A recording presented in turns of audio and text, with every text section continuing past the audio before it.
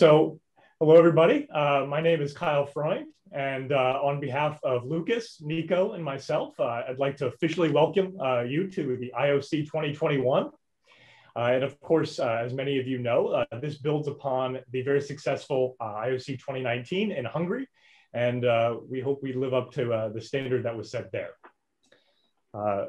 Obviously, uh, this was originally uh, going to be a live conference, and we had lots of fun things prepared for you, uh, you know, visits, various Obsidian sources and so forth. But uh, I think it's going to work out very well, and uh, we have a really great program prepared for you. Some topics we're going to cover over the next three days uh, include Obsidian sourcing studies and archaeology. So that's divided up regionally. So we will have some talks from all over the world. Uh, analytical methods is another theme uh, of the conference. Lithic and technological concerns, and theoretical and cultural concerns. Uh, of course, we're going to kick off today uh, with a uh, keynote uh, speaker, Dr. Stephen Shackley, and I'm really looking forward to that. I guess I'd like to start by thanking some of our sponsors that have really made this possible the International Association for Obsidian Studies uh, being one of them, uh, the Society for Archaeological Sciences, and Far Western Anthropological Research Group and XRF Lab uh, have all been uh, really great sponsors for this and, and helped us uh, put it all together and made it possible. Hello, yes, thank you. My name is Nico Tripcevich of UC Berkeley Archaeological Research Facility. Um, I'm a co-organizer of this meeting along with Lucas Martindale Johnson and Kyle Freund. So I'd like to welcome you to this meeting with and begin with a land acknowledgement. We recognize that Berkeley sits on the territory of Huichin, the ancestral and unceded land of the Chochenyo speaking Muwekma Ohlone people. We recognize that every member of the UC Berkeley community has benefited and continues to benefit from the use and occupation of this land since the institution's founding in 1868. So with that, I'd like to go ahead and introduce our keynote speaker. Professor Emeritus Stephen Shackley is a highly regarded archaeological scientist whose 30 plus year career has spanned the fields of anthropology, archaeology, geology, and museum studies. He was recently awarded the 2018 Fryxell Award for his interdisciplinary research by the Society of American Archaeology. In addition to his long career at the University of California at Berkeley, Dr. Shackley is also the former director of the NSF-funded Geoarchaeological XRF Laboratory, and he continues to teach as an adjunct at the University of New Mexico, serving as director of a new geoarchaeological XRF laboratory in Albuquerque. Steve received his BA and MA in anthropology and geological science at San Diego State University and his PhD in anthropology from Arizona State University. He came to Berkeley in 1990 as a research archaeologist at the Phoebe Hearst Museum of Anthropology before joining the faculty of the University, of the University uh, Department of Anthropology. Professor Shackley's main research focus has been on the American Southwest, and he is the author of over 130 journal articles and book chapters, as well as numerous technical reports. Shackley has also published several prominent monographs and edited volumes, including X-ray fluorescence spectrometry in geoarchaeology in 2011, Obsidian Geology and Ar Archaeology in the North American Southwest, 2005, and Archaeological Obsidian Studies, Method and Theory, 1998. He is perhaps best known for his work on obsidian characterization in the American Southwest, where he has been on the forefront of elemental characterization studies using X-ray fluorescence spectrometry. In this capacity, he has been a steady voice arguing for the importance of high quality scientific research in archaeology and geological sciences, particularly in the wake of increasing ease of access to complex portable technologies. In addition to a productive academic career, Shackley has extensive experience in museum curation and display, having curated exhibits at prominent museums throughout California and the American Southwest. He has also served on numerous committees and boards, including as president of the International Association of Obsidian Studies, the vice president of the Society for Archaeological Sciences, and associate editor for the journals Geoarchaeology and Archaeometry. We are honored to introduce Dr. Shackley as our keynote speaker today. Welcome, Steve. Thank you.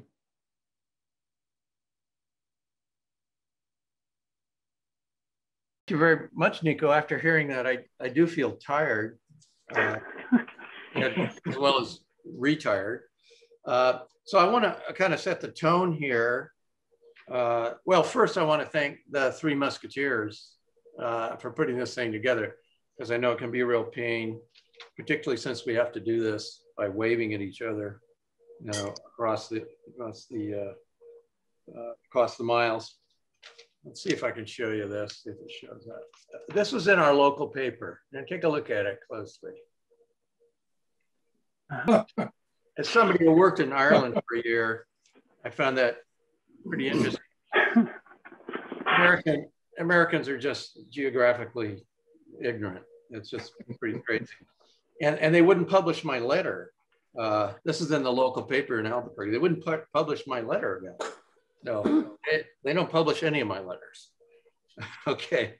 Um, this is, of course, my particular view and over 35 years. And of course, everyone here knows that there's been significant changes in what we do in provenance studies in that period of time, most of which I find to be amazing and, and wonderful.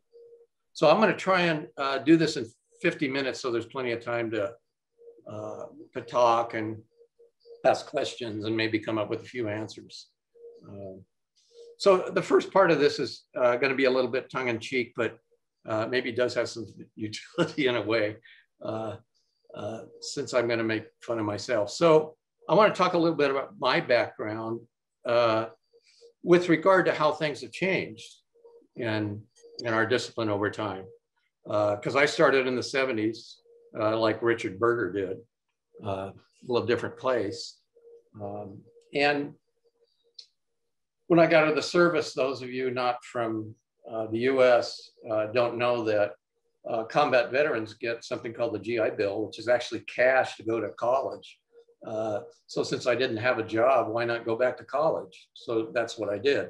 Although I chose geology in this case, and that worked out pretty good for me. You can see this picture down here, my uh, San Diego State University ID, the, the cool geology student. And if you were a male geologist back then, you had to have long hair, uh, generally uh, held back in a uh, back behind you. So that's uh, the way it is. So I don't look like that now, and who knows when I will. I, I, always hated when people put these long lists up here, but since I'm the plenary speaker, I can do whatever I want. So that's what I've decided to do. Um, so, so what's happened since the 2011 Obsidian uh, book came out through University of Arizona Press? Press. So actually, uh, as you'll see, even though we spent many years working on sources, there's seven new sources or source groups that have been discovered. And plus, uh, for my Mexican colleagues that may be uh, online here, 10 more archeologically identified in Sonora, but not yet discovered. So we're working on that. Uh, a greater understanding of the complexity of the Mogollon-Datil volcanic province sources.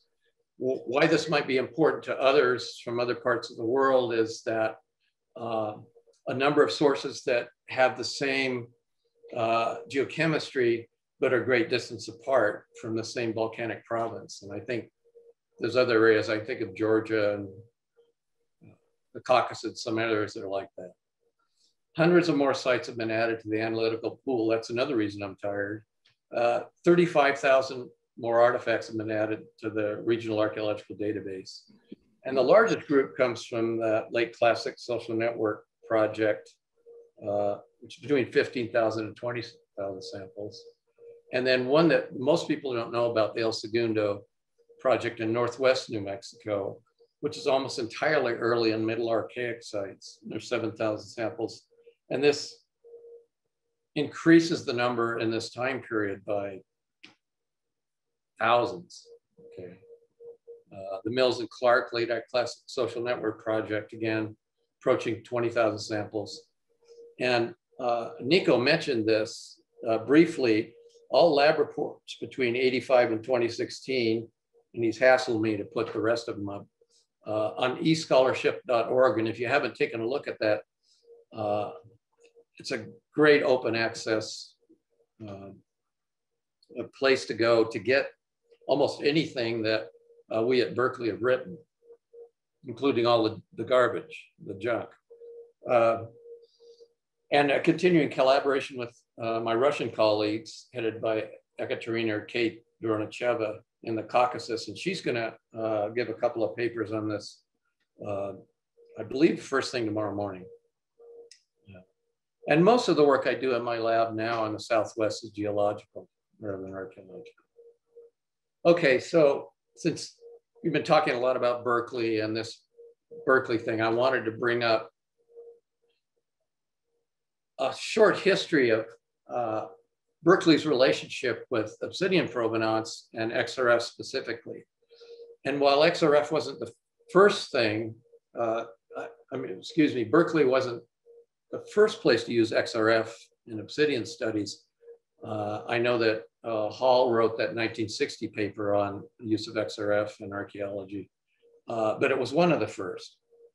And uh, it's created this expansion uh, over time, uh, even before I got there in 1990.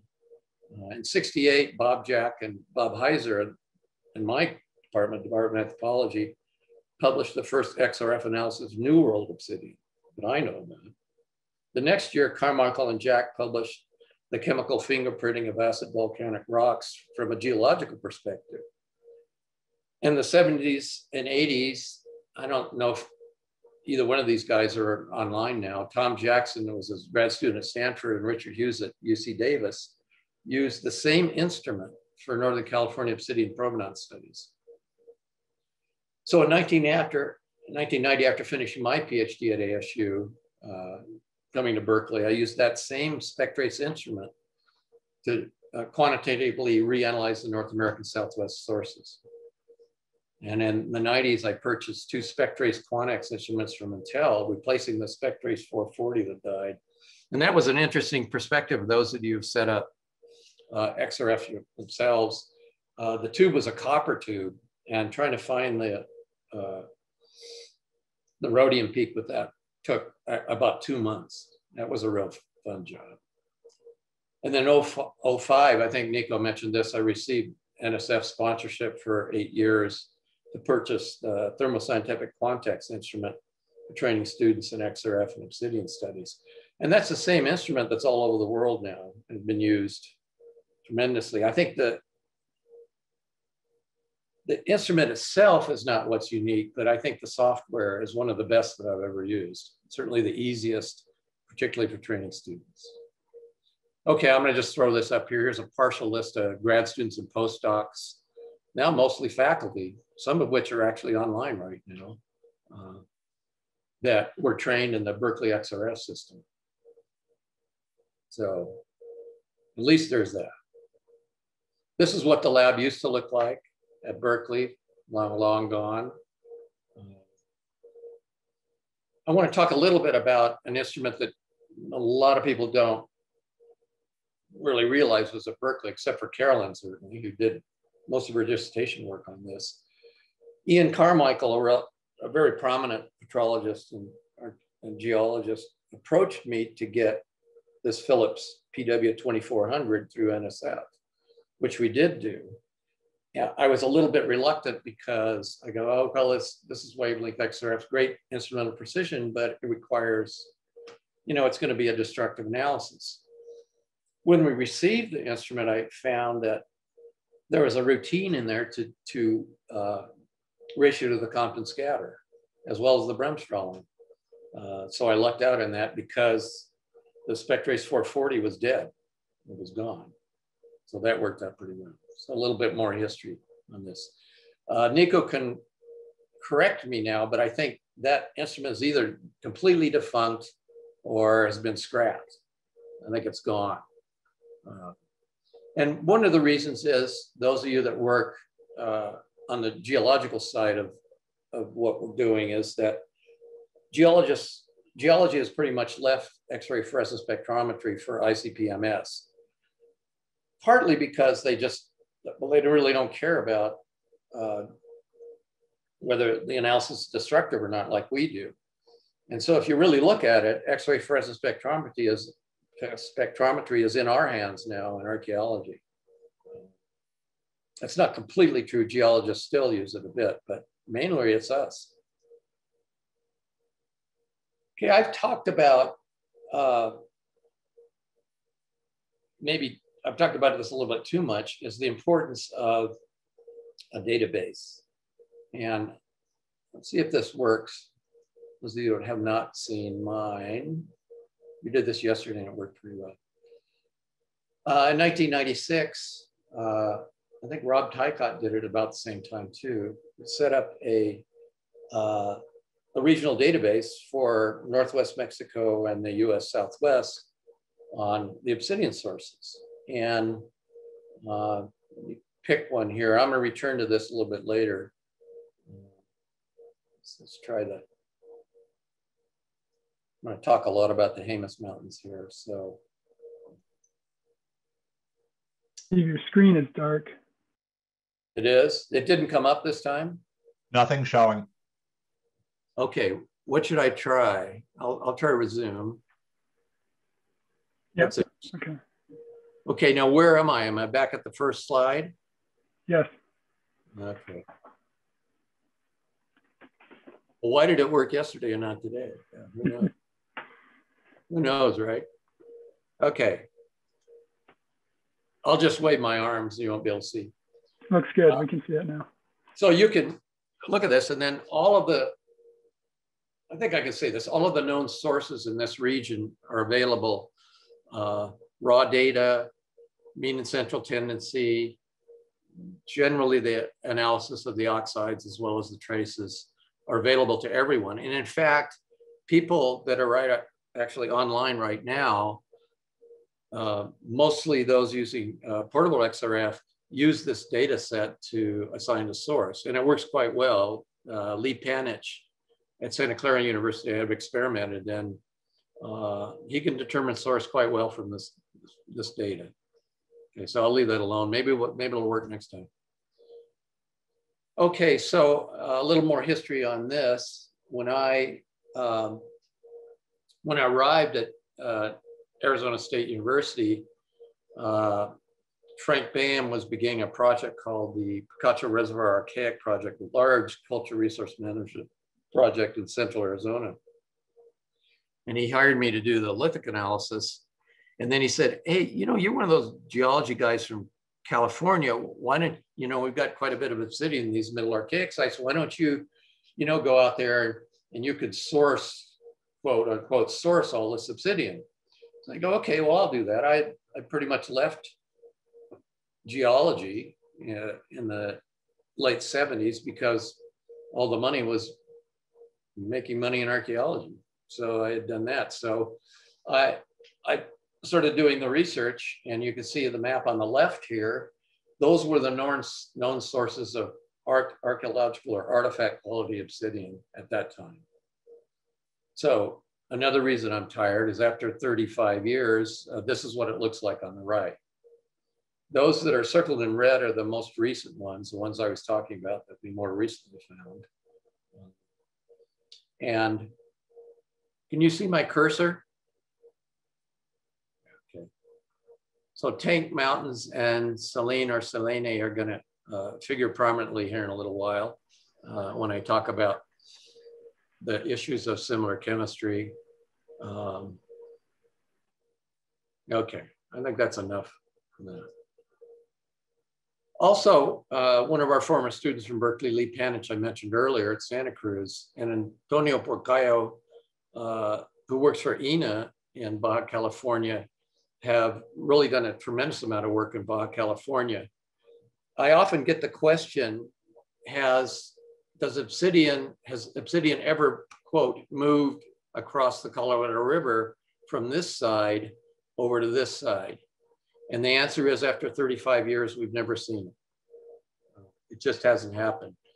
Uh, the way I explain that, or explain it away, is that uh, there's plenty of adequate uh, obsidian sources on both sides, so they don't really need to do that. Uh, it's not that there hasn't been any communication. Uh, I think that Sean Dolan is going to talk about the relationship between uh, the Southwest and Mesoamerica coming up maybe tomorrow. Uh, so there's plenty of communication in this region, but not obsidian. And that's another question that people are dealing with uh, throughout the world. Now, my focus mainly today is going to be a bit more on the geological aspects of what we do in provenance, uh, more so than the archaeological application. There's plenty of those coming up. And uh, if we look at it at the continental level, there's a couple of points that are worth talking about. Now, most of you guys know this, but some of you might not. And so I guess I'm getting into my teacher mode here. The first thing I want, want to point out is the thickness of the continental versus the oceanic crust. What's somewhat unique about the continental versus the oceanic crust is the proportion of silica that's uh, within that. Rhyolite is a rare event in volcanic rocks. If it wasn't, we wouldn't be talking right now. I mean, it'd be available everywhere, trying to deal with social networking, exchange, group interaction, all that stuff wouldn't be very easy.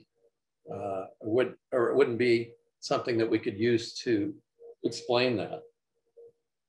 But in this case, it's very rare. And one of the reasons is that almost exclusively, and there's some exceptions to that, most rhyolite uh, extrusive events occur because a magma plume is moved up into the continental crust from the upper mantle and remelted material. I'm going to talk about a case in the Southwest where there was a large Precambrian granite basement that was remelted. And that's, we think, what's causing uh, similar chemistry over a,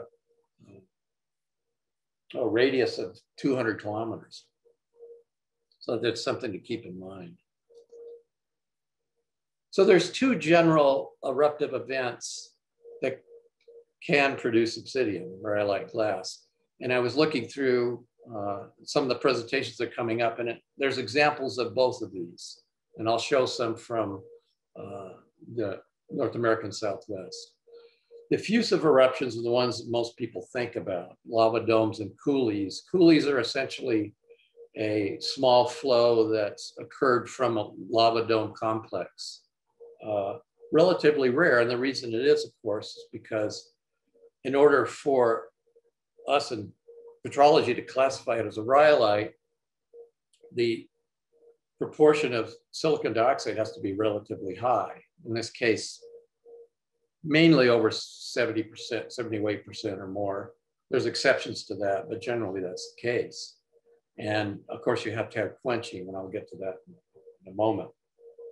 Explosive volcanism, not everybody thinks about, although I noticed that there's a few papers uh, that are dealing with uh, it looks like what might have been Plinian or subplinian events, of course, made for named for Pliny the Younger, who was lucky enough to see the Vesuvius event, killed everybody in Herculaneum and Pompeii, uh, and might do it again in that part of Italy, depending on how fast they get out of there.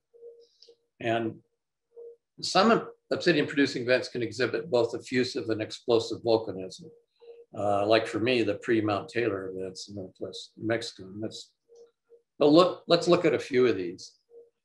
Uh, I use this image up in the top, which is from uh, Richard Hughes and, and, Bob Smith's paper in 1993, as kind of illustrative of uh, what this would look, a rhyolite eruption that did quench and created glass. Uh, and we got there a few weeks later, or a few months, or a year or two later. Um, not too many look like this, although there's a number of them in the Southwest that do. Uh, so this would be very recent.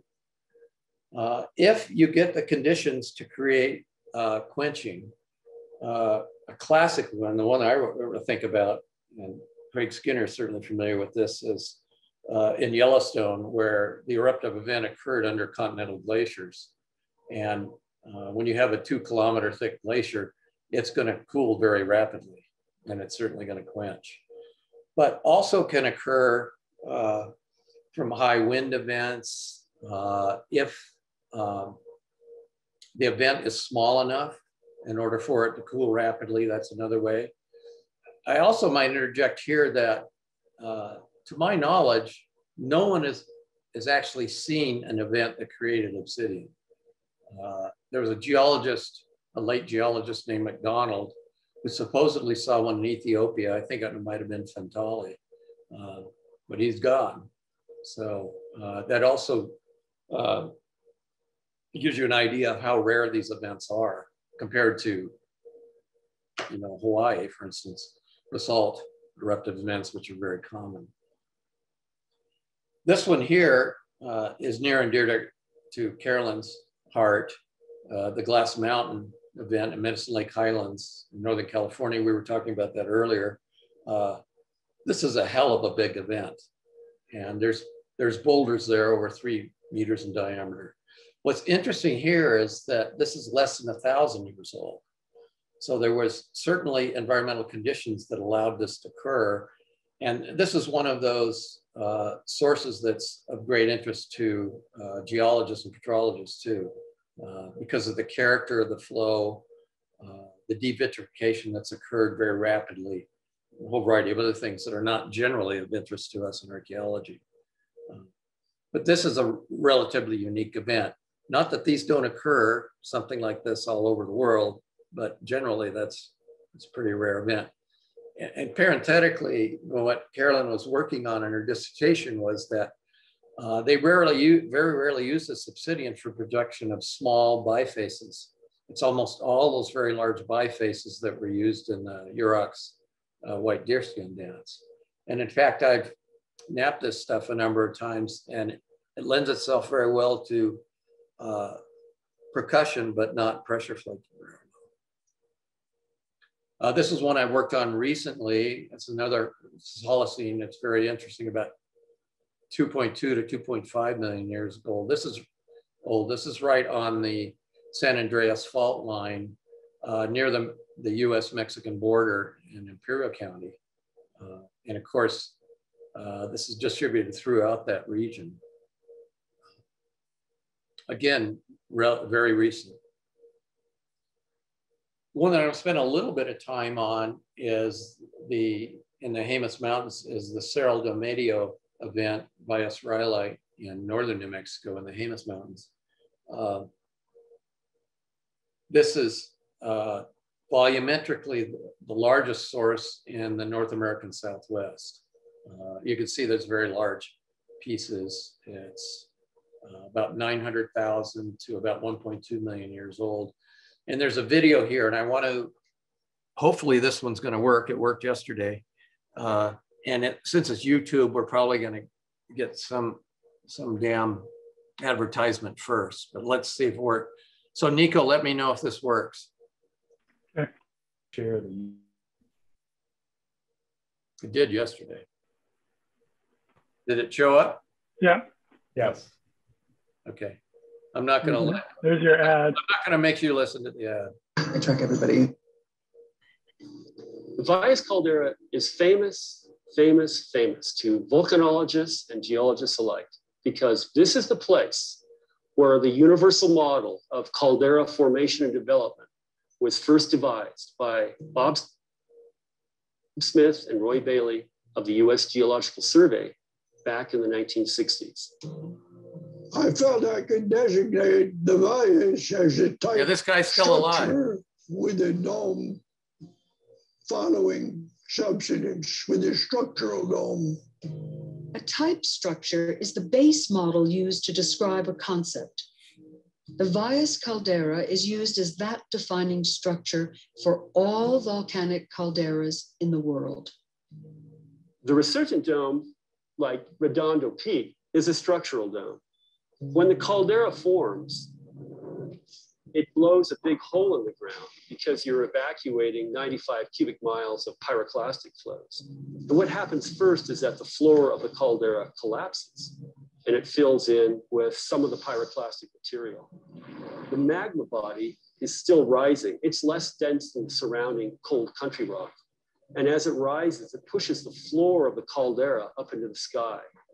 And Redondo Peak is a result of that uplift of continued magma pressure from beneath.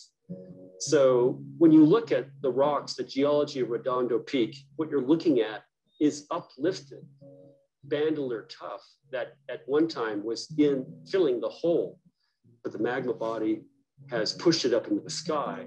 And you see that it's broken into a multitude of faulted blocks. One of the beautiful things about Valles is that all the features are so perfectly exposed. You have this symmetrical circular caldera. You have this.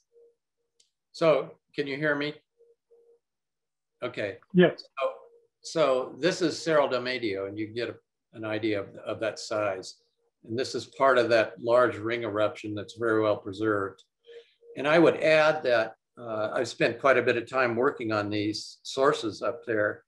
And I have met geology field camps from all over the world, uh, Germany, Mexico, and certainly the US, uh, because this is the type site for this kind of eruptive event. Centralized resurgent dome with a dramatic uplift. You have an almost a perfect ring of rhyolite domes that have erupted along the ring fracture zone. And so you can put all this together and create this model. Other calderas, it's not as well expressed. And so it took the work of these two guys at this place to develop the model that became so universally uh, accepted and used to this day. All right, so do I stop this share and do a new share to get back? Probably. Let's see what happens when you close it. Yeah. All right. Then I'll do... Yeah. Is it good? Yes. Okay. So uh, the geologist that was speaking is Fraser Goff, a guy I've been collaborating with for about a decade now. Uh, we publish in New Mexico Geology, Bearhead Rhyolite, and I do a lot of the uh, oxide analyses for him in my lab. And you can see the Cerro del Medio dome complex here and that size. Now, there's obsidian sources that we work with all over the world that are this large, but in the Southwest, this is uh, one of the major sources and relatively recent. Okay.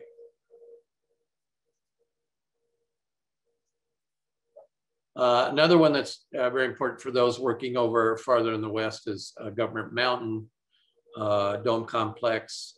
Uh, when I got there in the 80s, uh, you could still get nodule sizes half as big as your car, and now you're lucky to get one as big as a rock hammer. Because unlike the Valles Caldera that's in a national park protection system, this is just national forest, and flint knappers have really mined the hell out of this thing including me. All right, let, uh, let's get a little bit earlier here uh, into the neogene. Uh, these are the same kind of uh, effusive events, but you'll notice that in general, uh, most of the original obsidian has uh, devitrified into perlite.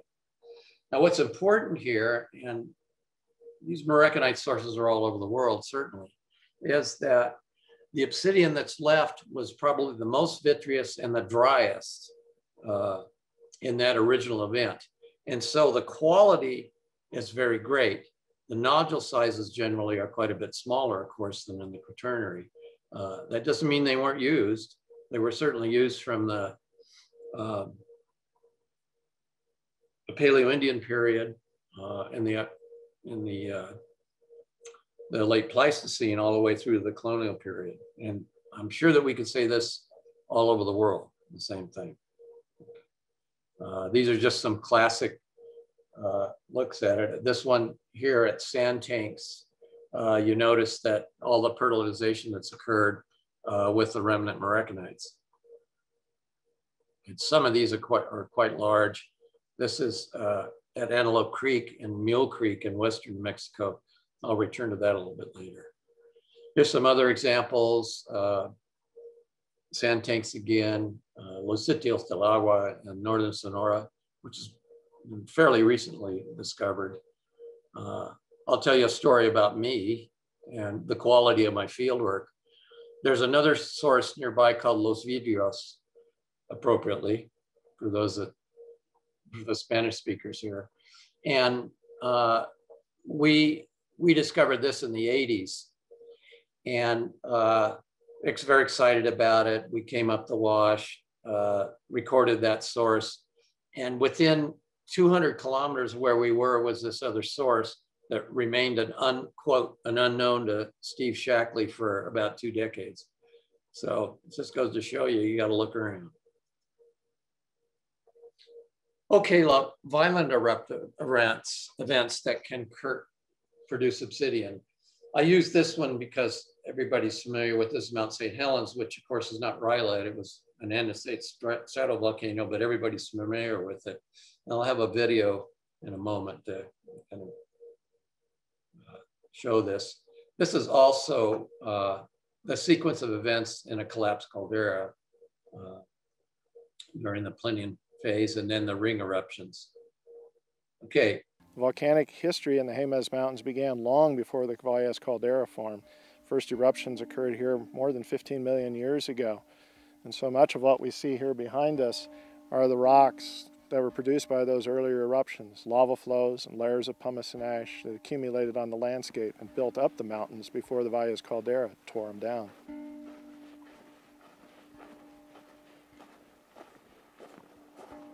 Fast forwarding to approximately 1.6 and 1.2 million years ago, the Valles caldera was the epicenter of two massive volcanic eruptions that left deposits several hundred feet deep in the surrounding area. The most recent eruption emitted an astounding 300 cubic kilometers of molten rock and debris before collapsing into the vacated magma chamber, leaving a depression 12 miles wide that can be clearly seen from space. Well, the type of eruptions that happen at the Valles caldera are impossible to imagine. The ground probably shook for months. Earthquakes every day. There might have been smoking ground. But once the crack opened and the volcano really got going, it started with a blast.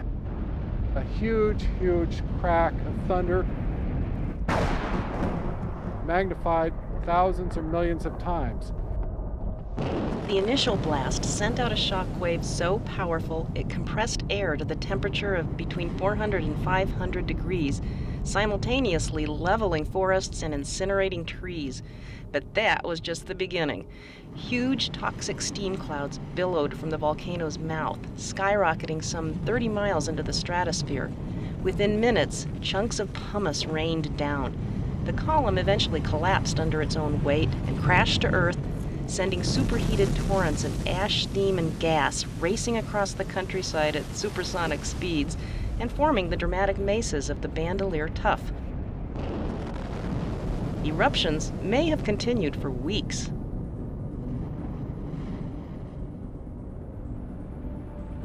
Many of us remember the destruction wrought when Mount St. Helens erupted in 1980 but scientists believe the eruptions of the Valles caldera were up to 250 times more powerful.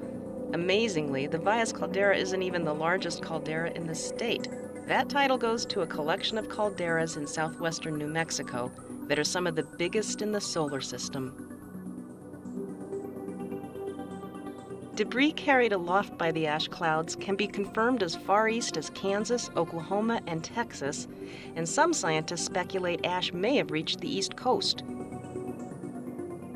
Willets believes the dust cloud would have blocked out the sun over much of the United States for years and altered the world's climate. This will happen again, perhaps not at the Valles, but at some other volcano here in the west. And when it does, it will truly stop life as we know it.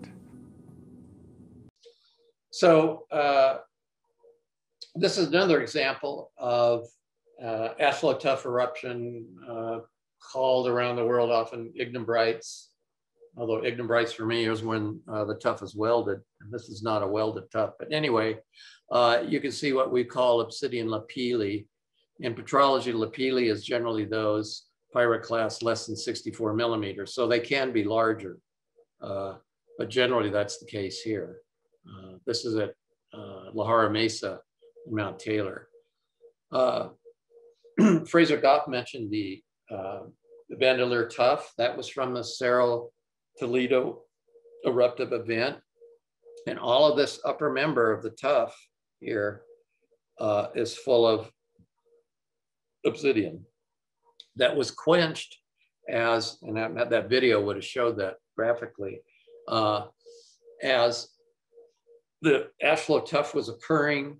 It usually moves at supersonic speeds and any lava within it, if it the glass formers are high enough, silicon aluminum oxides, it will create obsidian. And I have an example from uh, Russia coming up, which you'll see from the Caucasus, the same thing. Uh, I'm going to talk a bit about uh, secondary deposit issues uh, in our area and of course all over the world. And this eruptive event was so large that it threw this uh, ash flow tuff down into the Proto Rio Grande. And you could find this obsidian all the way to Chihuahua. This is an example from the Caucasus. We published this in the IOS bulletin, actually, uh, uh, the Zayukovo or Baksan source uh, in the Caucasus. And this is a pretty classic look. This is quite an, an event, as you can see. And where this guy is standing, there's uh, nodules like this, in part de devitrified, if you can see it. Uh, but some of the nodules are quite large, seven to eight centimeters. So this is a, an important way that obsidian is produced. What's important for us, and I'm going to talk about that in a few minutes, is that uh, this, of course, is very friable. It enters in the environment through erosion and uh, uh, can be distributed over great distances. Why that's important. I'm going to spend a lot of time on this, the, the range of variability of obsidian sources around the world.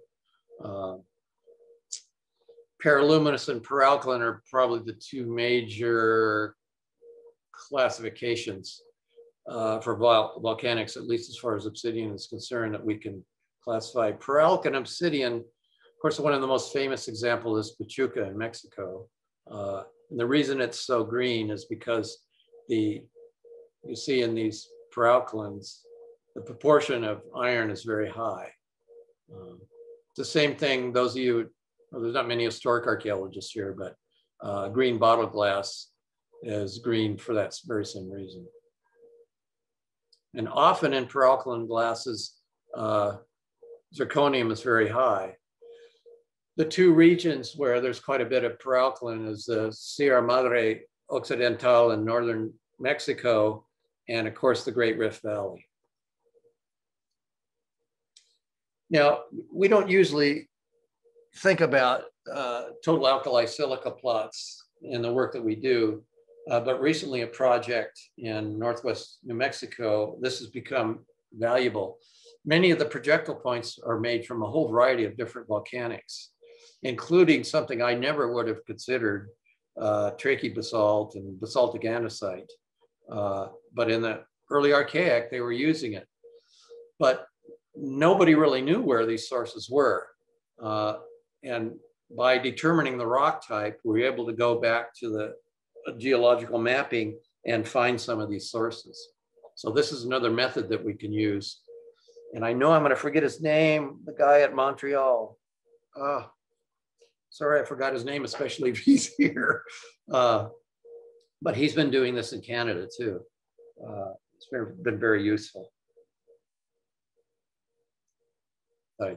Okay, I want to spend a little bit of my time here, uh, another few minutes talking about the role of secondary deposition or what is an obsidian source. And I know many of you think about it.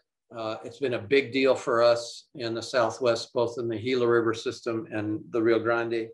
And um, so when I was running my uh, field practice in archaeological petrology field camps in in uh, New Mexico in the 2000s, we began to collect these secondary deposits along uh, obsidian along the Rio Grande.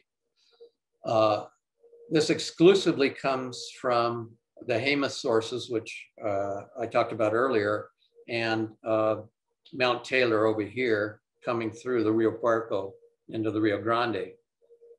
And um, I often tell my students, and I'm a flint knapper too, when you carry everything that you own on your back, we don't think about that. I drive a pickup around the Southwest.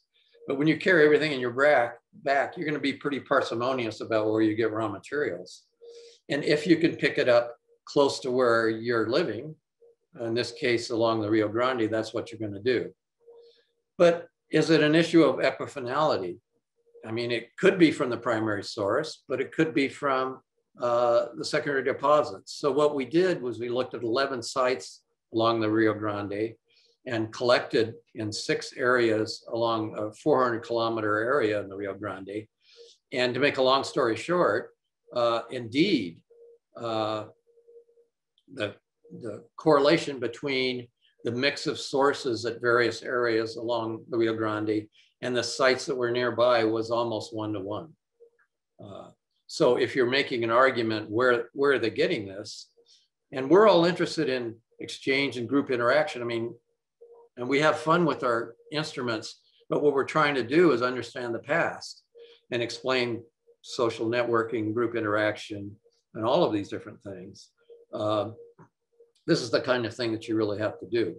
So I'm just calling your attention to the, the, the issues of secondary deposition and, and keep that in mind. It's not always an issue. One of the sources, the one that we saw exploding, uh, Cerro de Medio, uh, from the Valles Rhyolite. That's fairly recent. The uh, eruptive event wasn't very Plinian or subplinian, and it didn't get outside of the caldera. So we don't find that in the uh, Rio Grande. So that if we find it in archaeological sites in this region, it's got to be from the primary source. I don't want to beat that to death. But. And this is some of the caldera and pre-caldera sources we've been working with. So there's 8 million years of eruptive events that have been emptying into the Rio Grande and the Proto Rio Grande. And by the way, that river, the Rio Grande, is only about 4 million years old. So uh, those of you familiar with Western North America know how active tectonically it is there. And that's another example of that. Okay, I bring up Graeme Ward's paper all the time, mainly because I made students read this. They probably hated it. On the ease of sourcing artifacts and the difficulty of knowing prehistory. That's what we're really doing here. I mean, it's fun to do the science and determine the source, but we're trying to know prehistory. Again, I'm, so we still, I still have some issues in the Southwest. The Mugyung Datil Volcanic Province study I'm gonna bring up. Uh, again, this is an issue of having uh, sources that are not near each other with similar, similar uh, elemental composition. Uh, also, uh, I'm not going to talk about the Animas Mountains today because I spent all that time trying to get this to work. elemental discrimination issues, again, Saline or Saline Sonora versus Tank Mountains, and how we're dealing with this. Now, the Datil volcanic province study uh, has come up and these, of course, are neogene. They're very early.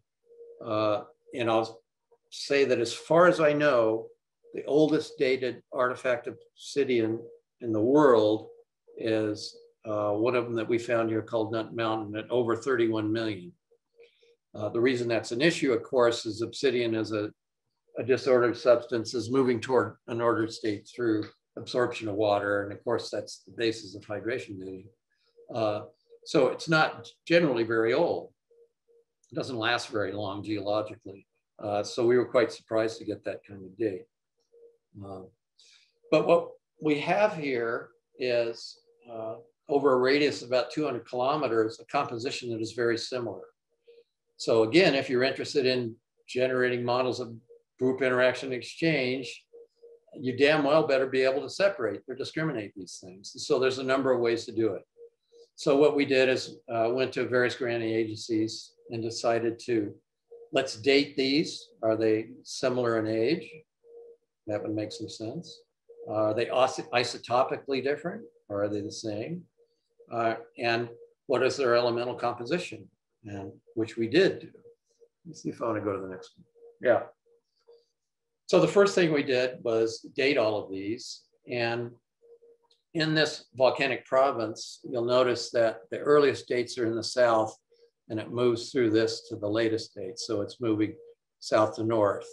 uh, mainly because of tectonic processes that I'm not going to get into. And uh, so that's fine. So we know that. And uh, about this time, I talked to a geologist, a late geologist at UNM named Wolf Elston, who'd been working out here for, God, 40 years or something like that. And he was convinced that there was a granite basement. I mentioned that earlier on, underneath all of this. And so all of these sources uh, had been remelting that granite basin, basement, a basement that probably has very similar composition over a large area. So let's see if indeed that that's the case. So this is, sorry, this is what we're dealing with here. And these two here, uh, Mule Mountains and Nut Mountain are the ones that are the farthest apart, of course, and are the most similar elementally. This is called the Murphy's Law of Obsidian Provenance Studies. You know, this kind of stuff always happens. Uh, so uh, we were able to elementally separate it a little bit. If you look at these numbers, it's not very much uh, with barium.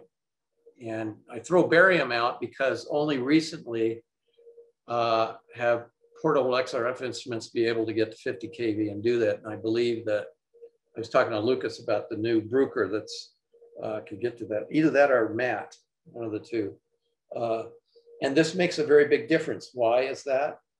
Um, I don't want to spend a lot of time talking about uh, incompatible elements, but uh, barium happens to have very high uh, ionic charge and it has difficulty finding uh, mineral hosts in the solid phases.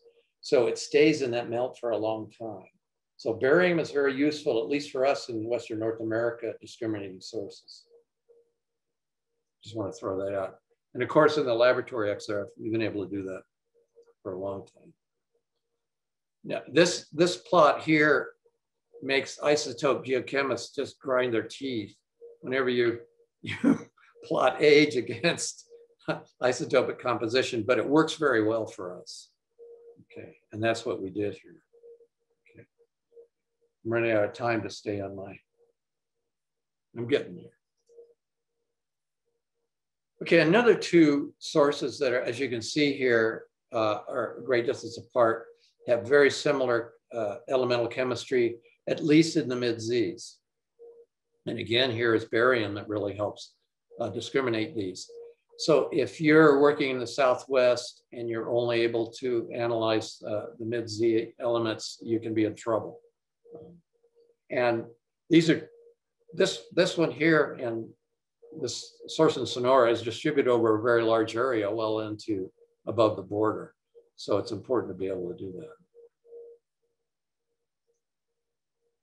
Okay, final thought. We'll see if I'm going to be able to do this this time.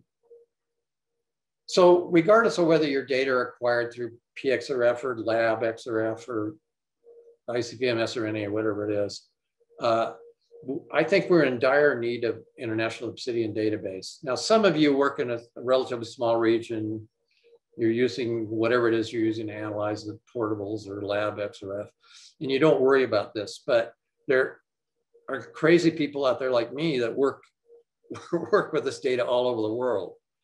And if I'm, for instance, I'm somebody sending me something from the Caucasus, and uh, it's very difficult to ferret out the data on those sources. And uh, I think a, I'm not going to do this, but some, somebody here needs to do this. We need to have an international database. Craig Skinner's done a great job in the Americas putting that together, at least North America. Uh, but we need to have, need to have not only physical description of the source and the bibliography, but also the raw data. Lucas was talking about uh, publishing also, I think, peak and background intensities and error. Uh, that's I haven't done that. I just published the oxide and ppm values, but uh, and then mean and central tendency, including minimum maximum, maximum really helps you assign the source. It does mean. Now I'm going to try this and see if we can do it again. So if I want to go to my website, all right, so this is what I've done, and probably a lot of you have seen this thing. Uh, you can click on this. Let's which one I want to go to. Mill Creek. Yeah, that's good. Of course, that having the images, that's great too. But this is what we really need. Now, I also analyze the major oxides too, which is values, plots, maps of the location of sources, the composition, the source composition. You've seen this before, this kind of thing. Let's go to Cow Canyon.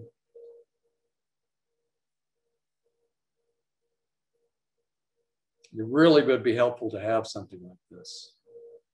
This is what I'm talking about is providing the mean intent and uh, central tendency, especially minimum maximum. You know what the range is, at least that variability. And a number of people in North America with portable XRF have been able to use these data and assign the source. Is that right, Lucas?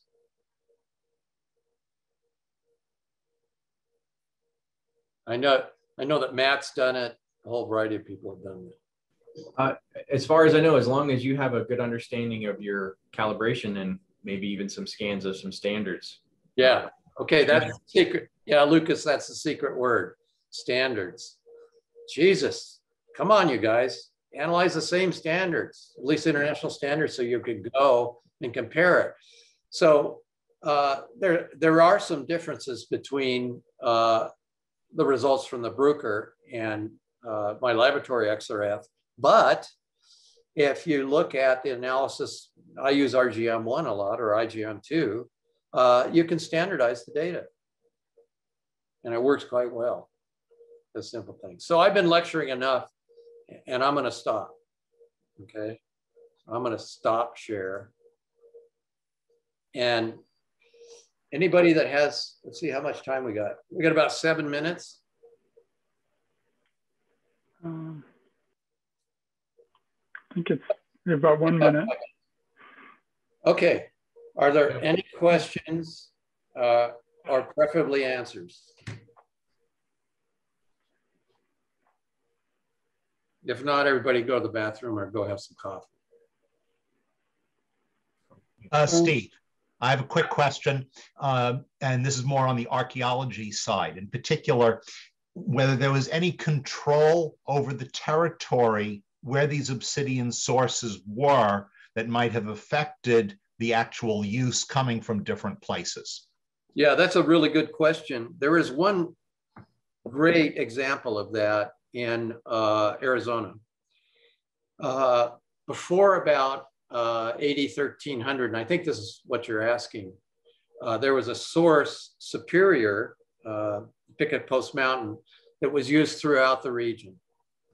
After about 1300, when with the, the rise of what's called Salado, um, which we all argue about whether it really exists or not, uh, that was territorially uh, circumscribed and was no longer available. That's a really good example of that. And I think that's what you're talking about, isn't it, Rob? Yeah, I'm sure you probably have the same kind of thing in the Mediterranean. Does that make sense? Yeah, you're shaking your head. All right. Well, thank you, Steve. That was a really wonderful talk, and it's inspiring how much information you put on your website. I wish more regions had that kind of detail on their sources and the chemistry. And that's why I'm tired. so yeah, I'm sorry about. It was funny yesterday. We tried this and everything worked fine, and now it's not Yeah. working. Yeah. Too bad. Well, let's hope others have more luck. All right. Well, um, Well, thank you very much. thanks, Steve. Thank Yeah. you, Steve. Thank you. Yeah, thanks. No beer though. well, Steve, you'll be around if people have further questions, right? We can catch you on a in between other talks, maybe. All right. Well, let's. Have, I Um, have the landscapers here, and I'm. Uh, they have some questions for me, so I'll be back in a few minutes. Okay, great. Thanks again, Steve. All right, well, let's go ahead and um, begin with our first talk of the session. Um, today we have, we're beginning um, with the Ch- Charaña obsidian source and its role in the pre-Hispanic exchange networks of the Titicaca Basin. Presented by Richard Burger, Martin Giesso, Vanessa Jimenez Balderrama, Paul Goldstein, and Michael Glascock. So Richard's here with us, I know. Um, welcome. Hi. Can everyone see this? Yeah. Yes. There we are. Great. Um, well, thank you for the invitation to, to come. It's my pleasure to be here and speak on behalf of, of the group of people that were, were just mentioned. Um, in the 1970s, 846 obsidian artifacts from 98 archaeological sites in Peru and Bolivia were analyzed at Lawrence Berkeley Lab with Frank Asaro and Helen Michael in a pilot project that was designed to provide foundations for the study of obsidian trade and exchange in the ancient Central Andes. Uh, the results uh, were published in 1977 at LBL and also in Peru and permitted the identification of eight compositional groups um, or types from Peru and northern Bolivia. And um, at the time, none of these eight compositional groups could be linked to geological sources of obsidian.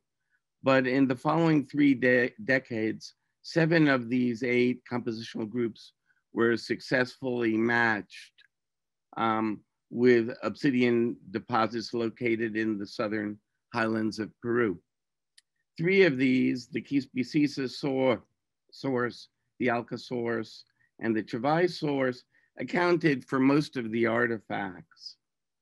In the report of the results from Lawrence, it was acknowledged that the geographical distribution and sampling of obsidian artifacts in the study was uneven and unsystematic, and that it was really quite likely that additional sources existed above and beyond the eight originally identified. And um, reflecting this reservation, um, 12 obsidian artifacts that didn't fit into any of the eight original compositional groups were analyzed by neutron activation and um, their uh, uh, trace element abundances were published um, in the uh, LBL publication as rare types one to eight.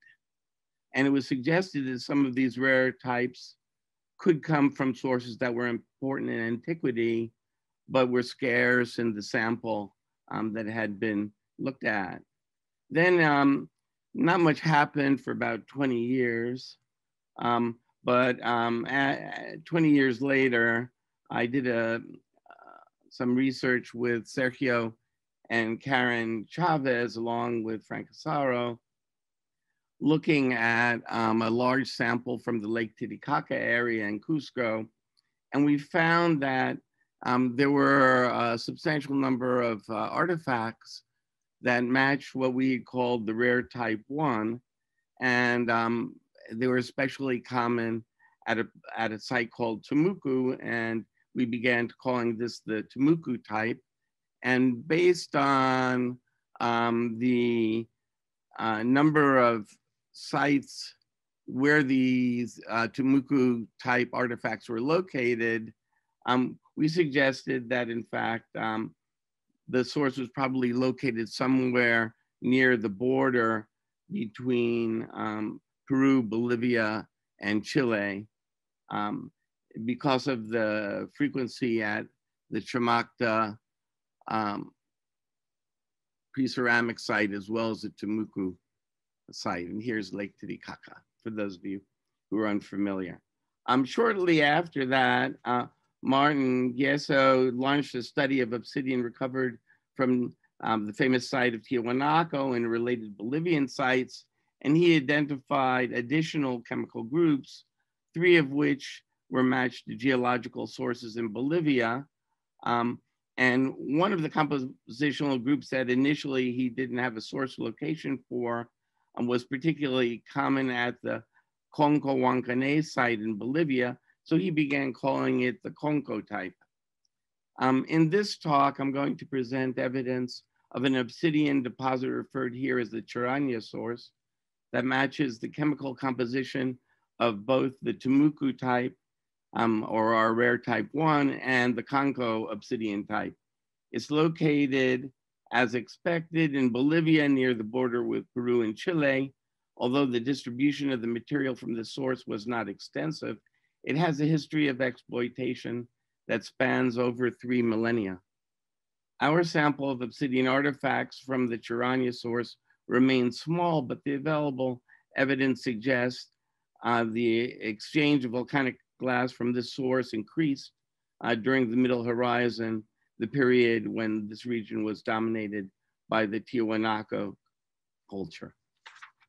In um, 2007, Vanessa Jimenez, then a student of archaeology at the Universidad Nacional de San Andres, La Paz, identified the Charaña source while doing a regional survey for her licenciatura thesis. The geological source labeled PAM 16 in her survey, which you can see down here, um, is located at 3,998 meters above sea level in the Marcanasa Valley, 14 kilometers east of the town of Charaña, um, in the province of Pacajes, department of La Paz. The site is located in the high grasslands in the headwaters of the Mauri Valley. And in this region, there exists a variety of raw materials that were used in pre-Hispanic times for knapping, including obsidian, chert, chalcedony, basalt, jasper, dacite, and opal. The geology of this region is characterized by neogene magmatism, but I'm not going to really go into the detail in the uh, into the geology. Um, at the uppermost level, there's a layer of rhyolite and it's adjacent to a um, volcano, which is called the Serques volcano. And a French group that studied the local geology thinks that the obsidian may have been produced by the eruption of that uh, feature. The source is situated on an arid plateau between the Marcanasa and Cañu valleys. Small obsidian nodules are scattered over the surface for approximately half a hectare. The source obsidian is dark gray to black and it appears translucent or opaque. Most of the nodules are small and rounded, usually less than five centimeters in length. A sample of unworked modules was collected and it uh, at the locus, and then it was taken to um, the Missouri Research Reactor for compositional analysis. Jimenez uh, located 24 sites in her archaeological survey of um, Bolivia's Western Cordillera, and obsidian was widely used for artifacts at these sites. And in her su survey, she recovered um, many flakes and small projectile points. Um, about 9.5 kilometers from the Charaña source near the juncture of two rivers was the site of PAM 10. This archeological site covers about a hectare and a half and it appears to be a residential camp where lithic production took place at 3,962 meters above sea level.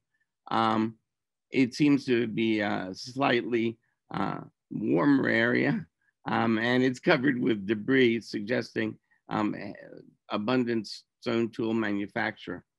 Um, however, the stone nodules that had been brought there were no larger than three centimeters. The obsidian um, artifacts in the study um, were submitted to the Murr Archaeometry Lab at different times between 1992 and 2005. Um, the geological samples from Charaña were submitted in 2009. All the uh, artifacts and geological samples were analyzed by neutron activation analysis using procedures that Mike Glascock has described elsewhere. Now, uh, some of you may uh, know Mike, and I want to show this picture. And what, what's remarkable, particularly in light of um, the previous talk is that when we compared um, MERS results with the results from Berkeley that had been done almost half a century earlier, um, they, they provided almost a perfect match between um, our rare one or the Tumucu type and the Charaña source, which shows you, you know, here this, this uh, piece of inf information had languished um, for 50 years without any apparent use, but now it turned out to be important. Um, the unique composition of the Charaña source relative to other sources in the region is illustrated by a plot of the elements cesium versus hafnium um, that you see here, um, but uh, several other elements such as manganese, rubidium, and uh, also support difference between Charaña and other sources. The inset plot that you see shows the artifacts analyzed in Murr and Lawrence projected against the 90% confidence ellipse from the for, for the Charaña source as derived from the 10 geological specimens analyzed, and it confirmed that the Tumucu type artifacts are in fact from Charaña, as are the Khonkho type artifacts that had been analyzed by Martin Giesso. The identification of the source permits a preliminary review of its distribution prior to the Spanish conquest and a consideration of the implications of this patterning. As noted, the source obsidian appears as nodules scattered across the land surface, none of them larger than five centimeters on a side. This would have limited their utility for the production of large obsidian artifacts, but the nodules still would have been appropriate for making flakes and small tools. The size of the Charaña nodules is in stark contrast to the blocks, large blocks of high quality obsidian found at the Chivay source in Arequipa's Colca Valley. Not surprisingly, obsidian from the Chivay deposit was heavily exploited throughout pre-Hispanic times, and it was the dominant type of obsidian used in the Titicaca Basin, including in Tiwanaku. Nonetheless, despite its intrinsic limitations, Charaña obsidian was utilized beginning in pre-ceramic times and continued to be used for several millennia. Unfortunately, at the present time, the relatively small number of obsidian artifacts analyzed from the southern Titicaca Basin limits our understanding, but some tentative conclusions or discussion at least um, can be offered. In our sample, 29 artifacts recovered from seven sites in Peru and Bolivia were made of obsidian from the Charaña source. Three of these sites are pre-ceramic in date. One is formative in date. One is early intermediate period in date, and two others date to the middle horizon. The source was exploited despite the size of its small obsidian nodules. Located in the high grasslands near the upper level of agriculture, this geologic deposit was initially utilized by hunters and gatherers in the zone immediately surrounding the source, and then by agro-pastoralists who combined the herding of domesticated camelids, llamas, and alpacas with the farming of high-end altitude Andean crops. Obsidian was collected from the surface in the form of nodules, and at least in pre-ceramic times, it was then transported to nearby locations, such as the rock shelter PAM-10, in order to be worked. The high quality of the Charaña source obsidian, which is free of bubbles, cracks, and inclusions, was appropriate for producing sharp edge flakes and small tools, including projectile points. Like other minor obsidian sources in the central Andes, such as the Puzolana source in Ayacucho, the Lisahuacho and Potrero Pampa sources in Apurimac, and the Aconcagua source in Puno, obsidian sources characterized by small obsidian nodules were generally of local importance with a restricted range of distribution. Even the Macusani source in the northern Titicaca Basin had a range of no more than 120 kilometers, despite the exceptional visual attractiveness of its obsidian. In the case of the source, before the middle horizon, its utilization seems to have been limited to the Altiplano of the southern Titicaca Basin with a distribution of between 120 and 140 kilometers. At the pre-ceramic sites, Charaña artifactual obsidian appears primarily in the form of flakes and bifaces, such as knives and projectile points. The flakes were probably used for butchering, scraping, and shearing, while the bifaces were probably used for hunting and interpersonal violence.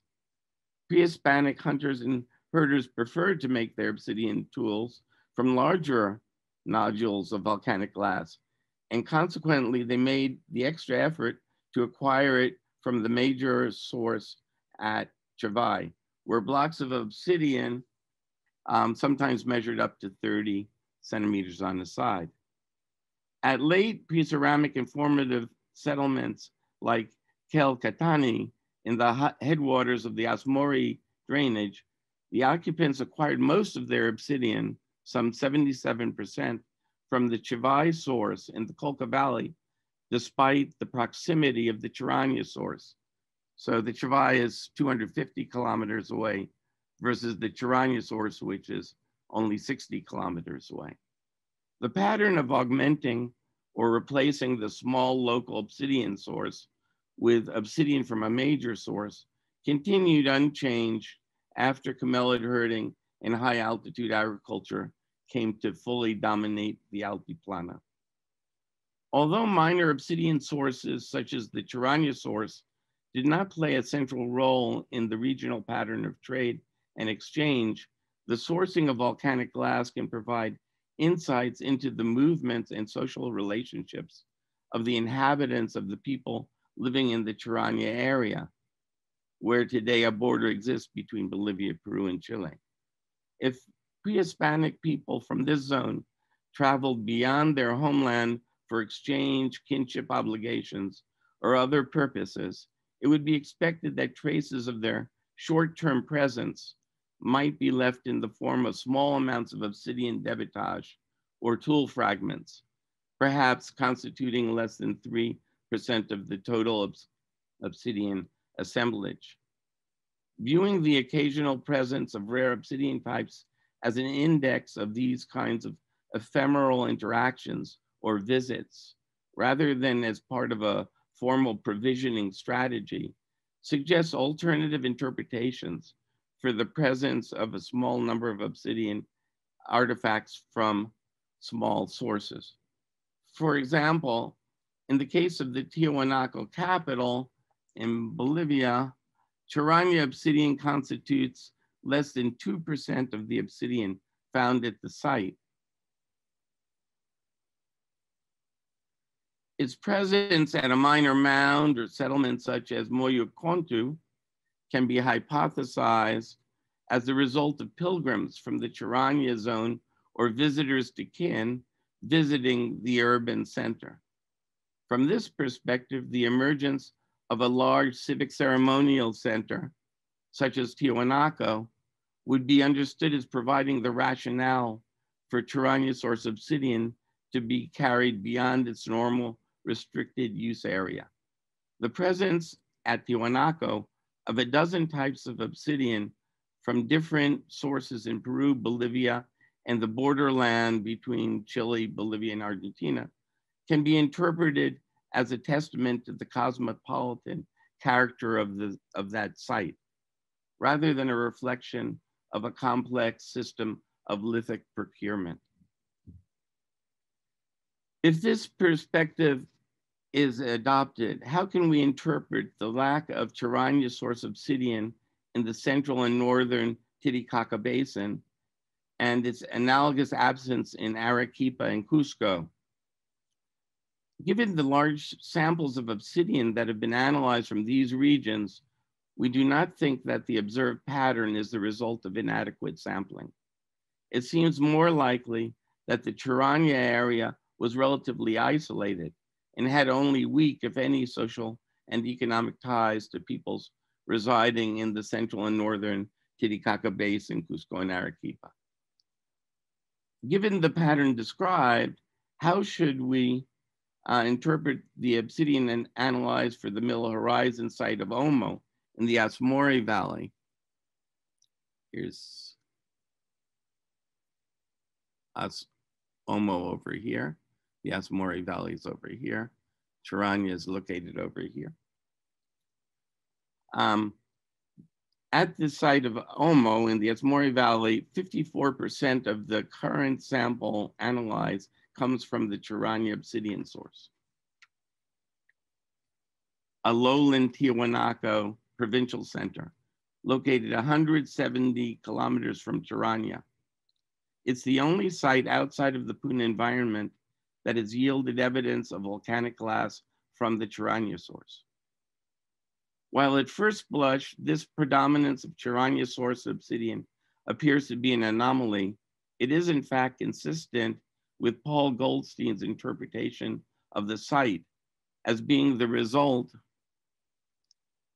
of a diaspora of diverse groups living in the Tiwanaku region and neighboring areas of the Altiplano.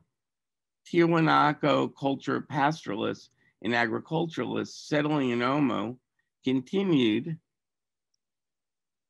to maintain their links with the related communities in the Altiplano, sometimes in the form of llama caravans connecting the high grasslands with the warmer climes of the mid-coastal valleys.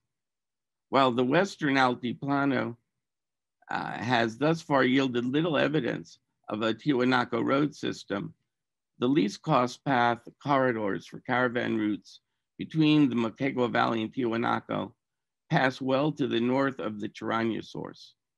Under these circumstances, Moquegua's provisioning with Charaña obsidian took some effort, suggesting an arrangement with partners in Charaña, perhaps in response to Omo's isolation from Tiwanaku's Chivay network. Obsidian from the Charaña source could have been brought to households in Omo as gifts from relatives or friends coming from the Bolivian Altiplano within the context of Andean reciprocity, or by pastoralists leading Yama caravans to the coast, opportunistically picking up exotic materials such as obsidian nodules for gifts or exchange items along the way. Well, thank you. That's it. Thank you, Richard. Excellent. We're a little uh, running a little late here behind, but do we have any quick questions? Maybe we can hit Richard up with questions later if okay. there's more time. Sure. Mm -hmm. I have a few, Richard. um, but let's move ahead. Um, with the next paper. It's Obsidian Exchange Among Hunter-Gatherers in Northwestern Patagonia, presented by Fernando Franchetti, Clara Otaola, Laura Salgan, and Miguel Giardina. Not sure who's going to be presenting. Hello. Ah. Uh, can you Yes, we can. Thank you. Okay, perfect. Well, good morning or good afternoon. Please be patient with my accent. We present obsidian exchange among hunter-gatherers in northwestern Patagonia. In this graph, we observe that local raw materials, such as basalts and cryptocrystalline, were predominant in the Diamante Valley. As you can see here, the gray part of the graph shows samples from the highlands and in black from the Piedmont, and we observe very low proportions of obsidian in compared to the other raw materials. The goal of this paper is to assess the convenience and use of obsidians discussing aspects of mobility and exchange within hunter-gatherers from the Diamante Valley where obsidian was relatively rare. Our research questions are, was obsidian acquired directly or indirectly? Can we interpret exchange from some obsidian sources? In this figure, we observe the three locations that represents highland villages and El Indígeno, the highlands with the site Perdido 1, and the Piedmont with unit 115. We also observe the obsidian sources identified in this work, Laguna del Diamante, Las Cargas, Maule 1, Maule 2, Coche Quemado, El Peceño 1 and 2. It is important to mention that during the late Holocene, for southern Mendoza, we have observed an intensification process with a broader diet breadth, expansion of social networks, technological changes, such as the incorporation of ceramics. All these ideas are being under study at the moment by our group. To explore the use of obsidian in the Diamante Valley, we propose two hypotheses, one of direct access to obsidian, another of indirect access, access and therefore to exchange. For direct acquisition, we expect a source to have a high representation among the assemblages. All the stages of reduction sequence would be present, cores, flakes with and without cortex, flakes with age maintenance and tools. There will be high diversity of artifact types, for example, projectile points, side scrapers, scrapers, knives, and bifaces. And we would observe abundant cores, high proportion of cortex, and low resharpening of tools. For indirect acquisition, we expect a low frequency of a sword present in the assemblages. We would observe only the final stages of the reduction sequence with exhausted cores, flakes without cortex, flakes with age maintenance and tools, low diversity of artifact types, and absent or exhausted cores. Also, no cortex present and high resharpening of tools. We chemically analyze all the recovered obsidians from the Diamante Valley with a size larger than 8 millimeters. The 180 obsidian sample include surface and stratigraphy assemblages we use the XRF portable spectrometer from the University of Nevada, which Christopher Morgan brought to Mendoza. We only included variables from mid-Z elements, which can be detected with little background effect. We loaded the geochemical data into the free Gauss software. The ellipses were more clear when we work samples at the level of the archaeological site. However, we present the ellipsis graph with all the sample included. Here we show the map of Mendoza in the upper right with the obsidian sources. In the ellipsis graph in yellow are samples from highland villages, in green samples from the highlands, and in light blue samples from the Piedmont. We could determine that 70% of the samples belongs to Las Cargas, 7% to El Peceño 1, 4% to El Peceño 2, 8% for Coche Quemado, 6% for El Maule 1, and 2% for Laguna del Diamante. And finally, 1% for El Maule 2.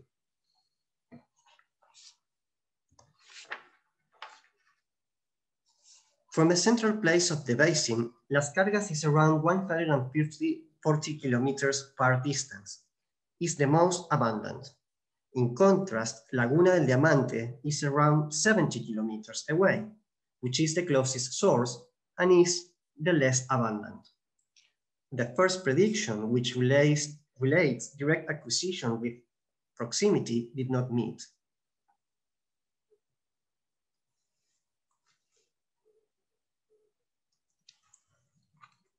From the 180 analyzed samples in the Diamante Basin, 58 had chronological association. Despite archaeological sites at the basin have chronologies from the early Holocene, in this analysis, we had only late Holocene samples. We divided the sample in 500 years intervals during the last 2,500 years before present to explore the variation in the use of sources through time. As expected in a context of exchange, the number of exploited sources increased a long time. We observed that Las Cargas persist being the most used source and also increase its uses in later times. This might be because Las Cargas was the best quality source among the region in terms of sizes of cores and properties. It calls our attention that even during the last 1,500 years BP, when the intensification process occurs, hunter-gatherers use other sources, but still seem to prefer Las Cargas. We also explore trends in the relationship among sources and the use of space in different ecological zones. You can see here in the right the different images of the different environments. The highland villages, with, which are located above 2,600 meters above sea level, the highlands with an altitude between 2,000 and 2,900 meters above sea level, and the Piedmont with an altitude between 1,000 and 1,900 meters above sea level. Las Cargas source is the most abundant in the three ecological zones, showing again that there is no relationship between distance and abundance. We inspired part of our work in this amazing book. And here we have a chapter from Kelly, 2011, who summarized the average maximum distance for logistical forays among different hunter-gatherers he established that on average, we could think of a 175 kilometer distance for these trips, considering a travel rate of 40 kilometers per day. But this distance and travel rate might be considered an acceleration. And therefore, he also explored a radius of 88 kilometers, considering a travel rate of 20 kilometers per day. Despite we know there are some groups with larger logistic trips, we use this logic to generate this radii for the Diamante Valley to the sources. This major circle in orange is the 175 kilometer radius, and in yellow, the 88 kilometer radius. If we consider the 175 kilometers, kilometers radius, Laguna Diamante 1 sorry, Laguna del Maule 1 and 2 and Coche Quemado fall outside the expected logistical forex zone. When we consider the 88 radius, all the sources but Laguna del Diamante fall outside the expected logistical forex zone. And only Laguna del Diamante is in the circle. We must also consider that both ranges are exaggerated when we add terrain constraints and time expended in hunting and securing subsistence during the trip. In sum, we consider that an embedded acquisition of logistical trips of obsidian was very unlikely. Therefore, we suggest that obsidian acquisition was product of conveyance through potential routes visible in the least cost path analysis.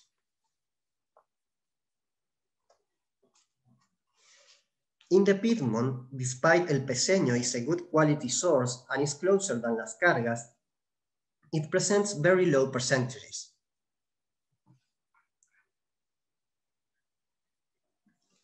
Why do we observe this pattern? Which was the role of Las Cargas? Does this imply that the Piedmont had higher reliability in the mobility year-round pattern towards the highlands in the west in opposition to the east? This pattern may support the idea that Las Cargas had a direct access, as we observed in, observed in the variables above, while the others sources had an indirect access.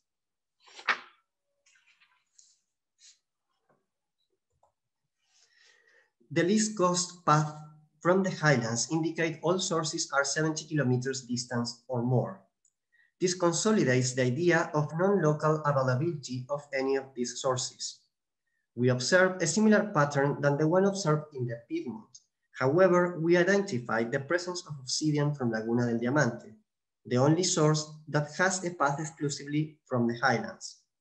The access to the rest of the sources implies a path through the Piedmont or the lowlands, suggesting that even the sources in the Cordillera, like Las Cargas and El Maule 1, had access from lower altitude from these locations in the highlands. Therefore, we consider that even for many areas of the highlands, mostly those adjacent to the Piedmont, there were paths that favor north-south roads at lower altitudes.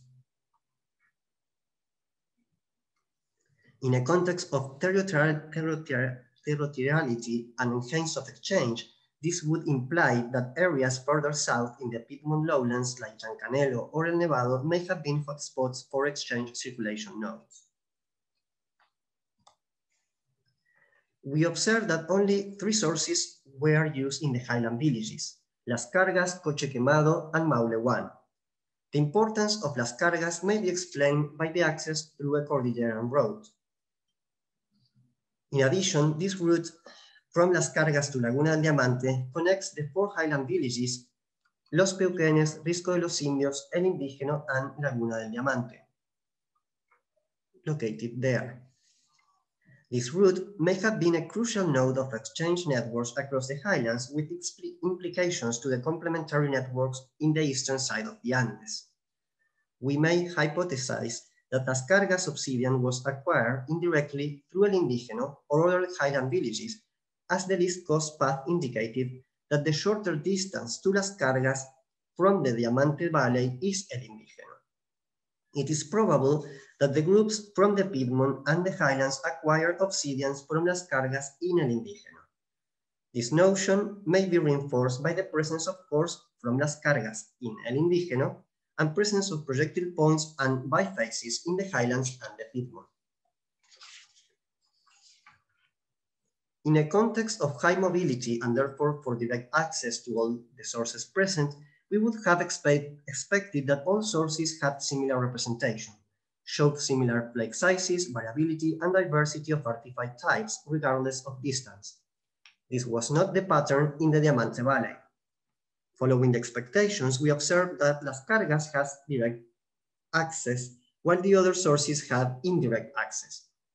Las Cargas source, considered the best quality source, is the most abundant, has high artifact, artifactual class richness, present, presence of all the reduction segments, higher variation coefficient for size, and higher frequency of pores and core flakes. Closer sources should evidence higher frequencies, higher variability of sizes, some small pores to be also present, and high diversity of artifact types. In contrast to the expectations, Laguna del Diamante did not show abundant frequencies in the Diamante Valley. In a context of higher use of local raw materials, basalt and cryptocrystalline, the closest source, Laguna del Diamante, indicate little use. Las was the main source used and its importance increased in the late Holocene, despite the use of other sources. The use of obsidians in the Diamante Valley, framed in mobility exchange routes, may find a model in the least cost analysis. However, hunter-gatherers surely follow the courses of water across an arid and altitude landscape, many times ignoring a straight, efficient line in speds that do not secure water. Also, these routes, and mainly for the occupations in the highlands or highland villages, accommodated to specific patches of resources where the gregarious populations of guanacos travel in summer. Thank you so much. Thank you, Fernando. Um, do we have any questions for the speaker?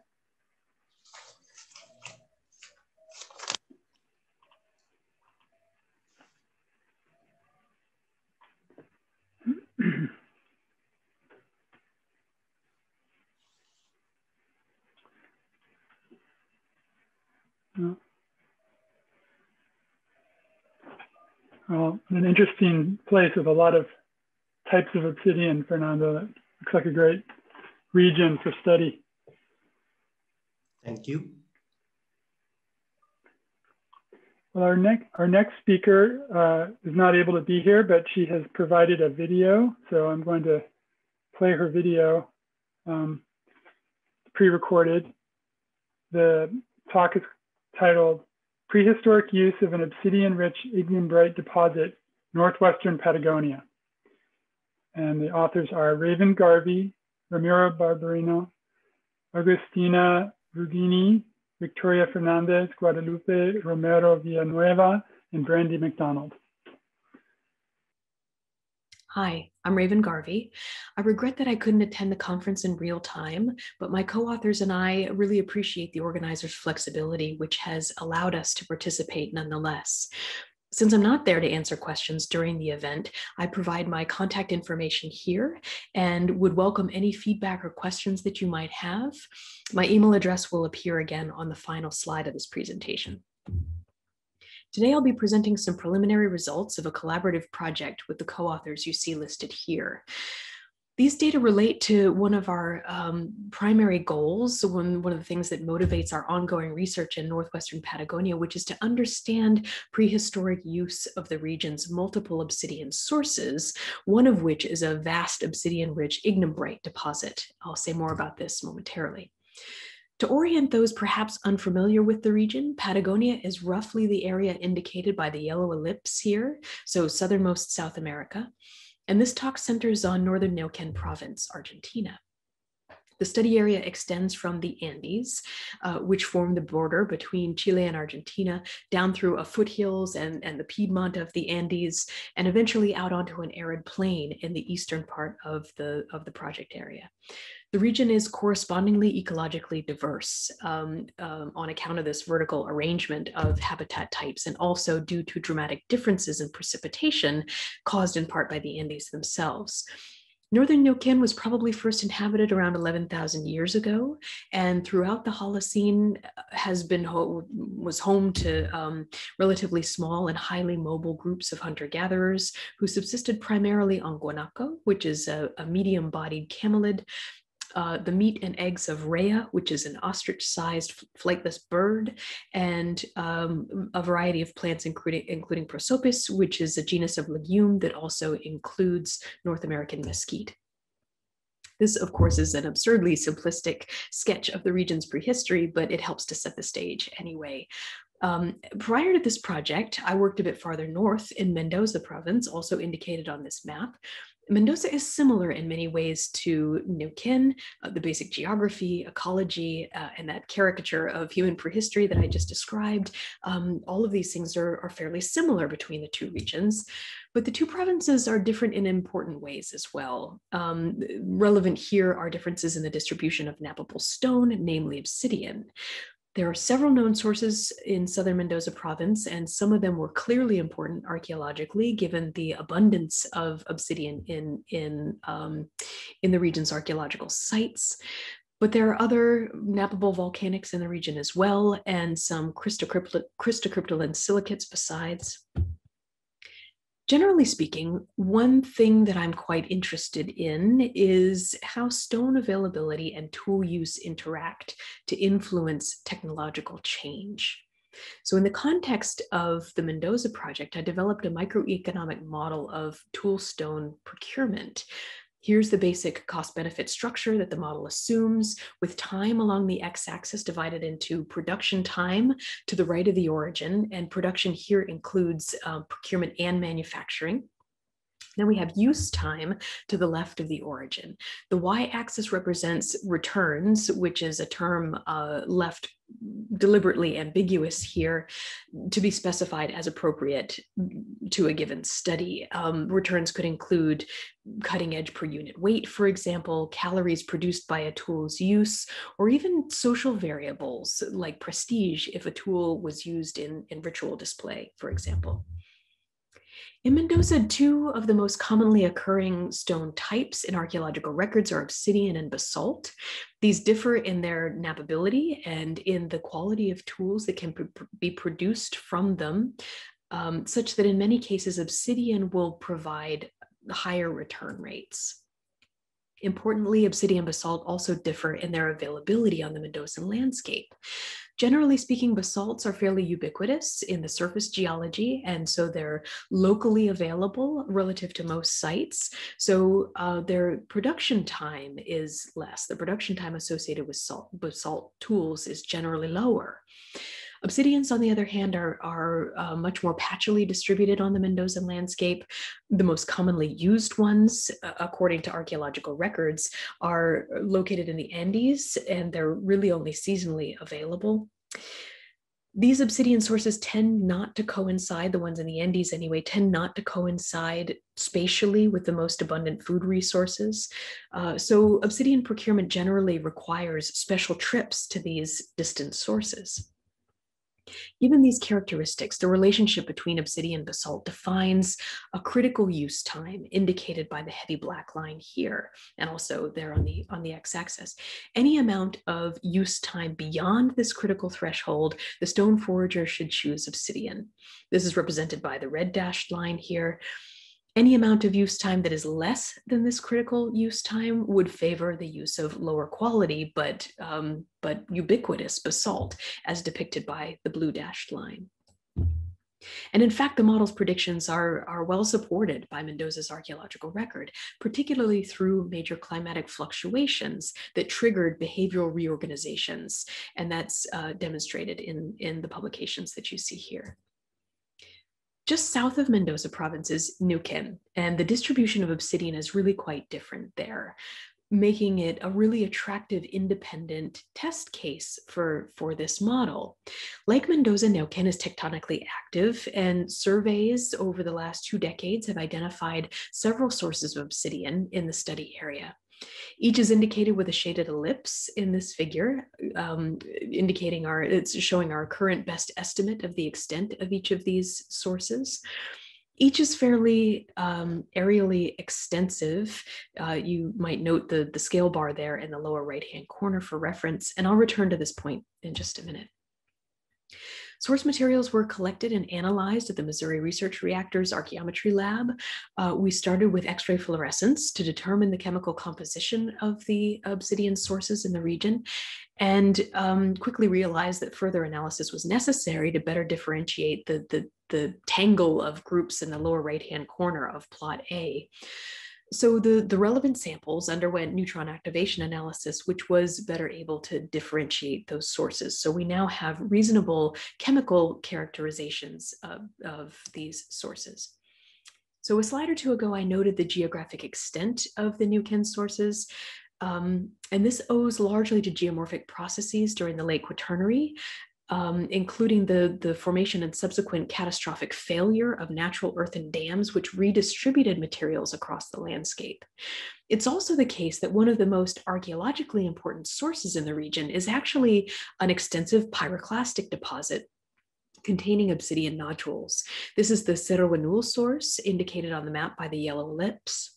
And this ashfall tuff is not only um, naturally expansive on the landscape, uh, erosion of the matrix has produced matrix has produced lag concentrations of obsidian nodules in gullies and other erosional landforms, and the, the fluvial systems that flow through the source through flow through this tuff deposit further transport obsidian nodules downstream. As this map also indicates, Cerro Huenul obsidians are distributed uh, across multiple altitudinal zones from about 2,000 meters above sea level which are the local uplands um, and, and really only seasonally habitable by humans. And the, the source extends down to about 800 or so meters above sea, land, sea level, which is the lowlands available year round. This interaction between geographic availability of Huenul obsidian and prehistoric human ecology creates this highly complex macro-regional uh, obsidian quote, sourcescape, as we call it in the paper referenced here.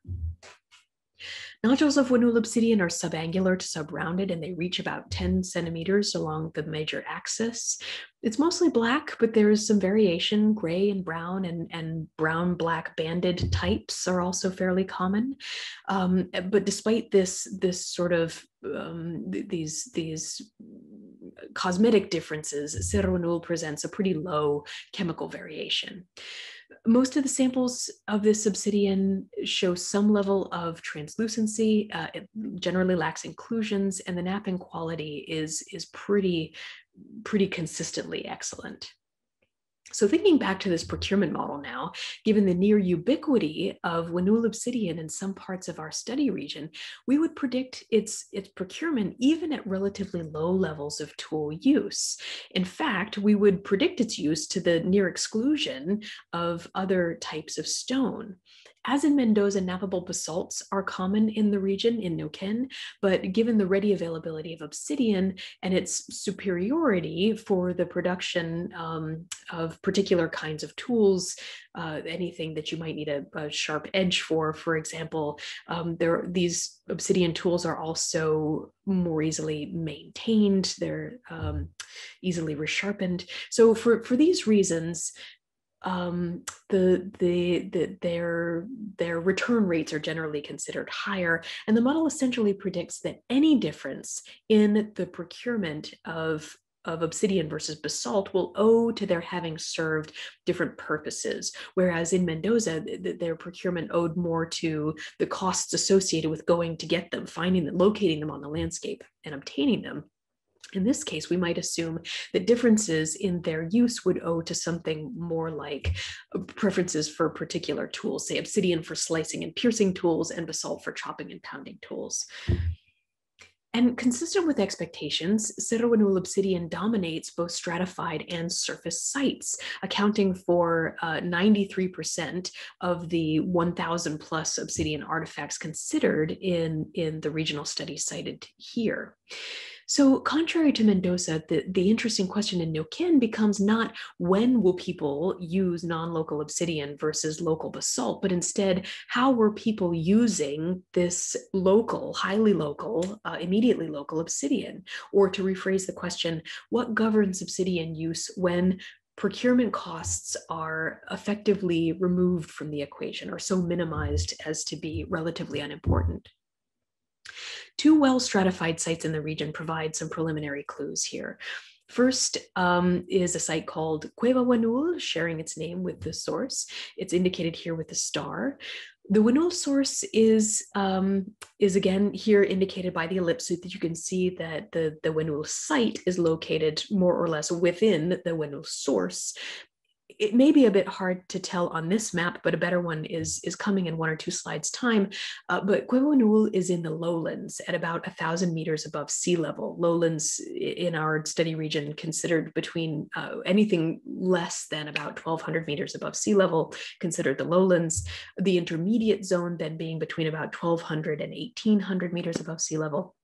So, according to this general model of human biogeography that guides our research in the area, the lowlands are generally considered less attractive than this intermediate zone, um, primarily due to the relatively lower rainfall and correspondingly lower primary biomass. Vegetation characteristic of the arid lowlands is evident in these pictures. Um, and you may be able to make out a stream channel in the top left picture, but this is a dry channel. It, it runs only very rarely. This site was occupied intermittently between about 11,000 years ago and uh, late prehistory, so, so nearing contact with Europeans. As predicted by the procurement model, obsidian dominates the lithic assemblage, and uh, Cerro Huenul type accounts for almost 95% of all obsidian here, which is not at all surprising given its location within the source region. Um, interestingly, though, there are very few corticated pieces in the record suggesting primary reduction elsewhere. Um, formal tools are also very few in this assemblage, and the, the use of local Huenul obsidian is, um, is pretty expedient. These, this neither is this very surprising. It's consistent with the ways that local stone is used elsewhere in the world, relatively more expediently, that is. However, another cave site, uh, several kilometers to the northwest of Cueva provides an interesting contrast here. This cave was excavated uh, pretty recently, and many of these data are preliminary, but there are nonetheless some interesting uh, patterns emerging. The bouncing star at the top left indicates the, lo location of, of Um, and you can probably get a better sense here. This map is color coded to distinguish highlands in red from intermediate zone in, in orange and lowlands in yellow. Now you can perhaps see better that, um, that Cueva which is just to the east of the star, it's that first green dot to the east of the star, is located in the lowlands, whereas Yagi is, is in the intermediate zone at about 1400 meters above sea level. It's also along a permanent creek. So already there are some important differences between Cueva and Cueva Huenul. Um, um, so the Huenul being lower elevation and also a much drier habitat.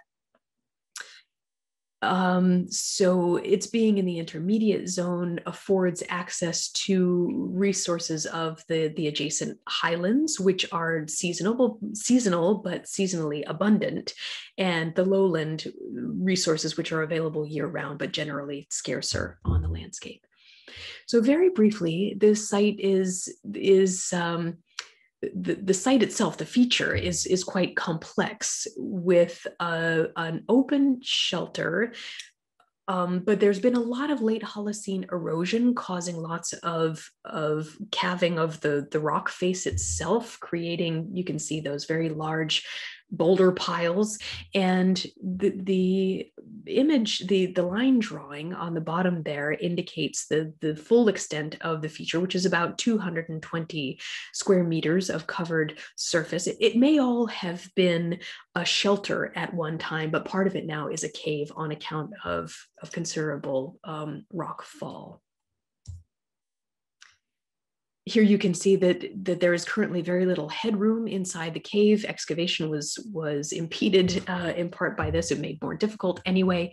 We excavated, I should have mentioned on the previous slide, you may have noted that there is a, a, a, a square between what is currently shelter and what is currently cave. So right at that transition, we excavated a test unit you can see its location here in what we what we take to be a relatively undisturbed part of the cave, but adjacent to what is likely a looter's pit. You may be able to make out in that top photo. We went down in arbitrary 10 centimeter levels to about 150 centimeters below surface. The table at the top of this slide provides the first radiocarbon dates that we have for the site. There is a noteworthy reversal between levels three and six, and also a pronounced break in the radiocarbon record between about 6,000 and 2,000 cal BP. This is likely an erosional unconformity. Um, the, the, some data indicate that it, it is it is probably not an abandonment of this site. I don't think I'll have time to say more about that um, um, in this presentation. Below the table, largely for illustration, is a corresponding projectile chronology that is emerging from this study. Perhaps not surprisingly, the test unit produced quite a lot of obsidian, not surprising, again, given its location within the Huenul source. Consistent with data from Cueva Huenul and also the broader regional sample mentioned earlier, about 85% of the uh, 400 odd pieces of obsidian analyzed from the site that, that we analyzed by using XRF are assignable to the, the to the Huenul source. From this sample of Huenul obsidian, we selected a subsample of 100 artifacts for a battery of tests related to obsidian hydration.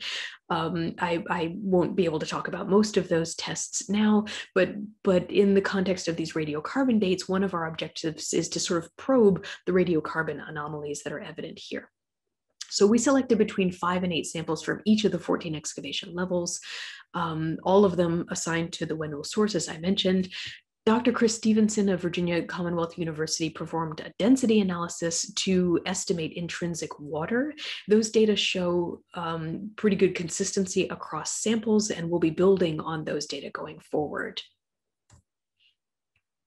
Uh, Origer's Obsidian Laboratory in California first measured all hydration rims optically using a 12.5 power filar, filar micrometer eyepiece mounted on a polarizing microscope. Um, we then selected a 5% sample for analysis by secondary ion mass spectrometry for independent uh, verification rather of the optical measurements. And you can see in the top panel here that there's, um, there's excellent convergence or excellent correspondence between the optical and SIMS measurements. which gives us um, a high level of confidence in the other optical measurements. So um, it's also worth mentioning that only three of the 100 samples showed any signs of weathering. And there were 16 total that failed to yield a reliable hydration measurement um, for, for various reasons, but there was no meaningful temporal pattern associated with these, with the, you know, among these 16. As expected, hydration rims show a general correspondence between thickness and age, as illustrated in the bottom panel here. As is also evident in this figure, there's a fair bit of variation in rim values, particularly in the more superficial excavation levels, so nearer the surface. Here are the raw data that, that went into those box plots showing uh, showing this a bit more clearly, the red line at about two and a half microns marks the median hydration rim value. There's no statistical significance here, but it serves to illustrate that levels six and above regularly deviate from expectations um, with lots of rims that are larger than expected, while levels seven and below contain fewer, uh, fewer values that are smaller than expected. Of course, this could be due to post-depositional disturbance, particularly affecting later occupations. But an alternative hypothesis that we're exploring now is um, scavenge, scavenging or later use of materials discarded during previous occupations.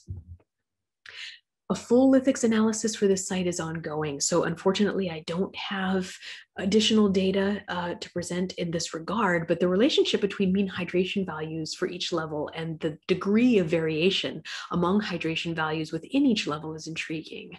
The relationship is illustrated here in that in the red box on top, which shows that as mean hydration values go up, that is, as we move into these into the earlier occupations lower in the in the excavation the coefficient of variation goes down that is rim variables are rim values are less variable earlier in time and again, this could be due to post-depositional disturbance, but if that's the only force responsible for this pattern, the implication is some real sort of churning of these deposits to bring those pieces with high hydration values to the surface.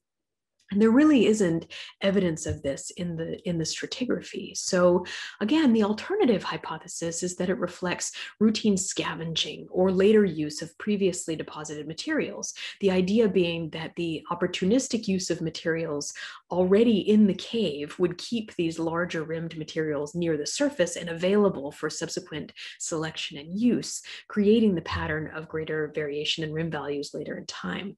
So we're exploring this now and, and hope to have a better sense soon of what, what best explains this pattern.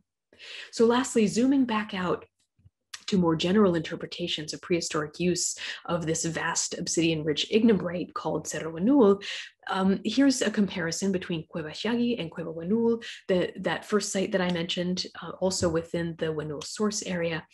There are notable differences in their lithic assemblages, as you can see here. At Cueva Xiagui, there are far more formal tools, particularly projectile points and scrapers, um, even despite the much smaller excavated volume, whereas Cueva is dominated by expedient tools and debitage. But if the pattern of hydration rim values at, at Xiagui does reflect routine scavenging of obsidian, this would be consistent with a rather more casual the use of Huenul obsidian that we would expect, given its that it's immediately local um, relative to the to the Xiagui site. So for stone to have been scavenged, it has to have been discarded initially with with some remaining usable life, which becomes less and less common uh, the more distant sites are from sources. So in trying to understand the economics of immediately local stone use, we might explore the fractal nature of the the stone procurement model or the, the self-similarity at different scales where before we were considering landscape level distributions of stone types here we might consider distributions within an area that most, I think, would consider immediately local, you know, within a kilometer from, from the site. So if there's usable obsidian beneath your feet at Xiagui, um, there's a relatively low cost associated with procurement. You might have to root around to find a piece of the right size and shape, but there's still likely to be a level of use, you know, a level of need beyond which it still warrants the trip to the source for deliberate procurement of the materials that will maximize returns. Uh, and so with that, we, we thank the many agencies and people who've supported this research. And on behalf of the research team, half of whom are pictured here at Quiwashagi, uh, I thank you for your attention. I welcome your feedback and your questions. Here again is my email address on the left-hand side, just above the M. So, um, so thank you. And I'll look forward to, to your feedback. So let's move along to the final paper the, this morning. Um, we have a 12,000 year sequence of human use of the Alca obsidian source in Peru with Kurt Rademaker, David Reed, Michael Glascock, and Bruce Kaiser. Hi, Kurt. Hey, Nico. Can you hear me okay? Sure can. Okay, great. and uh, so today's talk is going to be a two-parter. First part is I want to tell you about the Alca obsidian source. And then the second part is I want to explore the uh, human use of this source over a long period of time, over 12,000 years. The photo you're looking at or the screenshot you're looking at right now is a Google Earth image of the Alca 1 bedrock outcrop at a mountain called Cerro Condor Sayana at about 4,800 meters above sea level. And all those black areas you see there are, are obsidian um, outcrops. Okay, so Alca is one of Peru's major obsidian sources, as we heard. It's one of sort of the big three that provided lots of artifacts uh, to, to societies throughout um, pre-contact prehistory. All three of these sources are located in the high Andes above 4,000 meters above sea level. And obsidians from all of these three sources were transferred extensively across the central Andes and, and archeological sites that received obsidian from some of these sources are shown here in black uh, triangles. Um, I'm not the first person to work on Alca at all. A whole bunch of people have. And, and this again started with Richard Burger. He and his colleagues, Frank Asaro and Mike Glascock had identified artifacts of the Cuzco site that were very numerous in the department of Cuzco, uh, east of where the source was eventually identified. But based on the spatial clustering of artifacts made from different chemical uh, sources, Richard almost single-handedly tracked down all of these uh, bedrock outcrops throughout Peru. And one was that was brought to his attention was from a, a local townsperson who brought a big block of obsidian to a cultural anthropologist working in this valley, Paul Trawick, who uh, I guess brought it to the attention of Richard. And, and Richard Mike Glascock um, characterized that and realized that it matched the Cuzco type of artifacts. And so uh, a follow-up trip to the valley identified obsidian here where this red arrow is pointing and following Richard's original publication of the source, Justin Jennings and Mike Glascock together published on additional occurrences of obsidian in the in the, this valley. They'd identified more than one geochemical group. These were called Alca X and Y. Um, Nico Tripcevich himself came here and uh, mapped obsidian at Cerro Icano, which I'll show you in just a bit. Um, a Polish fellow, Michał Wasilewski, was working in the area, mostly east of here in the Valley of the Volcanoes, and found obsidian. He also visited the Alca Valley and, and collected and analyzed obsidian here with Mike Glascock. And starting in 2004, I started working here in the Cotahuasi Valley and then realized uh, the Alca source was much bigger than, than we had con considered it. And I worked on trying to systematically map and characterize the Alca source uh, till about 2015. Uh, when I first got started on this, I was started exploring east of the canyon where local townspeople had informed us that there were much larger areas of obsidian. And within a pretty short walk from the town of Alca, you get to see this, this amazing mountain where um, I don't know if you'll be able to see my, my cursor, but this talus cone here is, is obsidian and volcanic ash that's raining down from the eroding uh, rhyolite dome of Cerro Condor Sayana. Here's uh, a Google aerial shot of that again. Uh, again, this is what I showed you on the title slide, but the amount of obsidian here is enormous. I've never seen anything like it. Um, and, and large, large fragments and blocks of obsidian are eroding as bedrock and, and also um, it just appears that it's being exfoliated from the surface by the erosion of fine material. Here's another Google Earth screenshot of a different um, area. This is a different rhyolite dome that is being exfoliated. And this one's at higher elevation. This is south of Condor Sayana. Um, this one's called Nevado Sapo Juana, where a different geochemical group that we called Alca 2 is located. This one's above 5,000 meters. And here's a third one called Cerro Icano, uh, where, um, where uh, the Alca 3 bedrock type is, is uh, or bedrock outcrops of the Alca 3 type are, are exposed here. Okay, so those are three of the rhyolite domes um, with three different geochemical compositions. Those are here, Alca 1 in blue, Alca 2 in purple, and Alca 3 in yellow.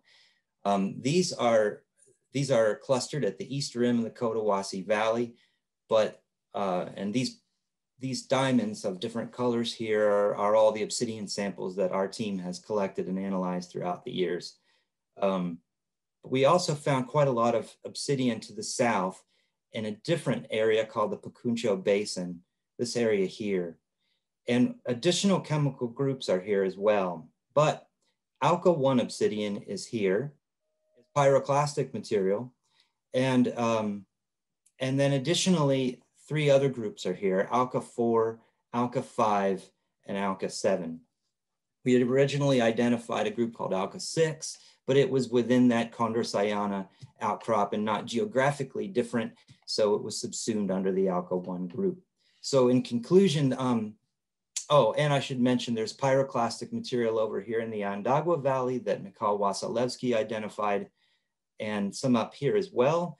And these match the, the um, groups that we've identified uh, over here west of, of where he was working. So it seems that we have uh, a collection of rhyolite domes and we also have pyroclastic material that's distributed over 2000 square kilometers of this area of this area of the highlands and and it's especially exposed where erosion has um, has gone to work on on these these deposits.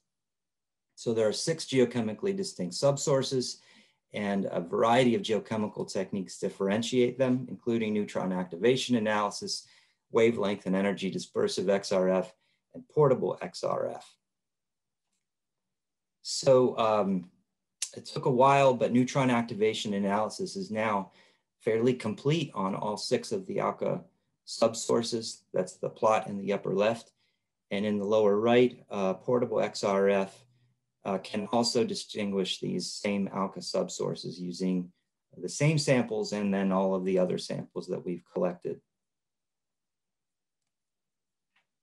Um, when I started doing this, it was really an iterative process of exploring, mapping obsidian, coming back to the lab, geochemically characterizing it, and then going back to the field, trying to, trying to make some sense of the patterns.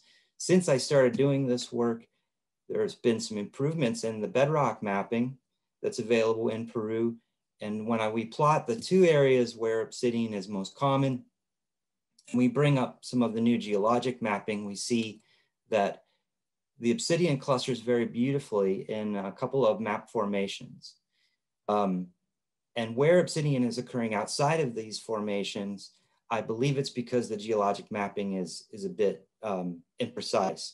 So these formations are, are um, referred to as the Sencca or Arma formations. And uh, tephrochronologist Jean-Claude Thouret has done some great work in this area that have, has constrained the Alca uh, the deposits that seem to um, contain Alca obsidian to between 3.7 and 1.5 million years ago. Okay, what about human use of the Alca source? Uh, the first use of the source is actually local at a site called Kunkaicha Rock Shelter. And here's a photo of, of the landscape that contains Kunkaicha Rock Shelter. It's right there in the Pucuncho Basin where all of this Alca obsidian is located. And in fact, obsidian is available on the alluvial fan directly below the rock shelter, as well as in the, in the basin as pyroclastic material. The site is really remarkable for a lot of reasons I won't go into, but one of the ways that we've used it is, that it has an amazing sequence, intact sequence of stone tools. And because it's local to the Alca source and it has so many stone tools made of obsidian, uh, over uh, over 1,100 obsidian formal tools that we've analyzed, we can examine um, these, these, the pattern of use of obsidian through time. Uh, we don't have a sequence here. No site in this area is continuously occupied. Uh, but we have sort of these windows in prehistory. And those are, uh, goes, go back to about 12,000 years ago in the terminal Pleistocene, about 9,000 years ago in the early Holocene and about 6,000 years ago in the late middle Holocene, and then within the last 4,000 years or so. So I just want to walk you through what those major patterns are showing. And I'm only going to talk about projectile points in these next four slides. I'm setting aside other kinds of stone tools made of obsidian. But projectile points are, are, are numerous and they tell a pretty neat story. When we look at the terminal Pleistocene use of the Alca source here at Kunkaicha Rock Shelter, we see the presence of all of the obsidians that occur within the Pucuncho Basin. So these are all local obsidians that could be foraged within um, the normal day-to-day -day getting food and other resources around uh, the Kunkaicha Rock Shelter. But we also see a predominance of the Alca 4 obsidian uh, subsource. And the Alca 4 subsource is here, located some distance. Why, are, why is more obsidian made from this more, low, more distant source? Well, as we've seen in some other talks today, the amount of obsidian here, this is a bedrock outcrop, so the, the size of the obsidian is larger, it's there in more, uh, more quantity, and um, you can make anything you want out of it as long as you're willing to go for a walk. So it seems that that was worth it for these folks. In the early Holocene, it shifts a little bit. So the major shift is that we see an, a great increase in the amount of Alca 1. Now, Alca 1 does occur locally in the basin and it has been used previously in the terminal Pleistocene, but I can't explain its, its increase in this amount in any other way other than I think these people have discovered by this time the Condor Sayana bedrock outcrop up here to the north. That's the only reason I can think of why, why the obsidian of this type would increase. If that's true, it would imply a 66 kilometer round trip, mostly above 5,000 meters above sea level to go and ob obtain that material. In the late middle Holocene, we see uh, a, another interesting evolution where the locally foraged obsidians, the Alca 5, uh, the Alca 7, those drop out. And now we see exclusive use of both bedrock outcrops, Alca 1 and Alca 4. And that pattern only remains the same and maybe is strengthened in the late Holocene within the last 4,000 years, where we see near exclu exclusive use of those, but especially focusing in on this Alca 1 um, outcrop, which is the, the, the biggest outcrop of all in the whole region, has the largest size of obsidian, and, and the quality is amazing as well. Okay, so that's the local story. Um, but we also have this kind of interesting non-local story right from the start. The Pucuncho Basin on this uh, on the plateau where I've been telling you about Kunkaicha uh, is the source of these obsidians, the only place where these three obsidians occur together. But obsidian also occurs almost at the same time at the coast, about 150 kilometers away at a site called Quebrada Jaguay. And Quebrada Jaguay was originally thought to date to about 13,000 years ago, um, predating Kunkaicha rock shelter in the highlands and is often used to, to um, suggest that perhaps there was a coastal migration first and that people moved into the Andes afterwards. Um, work by our team has showed has shown that the coastal site is actually not earlier than the highland site. In fact, it might be a bit later, or we can't tell them apart. Maybe there are different groups of people living in each area. But at any rate, Alca obsidian has come down to the coast right from the start um, at this site, Quebrada Jaguay. And it's coming down in various uh, subsources. West of Quebrada Jaguay, 42 additional sites at a place called Pampa Colorada show uh, a sustained uh, presence of Alca obsidian throughout throughout the, the early and middle Holocene to about 5,500 years ago. In fact, um, most of the, the formal tools at this coastal area, even though there are local materials, raw materials that are suitable, most of the materials used for stone tools in this area are obsidian, and they come from the Alca source. Alca 4, um, Alca 1, Alca 5, and Alca 7 all come down to Pampa Colorada, with the closest Alca subsource, Alca 4, this one here, um, comprising the majority of the, of the stone tools. So that's the these are these are patterns that hunter gatherers are responsible for. Um, but we can come even more uh, even closer to, to now. And um, let's look at the the end of the pre-ceramic period. This is pre-pottery and into the the beginning of complex societies in the andean region this is also a time period when we see um, domestic camelids coming on the scene and, and llama caravans starting up maybe and if we look at the distribution of obsidian in Peru, we see that, that Alca 1 obsidian becomes quite widespread. It, it goes far beyond its, its source region. It's transferred over about a thousand kilometers up here to, to northern Peru at this time. Uh, this is before any state uh, society is around. Um, if we look at the early horizon, when, when um, we see some early complexity appearing, we see even more of this pattern where we start to see other Alca subsources going away from the source region, such as Alca 5. And if we look at the middle horizon, this is the period where uh, the Wari Empire is expanding. And the Wari Empire is really interesting. Um, this time period, the middle horizon is very interesting in the Andes because this is when obsidian distribution really goes, really goes haywire obsidian's going all over the place from all kinds of sources. And so we can look at how Alca figures into this by looking at this little area in the red box that um, David Reed, my co-author here, has, um, has done a really interesting study. So this is the, an area called the Majes Valley, which is just to the south of the Alca source. And in this area, David has uh, excavated two kinds of sites. One are sites that the Wari state seem to be responsible for. They're really complex sites, lots of architecture and very distinctive architecture that relates to the Wari specifically. And then there are these local caravan way stations. These are simpler sites that appear to um, not have so much of a Wari administrative footprint in them. And David, um, analyzing uh, over 300 artifacts of obsidian here, has also, and also the Alca subsource uh, geologic uh, material has been able to look at the different use patterns in obsidian here. So the Wari state uh, sites have a, almost have an exclusive use of the two bedrock outcrops from the plateau, the local bedrock outcrops. The caravan way stations have this amazingly, a much more diverse obsidian profile with local material still comprising the majority of what's here, but material from very far away from a, a whole bunch of different sites in, in central and northern, north central Peru are appearing here as well. And David thinks this is because uh, long distance Llama caravans are coming in and bringing all of this obsidian to these sites.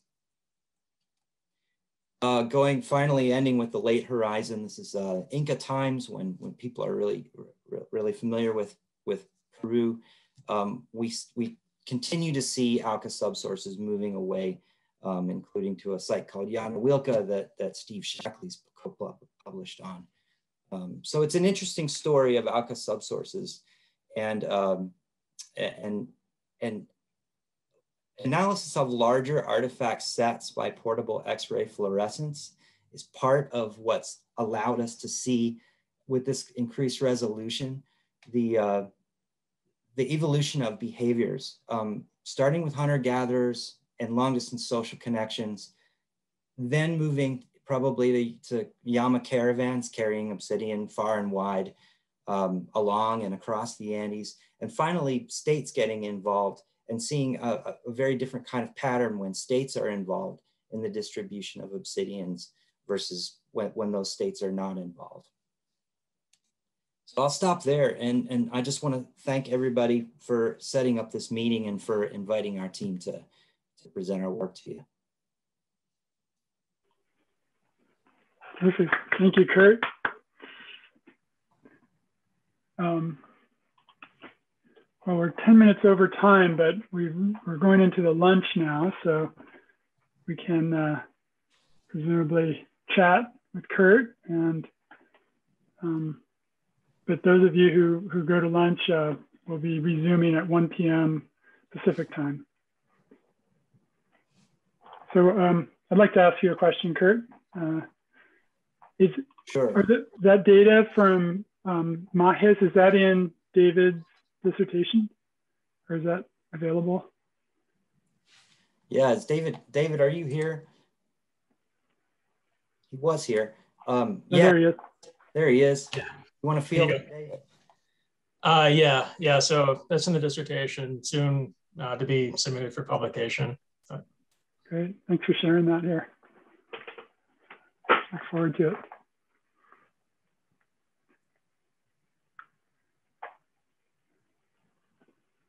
So that's great that you're able to to pick apart these different uses with all the subsources. That's really interesting. And most of the Andean sources don't seem to, at least central Andes, don't seem to have so many subsources. Yeah, and I don't know why that is. I, I somebody who's smarter than me needs to speak up, but uh, I, maybe I, yeah, I don't know why that would be, but it is interesting. Mm-hmm.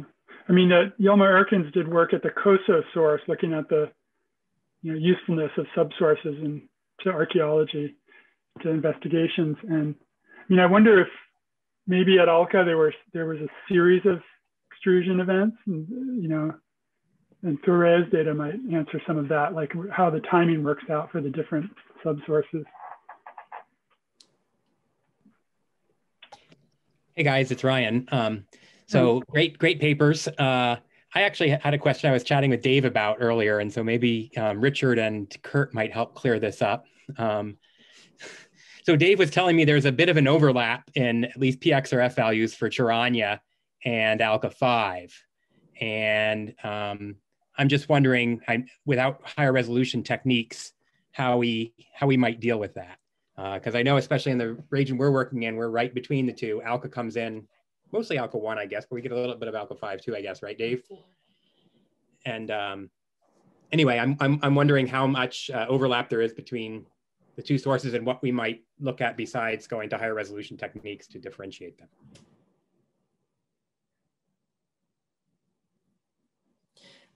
Yeah, that's a great point. Um, Ryan, recently um, I, I, had some information. I, I, studied an artifact set from a place called Jaque Nasa Cave in northern Chile. And I was pretty sure there was an Alca obsidian artifact there. Um, I didn't know about the Charaña source then.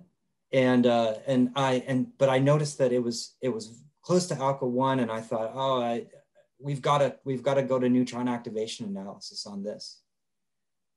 Um, and I think, yeah, that might, that might be necessary in some of these cases, but um, I I actually um, asked Mike Glascock, who know, you know, who's the dean of these things, uh, about how to do it. You know exactly your question, and he he said that he couldn't figure out at the moment how to do it, except by using neutron activation. So you know what he suggested was that, you know, if there are these instances of uh, ambiguities that one should just take the time and effort to get it run by neutron activation. Of course, knowing uh, Peru's export laws, it's not. It's it sounds easier to him than it does to someone like you or me or Kurt, but um, but that may be necessary. Who knows? Maybe if um, you know if Bruker keeps improving the quality of its machine, and it'll eventually allow us to get at the elements that the neutron activation is is using. No. But I, I, can send you his response on that. I have it in the email. So, so those six samples, Richard, that you analyzed, that you assigned to Charaña from OMO, are via neutron activation. Yes, they're all via neutron activation. And they were from Paul Goldstein's uh, excavations. But you know, one of the interesting things uh, is the difference between OMO and, you know, uh, Cerro Baul. You know, it's so stark. You know, they're so close and yet so different. You know, it shows the power of the state. yeah, it does really. I mean, we have hundreds and hundreds of obsidian artifacts, and I think, uh, well, Dave, Dave can speak more broadly to that because he's been working with Paul on analyzing everything else in Tiwanaku and the valley from XRF perspectives. Mm-hmm. But uh, the, the, the, the difference in quantity is vast, and the difference in the type of material.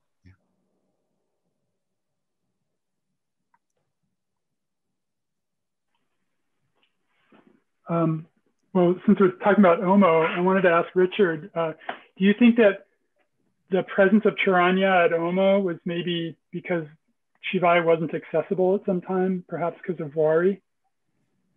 No, because, you know, uh, the the Chivay is uh, uh, it's so common at Tiwanaku. It's 77% mm-hmm. of the obsidian.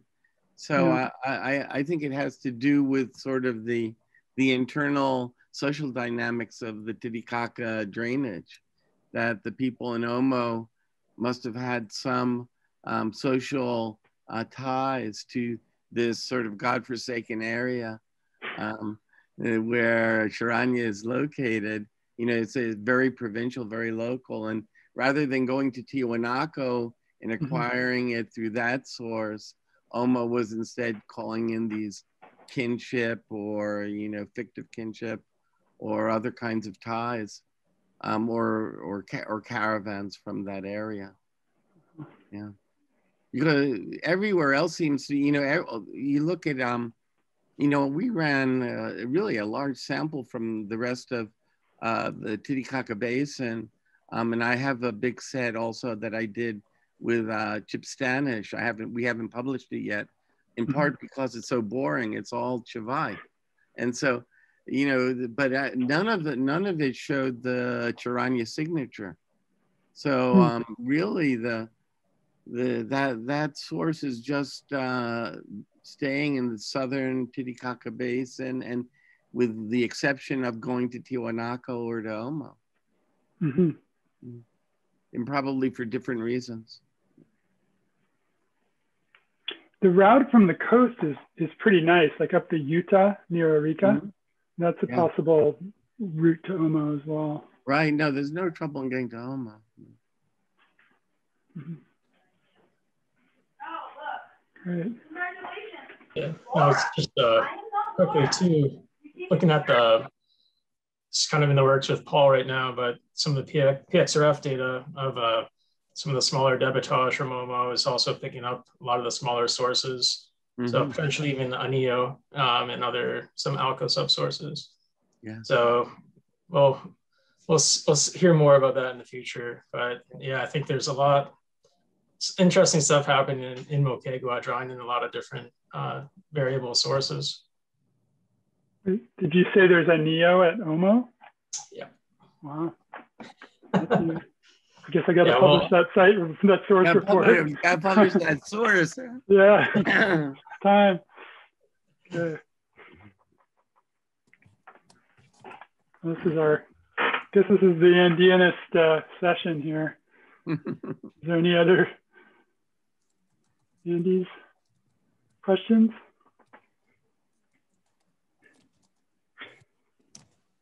Well, the other thing about Charaña or, or about Tumucu is that it's so close to Aconcagua, but it must that must be pretty lousy obsidian because it doesn't go anywhere and they don't yeah. even use it at Calcatani, right? even the people who are sort of sitting on it would rather go and get charaña. it's yeah. or chivay.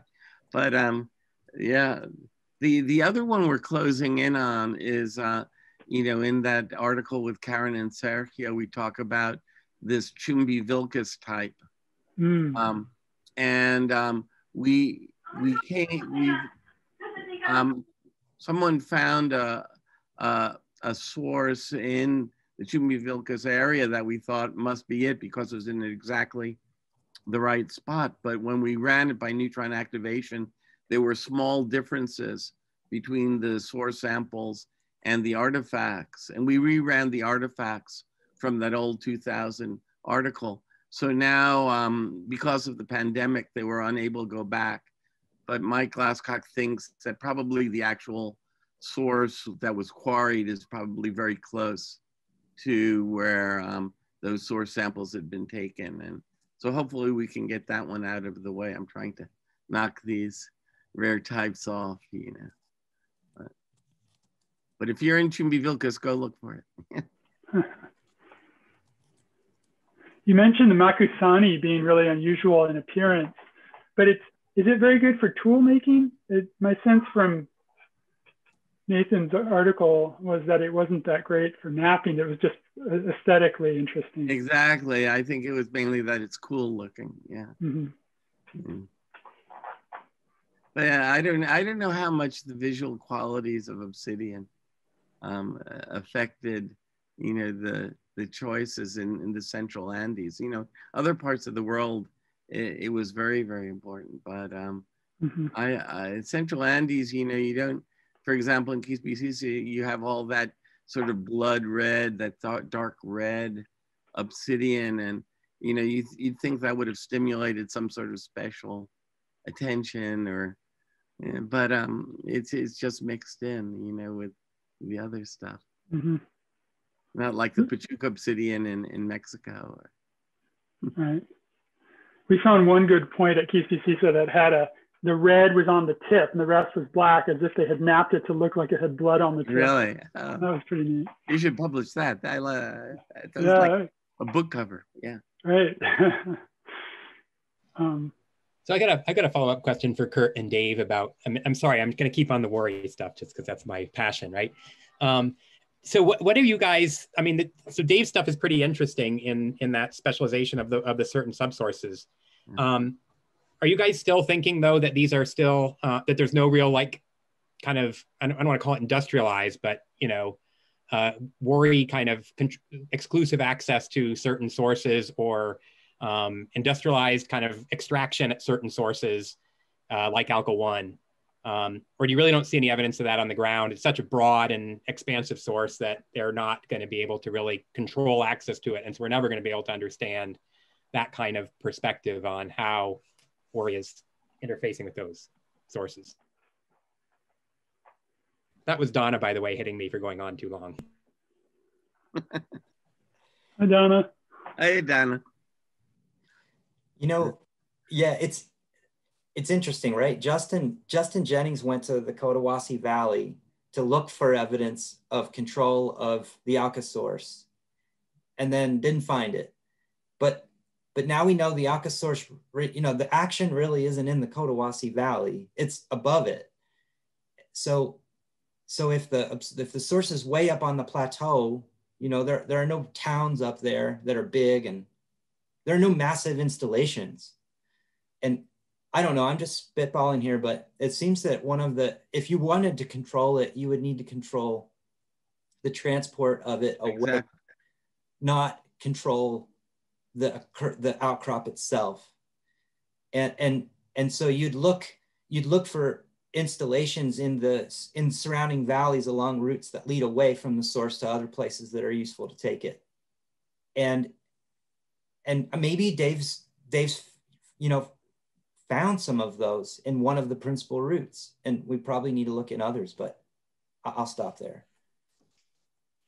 yeah i mean at least from the the Wari uh, kind of state center in the Majes. That was the focus of my dissertation. Um, I think it's more direct procurement. It's so much Alca One. Um, and whereas the surrounding kind of local settlements have a very uh, you know mix of different long distance and uh, local sources. Uh, so I'm not too sure about control. I mean, it's just such an expansive area. Uh, but yeah, I think it is that was focused on trade routes. Um, you know, might factor into it, but at the same time, the locals have you know a lot of you know a lot of different forms and varieties. So um, I really don't see any control except for kind of direct procurement, maybe by by Wari caravans going up to the major bedrock sources. Uh,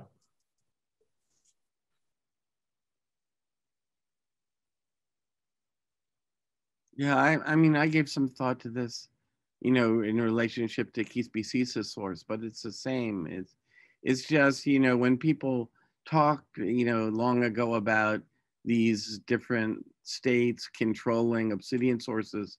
I think in their mind, they were thinking of something closer to the South African diamond mines or the, or the Inca gold mines, you know, where you have very specific spots that you can actually control. But all the major sources in the Central Andes are, are huge, you know, what you said 2,000 square kilometers or, I mean, I, it's, it's gigantic. I don't see how anything i mean we can't control our own border right? And it's a, it's not it's nothing like that. So i'm glad they could do that in prehistory but on on you know the the question of the wari road system um, has never really been fully studied. And one can imagine that there are various points along a, a highway system whether inca or wari whatever that you could close off movement. And and prevent the sort of long distance transport of um,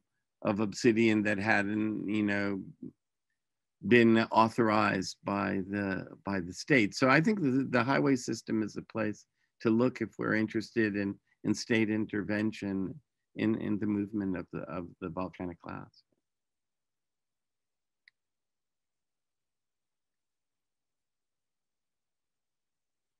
Yeah, that was exactly what Dave's dissertation tackled. So at least for the oh, good. And uh, I look forward to reading it. so go read it. I look forward to seeing it. Yeah. It's not done yet, right? yeah. It will be very interesting to see that thesis because in the case of the Valle de Cusco, the, no, in the Cusco Valley, you could see all the sites, the main importance, the middle horizon sites, they show up uh, the Chivay source you know. So the Chivay source is very important for these middle horizon sites controlled by the Waris.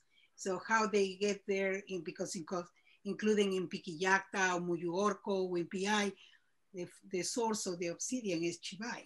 So like uh, Richard said, and we were agreed that it's important to find the, the road, the Wari road, you know, to go to the Valle of Cusco or the Valle, the Apurimac Valley will be the next one to look like an area where the Wari were going through to Cusco, no? Which road they were choosing, you know? If there was one principal road like the Incas, or we have secondary roads. It will be nice. I really would like to see your thesis of David Reed, yeah. That's great. Yeah, uh, yeah, defended in December, so I can I'll email it to those yeah. interested. Uh, Is it a Chicago Circle? Uh, UIC. Yep. UIC.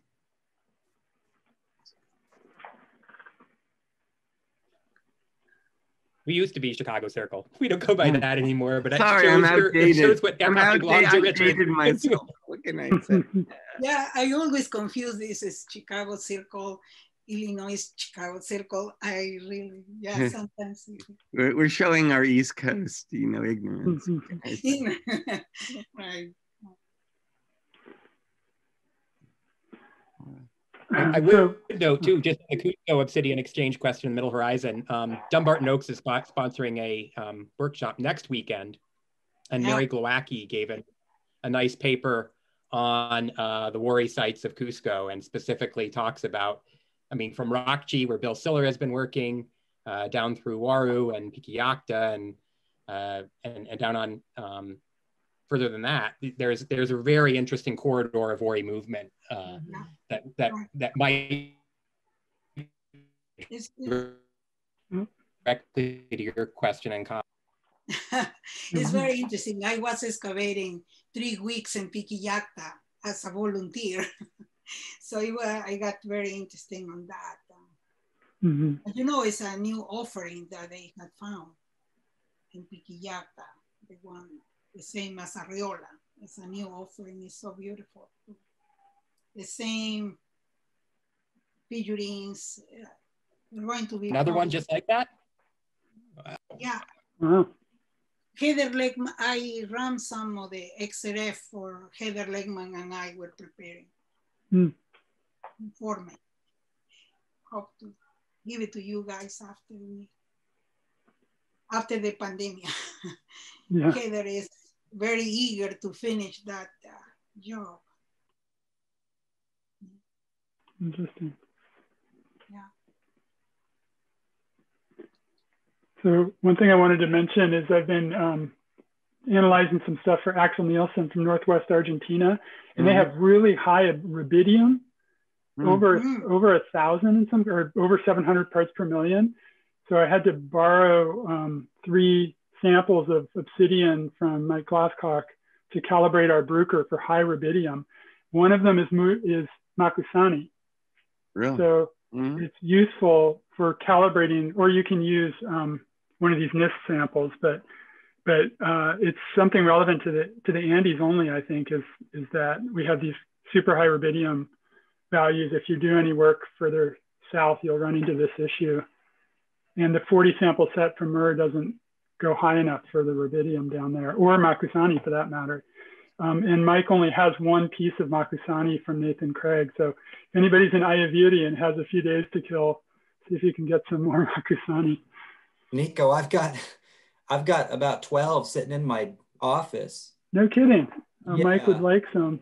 I'll send it to him. I we're doing glacial geologic work over there and and we just found it. And I mean we knew we knew from Nathan Craig's work that it was over there, but so that's why we, why we knew what it was. But we never we've never done anything with it.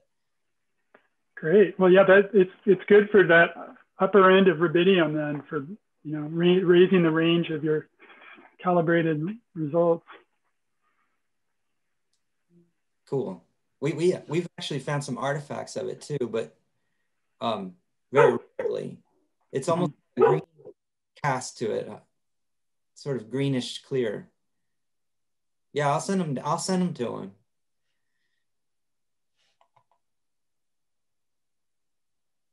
Terrific. You know, Nico, and also I'd, I'd, I'd like to also uh, just throw in a pitch if people are looking for permanent repositories of raw material. Uh, the, Field Museum has started a raw material collection of uh, uh, volcanics, and in fact, in fact, it's a big geoarchaeological kind of or geoarchaeological materials collection. And so um, we're we're willing for long term to take on curation and then loaning that out to anybody who needs it. Um, so I know that people have a lot of collections and are wondering what they might do with their permanent raw material collections. Um, So, so will the University of Chicago be there for a long time? we hope so. Actually, it's actually a field. It's a field museum, so we're actually an independent institution. So No, you're independent. Oh, University goes well, under. well, that's better. Yeah, that's better. Yeah. Well, I and I just uh, I have a paper coming out in geoarchaeology on the Rio Grande second depo- secondary deposit study, and and uh, you know I, I I talked about I don't know if you were on Ryan, but the escholarship.org that we have at University of California, and that one of the reviewers, it was anonymous, I don't know who it was, was saying, well, I, I don't know if that's very permanent. You know, you should keep it with uh, Wiley Publishers. And I go, Wiley, what? Somebody might buy Wiley pu- Publishers tomorrow and it could disappear. You know, I think the University of California probably be there for a little bit longer. You know, so I did- I- that is one argument I did win. Yeah, we still have to launch our uh, our lab's um, official webpage that will make public all of the results performed through the Field Museum's elemental analysis facility. But all the data is being archived on the museum's enterprise database system, which also houses all the information for the museum's objects. Yeah, so that's a good they idea. can't yeah. afford to lose that. and so that means they can't afford to lose the data uh, from the EAM. It's all part of the same enterprise database. That's great.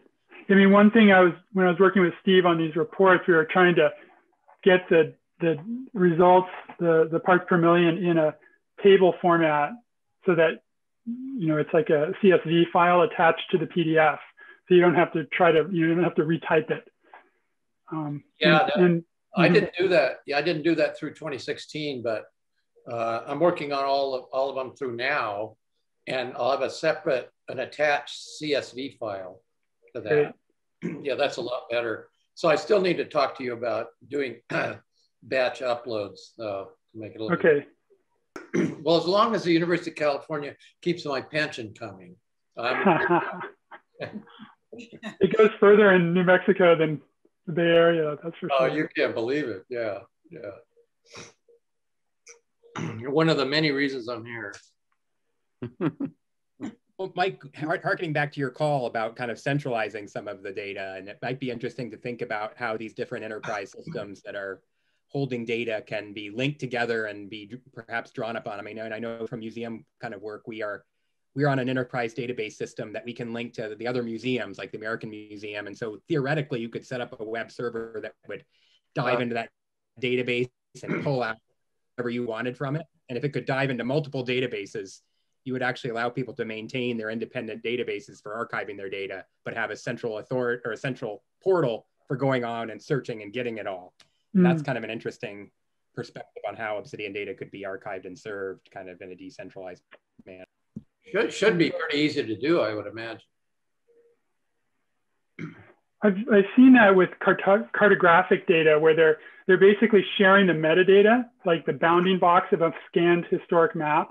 The map itself might be in the, you know, like in the collections at the Harvard Library, and you may may or may not have access, but the metadata is there, so you know the map exists, and then you go through various channels to try to get it. And it could be a similar thing with museums where just know what's there, and then the data is another story. Yeah, I mean, I'd like to, like to, to finger the U.S. government to do that, but you know, then we could get the next president could be like Trump and just throw it all away. So I don't know if that that would be a good idea either. So I, don't- I don't know where the the depository should be. I mean, maybe in a way it's better to have a a private museum like the Field Museum do it or something like that. I I don't really know what the solution is. I think Craig Skinner would be. I mean, he's technically retired now, but uh, he's not on right now. But uh, he could have some pretty good ideas. I don't know if anybody's ever used. Well, supposedly he's going to put it online. He and I, 99% him, have a North American Obsidian database uh, through FileMaker, and it is incredible. I mean, it's you know when I when I have one of those weird ones, I'm in the Southwest and I have something from Utah or Nevada or or even the Northwest, I can always find it with that, and it works. It's really great. Uh, he keeps saying he's going to, you know, out there online, but and I imagine he will at some point. But he's like five years older than me, so we got to push him to do it before he dies. So that's that's that's we keep saying we got to do it before we die, man. So I'm not dealing with Craig's data if he if he dies and sends it to me. I'm I've got my hands full full with Berkeley. So that's right. Yeah, right. Well, yeah. I mean, Matt's doing this that kind of same thing on a much, you know, a micro level in a way. I mean, it's not, but uh, it's going to be great when it's done. And and of course, Richard essentially, I don't I don't know the data that Richard was comparing to Berkeley. I guess you have that that data yourself. It wasn't from Matt. No, no, that that was uh, data that was, I think, salvaged from from Frank Asaro's Oh yeah. records. Yeah, I mean, uh, but it's so hard, you know, to to think back to those times because none of us had computers. Yeah, right. And I mean, even making a Xerox was like a big deal. you Oh know? yeah. So Yeah, you had to argue with the department uh, Yeah. secretary, you know, to get. and and then the things that came out of uh, the LBL lab were so large you couldn't copy them because they were the wrong size and you know. Oh man. I know that's what Matt's been dealing with, I think. Yeah. Yeah. yeah. Well, that's another thing, uh, going back to Ryan, is that the formats we're using now, we can do it. It's great. It's all cross-platform and everything. But what about in hundred years? I mean, what mm-hmm. what's it going to be like? I guess I guess you can't worry about it. You just have to do it and yeah. hope that somebody can translate it in the future. Well, that's what. So the the the Lawrence Berkeley lab had a. I'm trying to find a photograph on a, on my computer, but it was a CDC 7600 mainframe. Uh, and the, I think I the, saw that thing. Yeah. Yeah, it had magnetic magnetic mass storage yeah. in capsules that are yeah, you know, yeah, this yeah. big. Yeah. Right. And then they had punch cards. Punch but by the time by the time they closed, yeah. So the the the data were stored, the NAA and XRF data were stored on the magnetic storage, and the contextual and descriptive data were stored in punch cards. Uh, So if you wanted to do a printout of both, you had to get the right magnet, the ma- right mass storage, and feed in the punch cards, and then the correct codes, you know, to execute everything. All of that worked fine, except it was never updated. So by the time when they closed the reactor in 88 or 89, Mm. they didn't have on site the ability to read those mass storage things or the punch cards.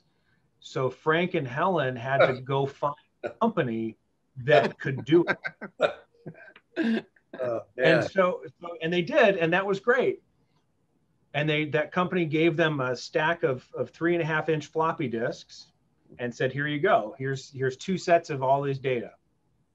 One set of those floppy disks went to, to Hebrew University, Mhm. and Where one Izzy set stayed Perlman- at Berkeley. Where- yeah, where Perlman and and and um, and Joe Yellin and Jan Gunneweg worked. The set that was stored at Berkeley when Mike went out in 2006, when Frank was cleaning everything out, Yeah. Right. he took those disks and he, he took the first one, he popped it in the computer, and it was unreadable. Mm. So it had been, it, you know, 1991, 1990, 1991 that happened. By 2006, my guess is the, the magnetic film had degraded to the point where it was unreadable. So they spent all that time and effort to get them all off the, the mass storage and the punch cards. And, and, and it was still unreadable um, by the time Frank finally cleaned everything out. So, Man. so I say digital and paper.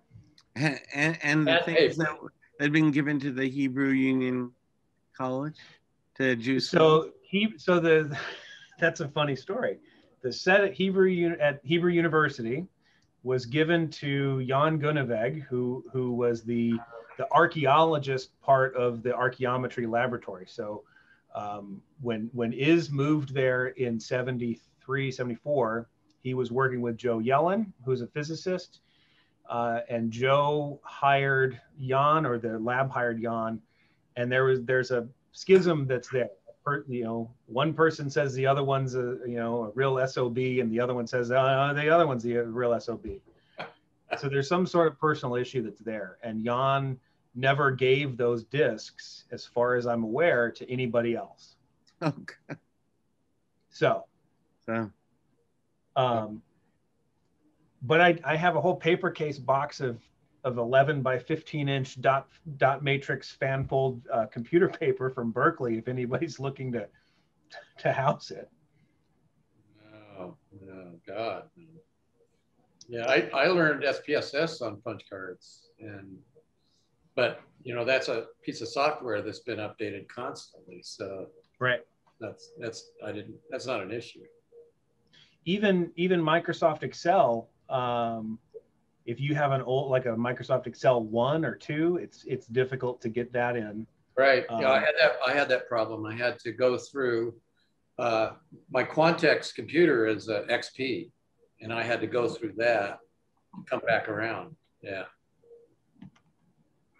And I've got.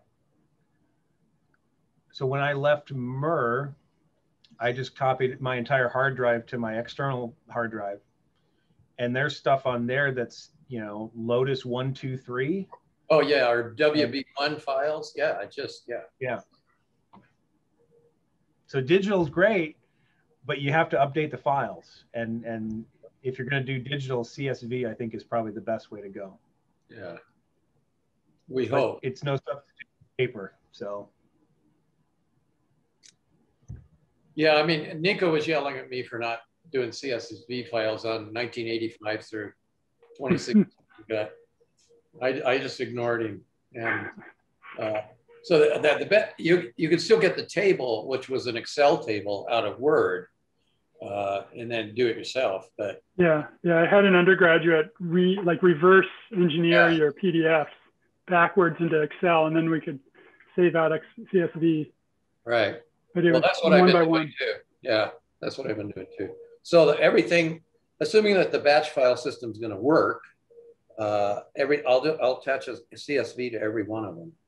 So and that's quite a bit. I mean, that's 2017 through 21 now. So Yeah, and those are permanent URLs, so those those will be available, you know, at that location. Um, well, the other the other question I have, is- I don't want to waste time on this too much, but uh, now what about uh, the search utility on the the title, site number, my name, you know, and that kind of thing? How, how does that work?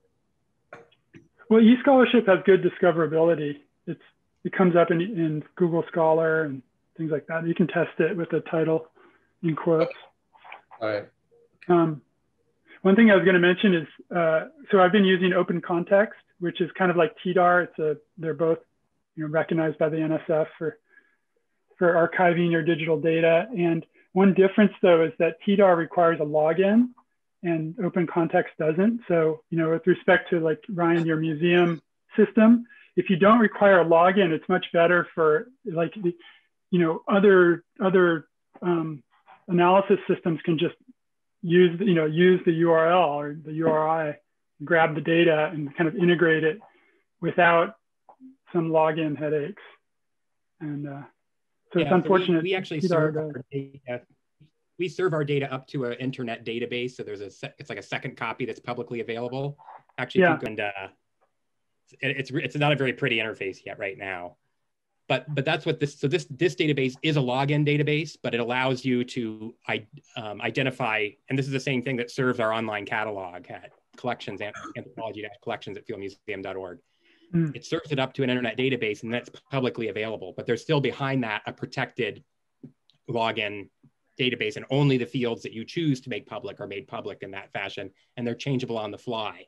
So Yeah. So Uh, like site location, for example, would be hidden. yes, yeah, exactly. Or if you have some sensitive in- information that gets up there, we can actually pull it off because we have a cultural identifier, a cultural dissent group that said that's sensitive information shouldn't be up there. We can turn it off immediately. Mhm. Oh, that's a great idea. That uh, kind of tangential to that on, on that geoarchaeology paper I was just talking about. Uh, the, edit, the editors are European, and they wanted me to put the site location information, but this is for the Americans here. This was on Bureau of Land Management or Bureau of Rec Land, and I couldn't do that. So that was, you know, that's kind of an interesting thing. If, if you had this two levels of availability, like you're, like Ryan's talking about, that would solve that issue.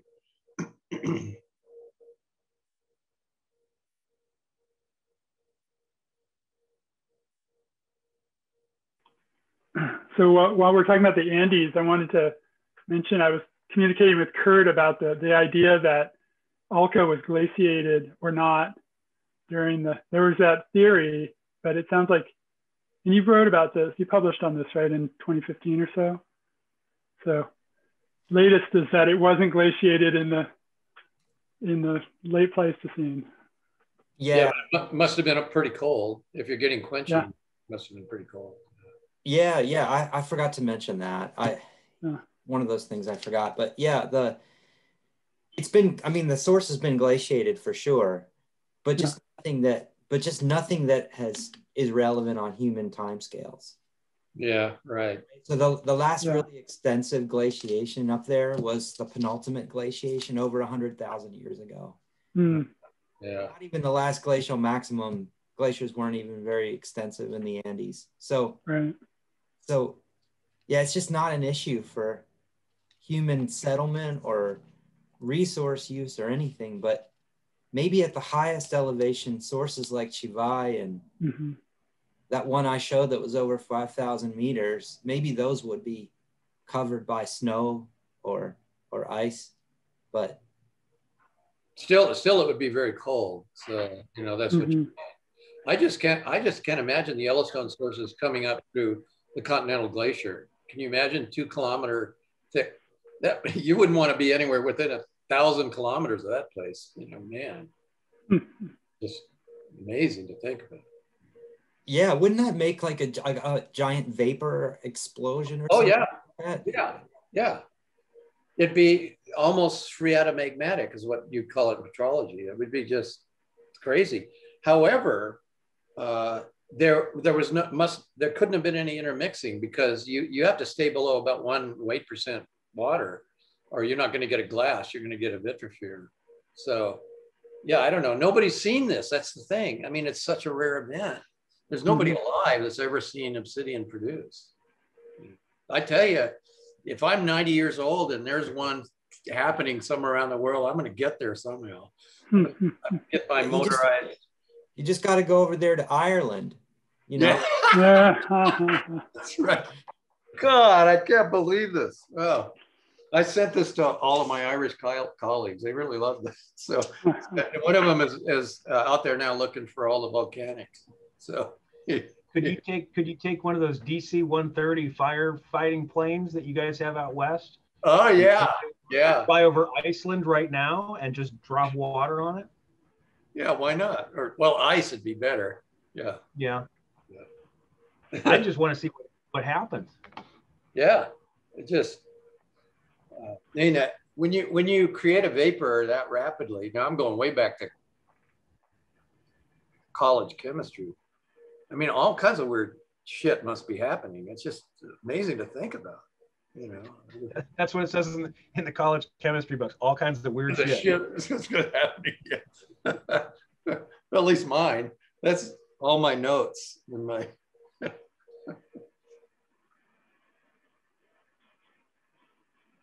yeah, that's great about being retired. You know, I when I was teaching Berkeley, I couldn't say those things, but uh, yeah, you did. yeah, I did. but not generally in the classroom.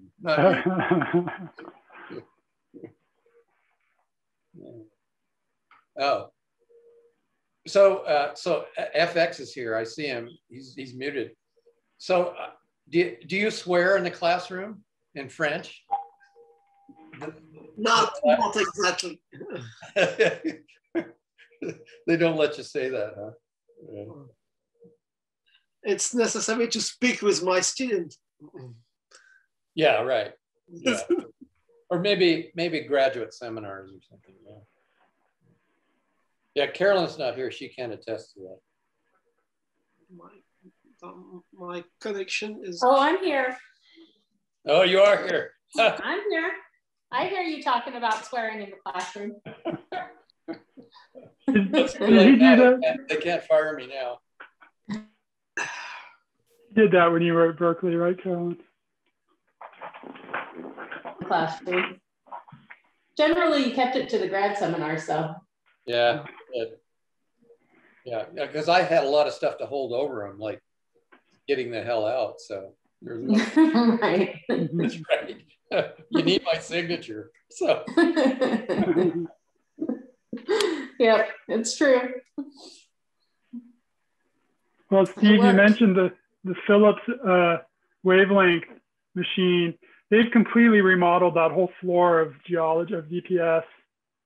And I mean, I had a hard time finding all the parts to the Quantex.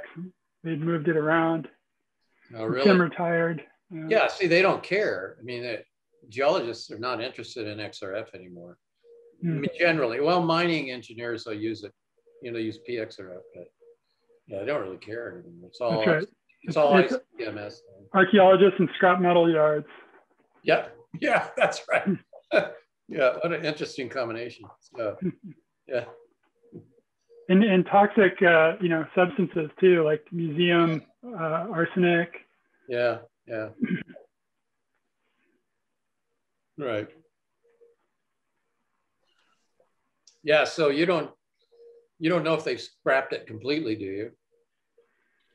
I couldn't well, get to that part of the building, but Tim would know. Yeah, Tim would know.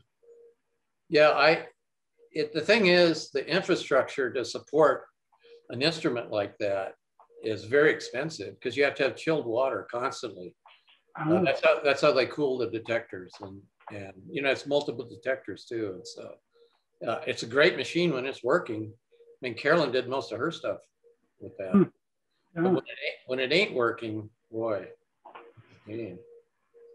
Well, it, there's a wasn't that, wasn't that the one that started running backwards for a while? Yeah, right, right.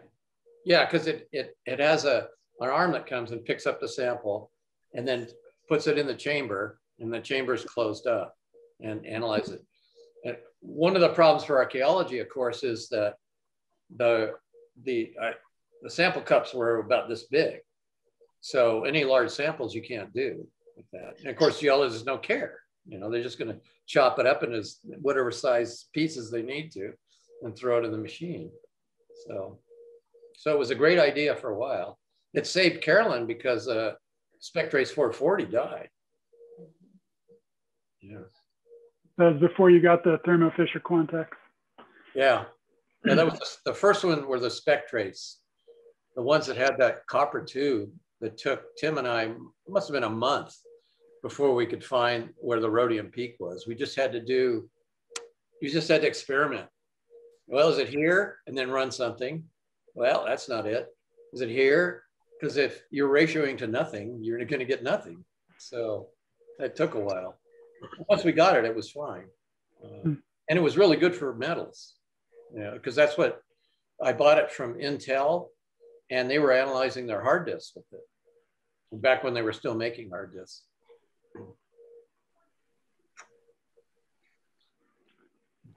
When uh, yeah, when Bruker comes to the Bay, they're usually down in the South Bay, down at the Silicon Valley clients.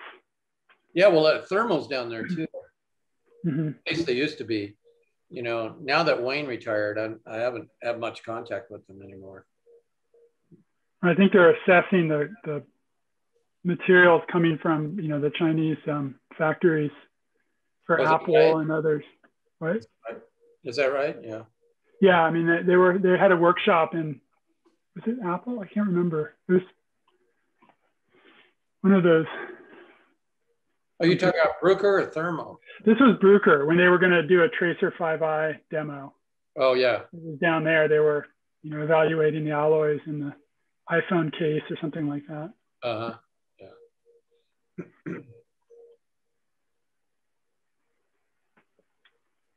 Yeah, it's too bad that Wayne retired. Boy, he I really picked his brain a lot. Uh, I have some great oxide uh, methods that I use because of him. He's still uh, interested. He came yeah, up. And, yeah, yeah, he'll answer emails and things like that. Yeah. Yeah, I got his non non Thermo Fisher email address. I think I do too, but if you think about it, send it to me.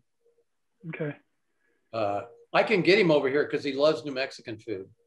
So he, he brought his bronze set, calibration set up and we yeah and then we were setting the the charm set from uh, right. Getty. Yeah, I got um, I got the, I got both of those. Uh, mm-hmm. When Speakman was still working, I got the charm from him, mm-hmm. and then of course the one from Wayne. So mm-hmm. uh, you know, I've been analyzing the uh, the Mimbres copper bells, and it's really ah. handy. Yeah. I'm, mm. I don't. What's really interesting about that because you would know about it, is that, uh, you know, the whole idea has been, well, these are all produced in Mesoamerica, and the bells are, but, uh, you know, Mimbres is right near that huge copper mine uh, near Silver City. And uh, they were taking raw copper and producing uh, these little effigies like the Zuni effigies, like bears and things like that. And that's local. Pretty neat the, the guy I've been working with is the uh, forest archaeologist for Gila, Gila National Forest. Well, he had a heart attack. And so I don't, you know, I haven't heard from him. So we were getting ready to write that up. But but it was because of that those standard those sets that I was able to set up a, a really good uh, metals um, with about about four conditions for each one of those methods. Yeah, mm. yeah. So it works pretty well. Well, we had the bronze, we had the charm set going on the Thermo Fisher and the Bruker 5i, and our our Bruker, um, the detector quit. Luckily, it was still under warranty, but oh yeah, seems like they still have some, uh, you know, reliability issues with the tracers. Yeah, if you remind me, I'll send you uh, my method. Uh, you'll have to use the, the standards that you had, but uh, it, in other words, take my method, and if the standards are the same, just use those. And if there's any that you don't have, just toss mm. them out of the method. For the, context. recalibrate. Yeah, that'll, that'll work. Yeah, because it was hard to borrow the charm set. Yeah, yeah. I just I, I, was just lucky that Speakman had it at the time and he sent it to me. Uh-huh. So I added it to the uh, the set that uh, Wayne had given me. And I also uh, have used some of the U.S. Uh, Mint coins because they they uh, publish their composition. Uh-huh. You can throw that in too. Uh, you know, like the the the dollars, the dollars. the problem is that they use like three compounds to make those things. You know, there's not very much. You know, there's very little, and it's pretty pure.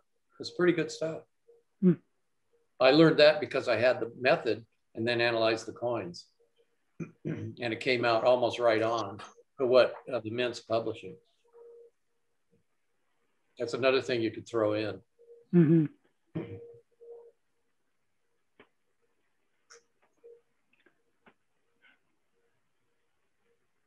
Yeah, that was that was uh, one of Tim Shelton's students who's looking at bronze swords from from right. uh, Aegean. It's pretty cool stuff.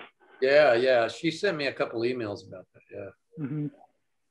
And there's a helmet in the Hearst Museum that's all battered. Looks like somebody had uh, probably had a very bad day in that helmet because there's a big dent in the side. but he was he was XRFing the different parts of the helmet, the rivets and the different oh. component, trying to see if the metallurgy changes. What time period is it? Is it? Bronze Age or something? Yeah, I can't remember. Mycenae probably. Oh, huh. yeah, that'd be cool. Late, late Bronze Age. Yeah, that's a really good application for PXRF. Mm-hmm. Well, the museum's still completely locked, closed. As far as I know, I can't get in there to. Oh, is that right? analyze a little obsidian. Yeah, they won't they won't let anyone in. Do they still have that facility down off? Was it off San Pedro? So, they moved it to the Richmond Field Station. They, oh, they got an old. Right. Yeah. It's an old Sam's Club. This huge building. Huh. And uh, well, it seems to me they'd let you in there. You know, I don't know where true. collection is that you're interested in is there because they had a right. lot of stuff from Chihuahua that Brand and those guys had collected. I should ask. They're, you know, the Hearst Museum is they're they have a database completely online now too. Oh, is that right? Yeah, it's called Collection Space. I'll put I'll put the link in the chat if people are interested. Has they have they put so they put the entire catalog on it? Yeah, finally. It took decades, right, to digitize all that stuff. Yeah.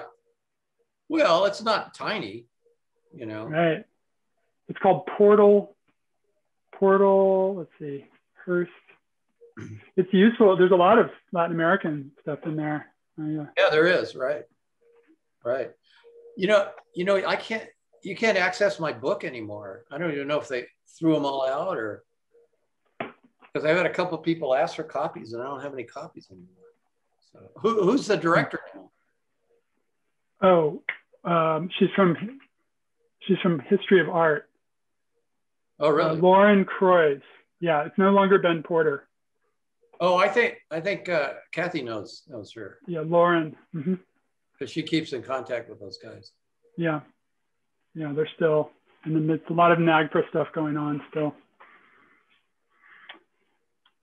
So I pasted the link in there. You can see, you can yeah, search yeah. by object type. And yeah, I'm looking at it now. It's pretty nice. Oh, there's the issue collection too. Yeah. Huh. What I'd like to see is more sort of tracking of research results. Yeah. You know, like when you borrow stuff or when you visit and analyze stuff, they need to really make sure that those results get put into this database or at least somehow available to subsequent scholars. Yeah, that's a good idea. We used to, of course, require that uh, they submit whatever publication results from that. Mm-hmm. God, I, I left the museum when, what was that, like 20, 2004, 2003, something like that. Mm-hmm. Yeah, I was hoping Craig would come back and we could talk about, you know, an international database. I don't know where he is. There was that, uh, I don't know if Matt's here. There he is. Oh, there's Craig. Yeah, there's a there's a Google Earth file with all the obsidian sources around the world, right? I think Matt was involved with that at MURR. Right. Yeah, I mean, we have parts of it. You know, Craig's got the, the incredible North American thing, but there's no data attached to it. So that would really, you know, if just if mm-hmm. Craig before he dies could just put, put uh, take the data from his database and then meld it with you know, the iOS thing, God, that would be mm-hmm. incredible. Yeah. We keep talking about what we need to do before we die. So. hey, you're you're muted. Yeah.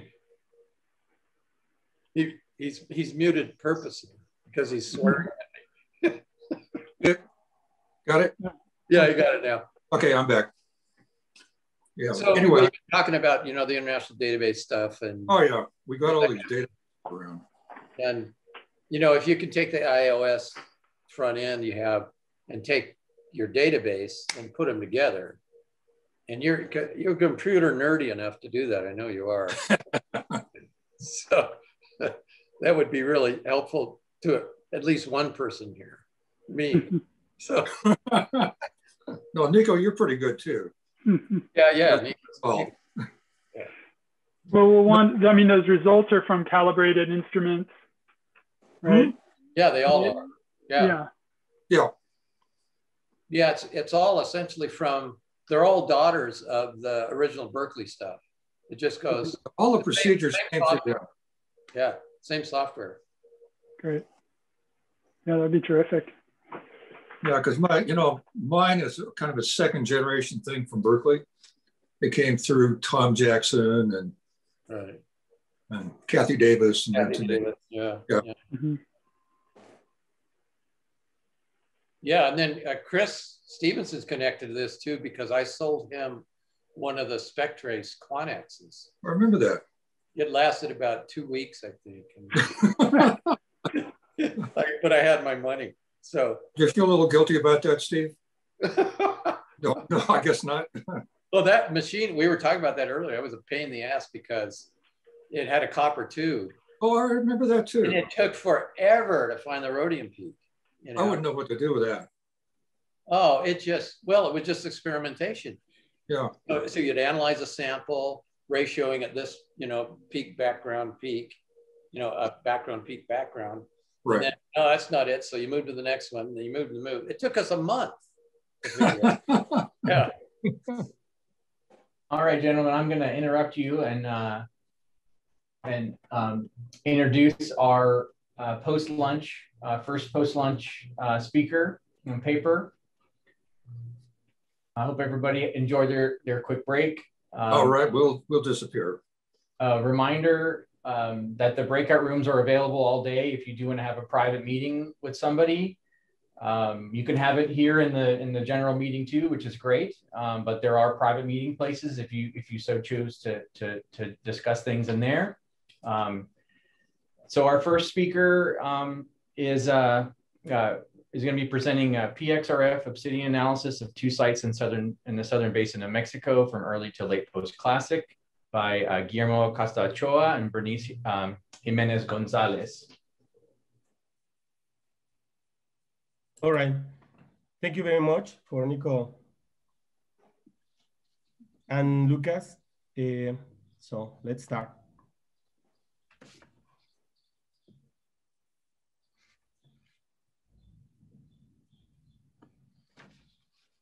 Can you see my PowerPoint? Yes. Yes. yes. Yeah, I can see it. Obsidian has been used in central Mexico as the main raw material for chipped stone tools, at least since 4,000 years before Common Era.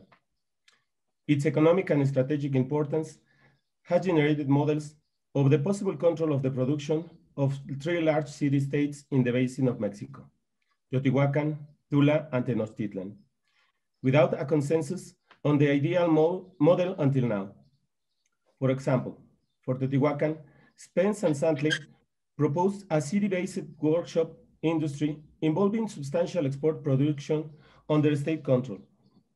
On the other hand, Charlton posits a high-volume state-controlled obsidian industry with the bulk of its workshops situated outside Teotihuacan, near the obsidian source and trade routes. In contrast, Clark posits a production mainly for local consumption and low volume, long distance trade in status items between elites. In the case of epiclassic and postclassic models, the obsidian procurement and exchange system has not been less complicated to be theoretically modeled. First, due to the few studies on lithic production areas, or because of the scarce stratigraphic control of the collections, or even because of a poor assignment of the source of the obsidian, particularly in the case of gray-black obsidian visual analysis. The main objective of this study is to evaluate the changes in obsidian procurement from two sites with restricted, restricted occupations, exclusively from the early post-classic in the Acatla Tulyehualco site and late post-classic to early colonial in Paxo site. This with the aim to evaluate the differences in the obsidian production and exchange system before the rule of the Triple Alliance and the development of the Aztec state. For this, a PXRF analysis of 100% of the lithic assemblages from both sites was carried out, analyzing the technological characteristics of the lithics and comparing the results with models proposed for sites such as Tula and Xochicalco. A total of little more than 800% artifacts were analyzed in compositional and technological ways. Postclassic in southern basin of Mexico from Tula to Tenochtitlan. The postclassic period of southern basin of Mexico has been divided into early postclassic, 900 to 1150 AD, middle postclassic, 1150 to 1350 AD, and late post-classic, 1350 to 1531 AD. The early post-classic is characterized in the Xochimilco area by materials of the Aztec one ceramics, mainly black on orange, on Ixchalco and Mixquic types, Mazapa figurines, and Toltec exchange types such as plumbate, Alicia Calado sense burners, and Abra Cafe Burdo braziers, in addition to, the, to a predominance of gray or black obsidian over the green obsidian. During this period, there is a significant increase in the occupation of the lecture plane related to a demographic increase in comparison with the previous epiclassic period. The late post-classic marks a break in several senses in lacustrine communities of southern basin of Mexico. This change seems to be highly influenced by the conquest and domination of the area by the Triple Alliance headed by Tenochtitlan. This period, characterized by Aztec 3 and Aztec 4 pottery types, marks a period of accelerated demographic increase linked to the expansion of the Chinampa system and the construction of large waterworks that radically transformed the lacustrine landscape. For this period, an absolute dominance of green obsidian and prismatic bay technology is observed in the lithic assemblages of these Chinampa domestic units the study sites. Acatla Tulyehualco. The Acatla site was located in the Xochimilco lacustrine lakebed. It had an approximate area of 11.55 hectares, where several large platforms were located with houses of one to three rooms. According to the classification of Parsons, this site corresponds to a large nucleated village with an occupation between 900 and 1200 AD. The houses had rectangular floors with rock and adobe foundations. Some of the houses had the remains of fireplaces inside, with an area destined for funeral burials. In other open spaces, activities such as the manufacture of projectile points, textile work, and food preparation were carried out. Despite being a minor village, long-distance trade goods were recovered, such as greenstones, plumbate, and fine orange pottery, copper and shells from the Pacific and Caribbean Sea. PAX Xochimilco. The PAX Xochimilco site is a cluster of Chinampa agriculture domestic units of 700 hectares, excavated by the Proyecto Salvamento Arqueológico Xochimilco, or PAX, a salvage archaeology project in the area currently occupied by the Xochimilco Ecological Park. The residential units were built on agricultural chinampas that were expanded to generate housing platforms. Three radiocarbon dates have recently been obtained from the largest site, San Gregorio Tlapulco, indicating the beginning of the occupation toward early 15th century and abandoned due to the Cocoliztli epidemic at the end of the 16th century. The late post-classic residential units were made up of rectangular dwellings, some with internal subdivisions, separated by open areas where one or more hearths were located. Its walls were built with volcanic stone and daub. The, characteristic, the characteristic ceramics of this period correspond to the Tenochtitlan black and orange ware, while the figurines represent classical de deities of the Aztec pantheon, and the lithic group is less varied than the early post-classic, with little presence of projectile points. The PXRF obsidian source analysis. For this study, 10 of the most representative chemical elements in the samples, magnesium, iron, zinc, gallium, thorium, rubidium, strontium, yttrium, zirconium, and niobium, were evaluated using the AXRF, AXRF uh, Bruker handheld device according to the methodology established by Jeff Speakman. This configuration coincides with the matrix-specific factory installed obsidian calibration, allowing us to obtain comparable results with other re reliable methods, such as neutron activation analysis.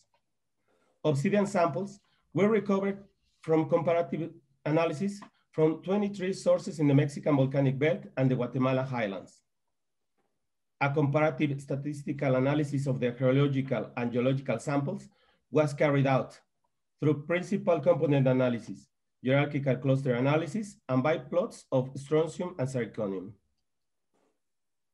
The results indicate a dominance of gray black obsidian from the Otumba and Ucareo over the green obsidian from Pachuca, Sierra de las Navajas, during the early post-classic. In contrast, Pachuca green obsidian dominates the late post-classic obsidian assemblage while Otumba obsidian is restricted to a lower percentage in bifacials. Obsidian from Ucareo was identified only in a helical bed, a probable relic.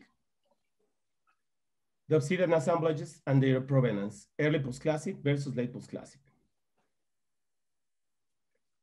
In the early post-classic, projectile points were the artifact with the highest frequency at the Acatla site, representing 61.3% of the total collection. Most were made of gray-black obsidian from Ucareo and. The Texcoco projectile type is the most common. The points were manufactured mainly on flakes and to a lesser extent on prismatic blades. Bifacial represents 1.23 of the sample, percent of the sample. These are massive artifacts, almost all fractured due to the dimensions. They could have another function, probably bifacial knives. Due to the lack of, the, of use wear analysis, our classification is based only on artifacts morphology. A class of artifacts made on macroblades are the end scrappers, which represents 4.43% of the sample. Most of them have a morphology typical for maguey processing. Prismatic blades, on the other hand, represent only 8.4% of the collection, a small percentage than the late post-classic. 38% of the blades comes from Ucareo, 32% from Pachuca and Otumba, and Otumba represents only 1%. The blades are generally small.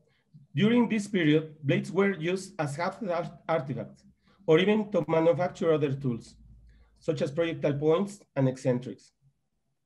Only two cores were found at the site. One of them comes from Ucareo, and the other comes from Sierra de las Navajas. Both cores are very small in dimensions and have a polished platform. Like most of prismatic blades, in one of the cores, it was possible to refit a pair of blades to one core, which suggests that, at least occasionally, small size cores with a polished platform were acquired by the inhabitants of Acatla to extract, to extract small blades. This is consistent with observation made by Dan Healan for Tula, who suggest that Polish platform technology was alternative for less specialized producers, allowing mm. artisans to less skilled to continue to extract prismatic blades in small cores. Late post-classic. Unlike the early post-classic, projectile points of Pax Xochimilco site represent only 3.5% uh, of the assemblage. 48% uh, of the projectile points were made with obsidian from Pachuca, and the other half with gray obsidian from Otumba. The typological differences between the artifacts from both sites are evident. Those from Pachuca being slightly smaller and with lateral, not, lateral notches, while Otumba projectile points tend to be larger, heavy, and irregular. No one of the artifacts are observed in the manufacturing process. So we consider that this may have already arrived manufactured to the site. Artifacts on flake or blade. Are, the flake artifacts represents 8% of the sample. Blade artifacts represents 13.8% of the total collection. These materials were manufactured on macroblades and first series prismatic blades. Prismatic blades, on the other hand, were the most numerous obsidian artifacts in the late post-classic collection, representing 76% of the total. They are slightly larger in dimension than those, than those observed at the Acatla site and are almost entirely manufactured on green obsidian from Pachuca. These blades are usually used directly with minimal retouch of the edges and with lateral notches, probably for hafting the blades. Nine cores were identified, except for three.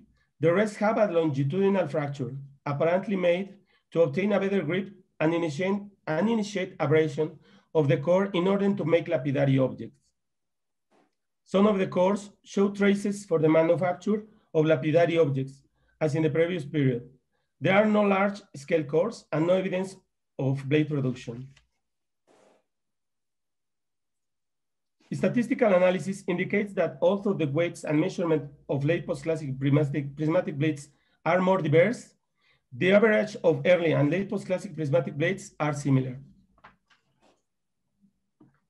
Results of the, of the analysis and economic implications.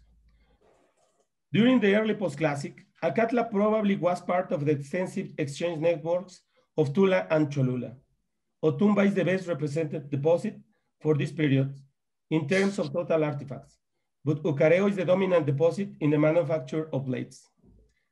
This same condition is observed in other places such as the early period of Tula and Xochicalco. Acatla seems to have been part of this trade network for Ucareo obsidian that dominated before 1000 AD, in a period when the Otumba city-state was able to control the production of the homonymous source, while the green obsidian of, from Pachuca was not so relevant to the southern basin of Mexico.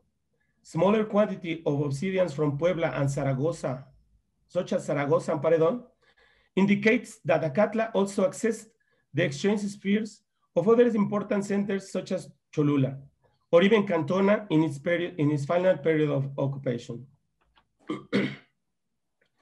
in the case of the late post-classic, an abrupt change is observed in the obsidian sources, replacing the obsidian of Otumba and Ucareo with Pachuca green obsidian as mm-hmm. well as, as, a, as a significant reduction in the total number of identified sources.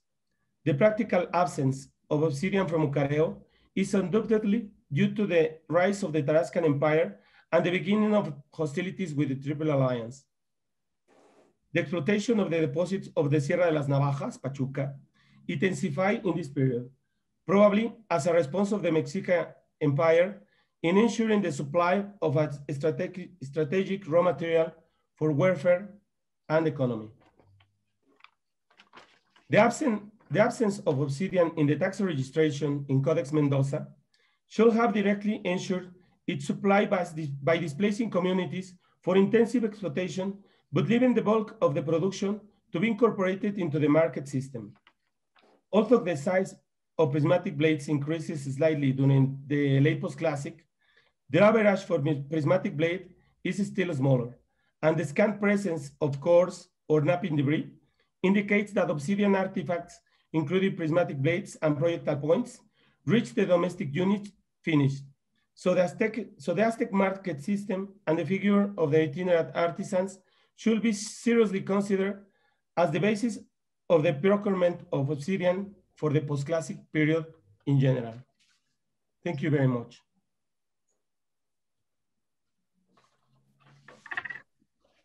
Thank you, Guillermo. Uh, we have a few minutes for uh, questions. Yeah, I have a I have a question for Guillermo. So uh, let's get this right. Um, in the late classic, uh, there were stem points produced from Otumba, and then it looked like side notch points from Ucareo, or at least another source. What did you say you thought was occurring? Was that cultural or uh, and were there two different groups producing that? What, what do you think was going on? Well, uh, Ucareo is almost double uh, in distance from uh, uh, Otumba, Pachuca, excuse me, Pachuca source, and three times the distance from Otumba sites. So we are thinking that this is a cultural trend, but implies maybe uh, general market systems. We don't know yet if it's controlled by Tula or another big site. I think it's not like so. Maybe just uh, itinerant producers and uh, and independent market systems. Maybe the Pochteca system that we see uh, in late post-classic is still, is, is, it's now uh, yet in use uh, since maybe uh, epiclassic, the epiclassic period. And in the post-classic, it's clearly that the control of the production and principally the control of the exchange system is not controlled by a uh, local centers such as Tula. Oh, okay. Uh, okay, that's a, it kind of goes back to a question that Rob Tykot asked me uh, in the Southwest, uh, access, differential access to obsidian sources. And I was thinking about Joshua, who's actually on here now. We did that work uh, and everything was produced from Otumba.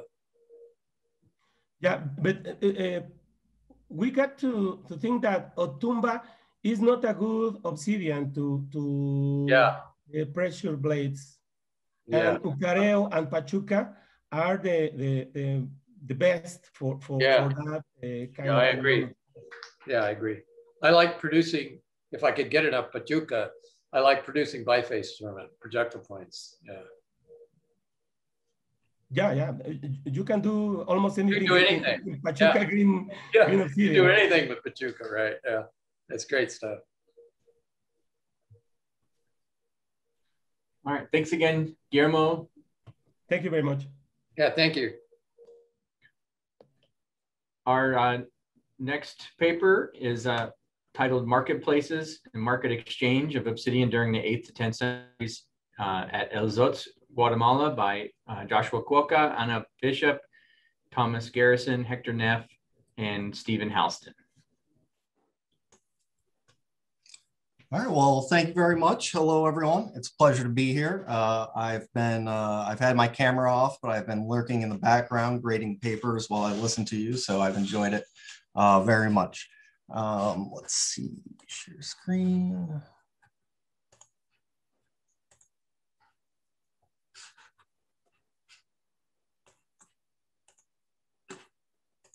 Okay, how's that looking? Okay. Looks Yeah, good. looks good. Yeah, it's good. Okay. So uh, in full disclosure, my 20 years of giving papers, this is the first time I'm not going to read one. Uh, it could go horribly, it might go great, but I promise you it will not go over time, that's for sure. right, so um, uh, thank you for the introduction, Lucas. And as uh, the slide shows, there's quite a few cooks in the kitchen on this project. Um, and it's really folks who've been doing lots of different things at El Zotz and this is an attempt to start to draw all that together. Uh, obviously, it's lithics based, um, but to sort of uh, not just do uh, a, a, basic lithics paper, but essentially tie that into broader issues uh, that are going on at El Zotz during the 8th through 10th centuries. Um, I don't have a lot of definitive uh, results on that end, but I'm going to walk you through what our lithic analyses and uh, the PXRF analysis have turned up and throw out some thoughts at the end, and then I'd love to hear what you guys have to say. So without further ado. Okay, so I did lie. The one part I am going to read is the introduction uh, to the site here, El Zotz. So you're looking at a map of the uh, Buena Vista Valley. And by the way, I put a little key here for you as I'll be using uh, these, these terms uh, uh, you know, frequently. So if you're unfamiliar, maybe take a screenshot. Um, but the Buena Vista Valley is the northernmost east-west corridor that crosses the central Maya lowlands. Uh, both the valley floor and associated hills are home to numerous archaeological sites, most notably the Classic period kingdom of El Zotz. Uh, during the Classic period, El Zotz was ruled by the Pakan dynasty, which established itself by constructing a fortified hilltop palace during the 4th century AD. Uh, later, it shifted the royal court to the valley floor for the second half of the early classic. After AD 378 uh, and the Entrada, uh, the Pakan lords were subordinate to the Teotihuacan-backed dynasty at Tikal and enjoyed a period of relative peace. Uh, when Tikal was conquered in AD 562, El Zotz allied itself with the invading Snake Kingdom, and became particularly close with the lords of El Peru Waka. So it's, it's out here, El Zotz and Tikal over here. Uh, however, this became a time of dynastic turmoil at El Zotz, uh, whose principal patron was no longer situated so close. Scattered epigraphic data from looted late classic pots indicate numerous rulers, including a possible prince from El Peru Waka, uh, who sat on the Pakan throne in the 7th century AD. During these troubled times, a local lineage settled at the intersection of the Buena Vista Escarpment and a north-south drainage that bisects it. Um, and that settlement is called the uh, La Luna Group, and you're going to learn more about that uh, momentarily. Uh, and it's called the La Luna Group uh, because in the LIDAR data, uh, it was all pockmarked from extensive looting. So now that you have a little bit of a background of sort of the foundation, early history of El Zotz, the data that I'll be uh, sharing with you moving forward is all from the sort of final phase of El Zotz history, specifically the late classic and terminal classic periods. So the one of the things that I'm I was very interested in at El Zotz was uh, in 2015, I did, you know, very basic uh, lithic analysis, sort of as a hired gun, uh, went down and looked at stuff they had in the lab. And just simply plotting the distribution of obsidian at the site was, was very revealing in that uh, some of the highest concentrations of obsidian are at very modest structures at the site, whereas some of the more fancy stuff, uh, you know, has very little obsidian. So this got me uh, thinking about sort of what's going on here, what mechanisms are responsible for this pattern. And by the way, this is the La Luna group, uh, which also has a very high concentration of obsidian. Uh, and you can see uh, it's quite a distance from the site core. So the first uh, thing I'm going to share with you is would be the results of a PXRF analysis uh, done by Hector Neff. And it uh, the sample consisted of 148 obsidian artifacts drawn from three residential groups, uh, the Northwest Courtyard uh, in the site center, Las Palmitas, which is an elite residential group, and La Luna, another elite residential group. Um, and the occupations for all these groups uh, in terms of the obsidian that we're looking at, it all dates to between AD 650 and 900, so late terminal classic. So uh, the results of the PXRF analysis uh, show that there are six obsidian sources represented in the sample, uh, including three Central Mexican and three Guatemalan uh, sources. Uh, and the latter Guatemalan sources comprise 98% of the sample. Uh, for the Central Mexican sources, uh, you have Pachuca, Tulancingo, and Ucareo, but all these are represented by a single artifact. Um, and not included in this talk today, but back in 2012, um, uh, Steve actually, uh, um, excuse me, uh, Mike did a uh, a PXRF study for someone at Zotz, and they found uh, that there's also Otumba and uh, Zaragoza Oyameles uh, as well there. Um, as far as the Guatemalan obsidian, it falls in line with expectations for sites in the central lowlands in that uh, El Chayal is the, excuse me, I think, there we go, should be showing you that. Uh, El Chayal is the dominant material by far, um, followed by Ixtepeque and then San Martin Jilotepeque. And so this was a big, uh, the major source in the pre-classic. El Chayal dominates throughout the uh, early and late classic, uh, but towards the end of the late classic and terminal classic, uh, Ixtepeque uh, starts to become more popular, uh, but you can see it never surpasses El Chayal.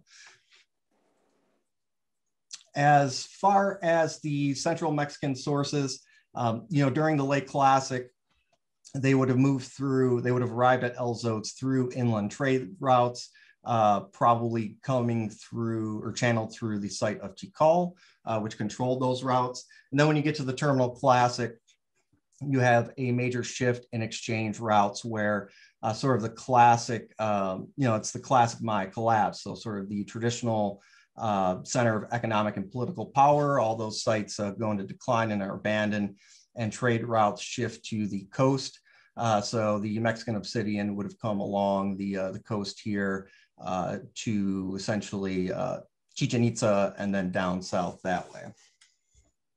When you look at the, the uh, distribution of these different sources um, across these groups, you know, there is nothing that really jumps out except for perhaps La Luna being the only group that has the Mexican obsidian. But again, we're just talking about three artifacts here. So how significant is that?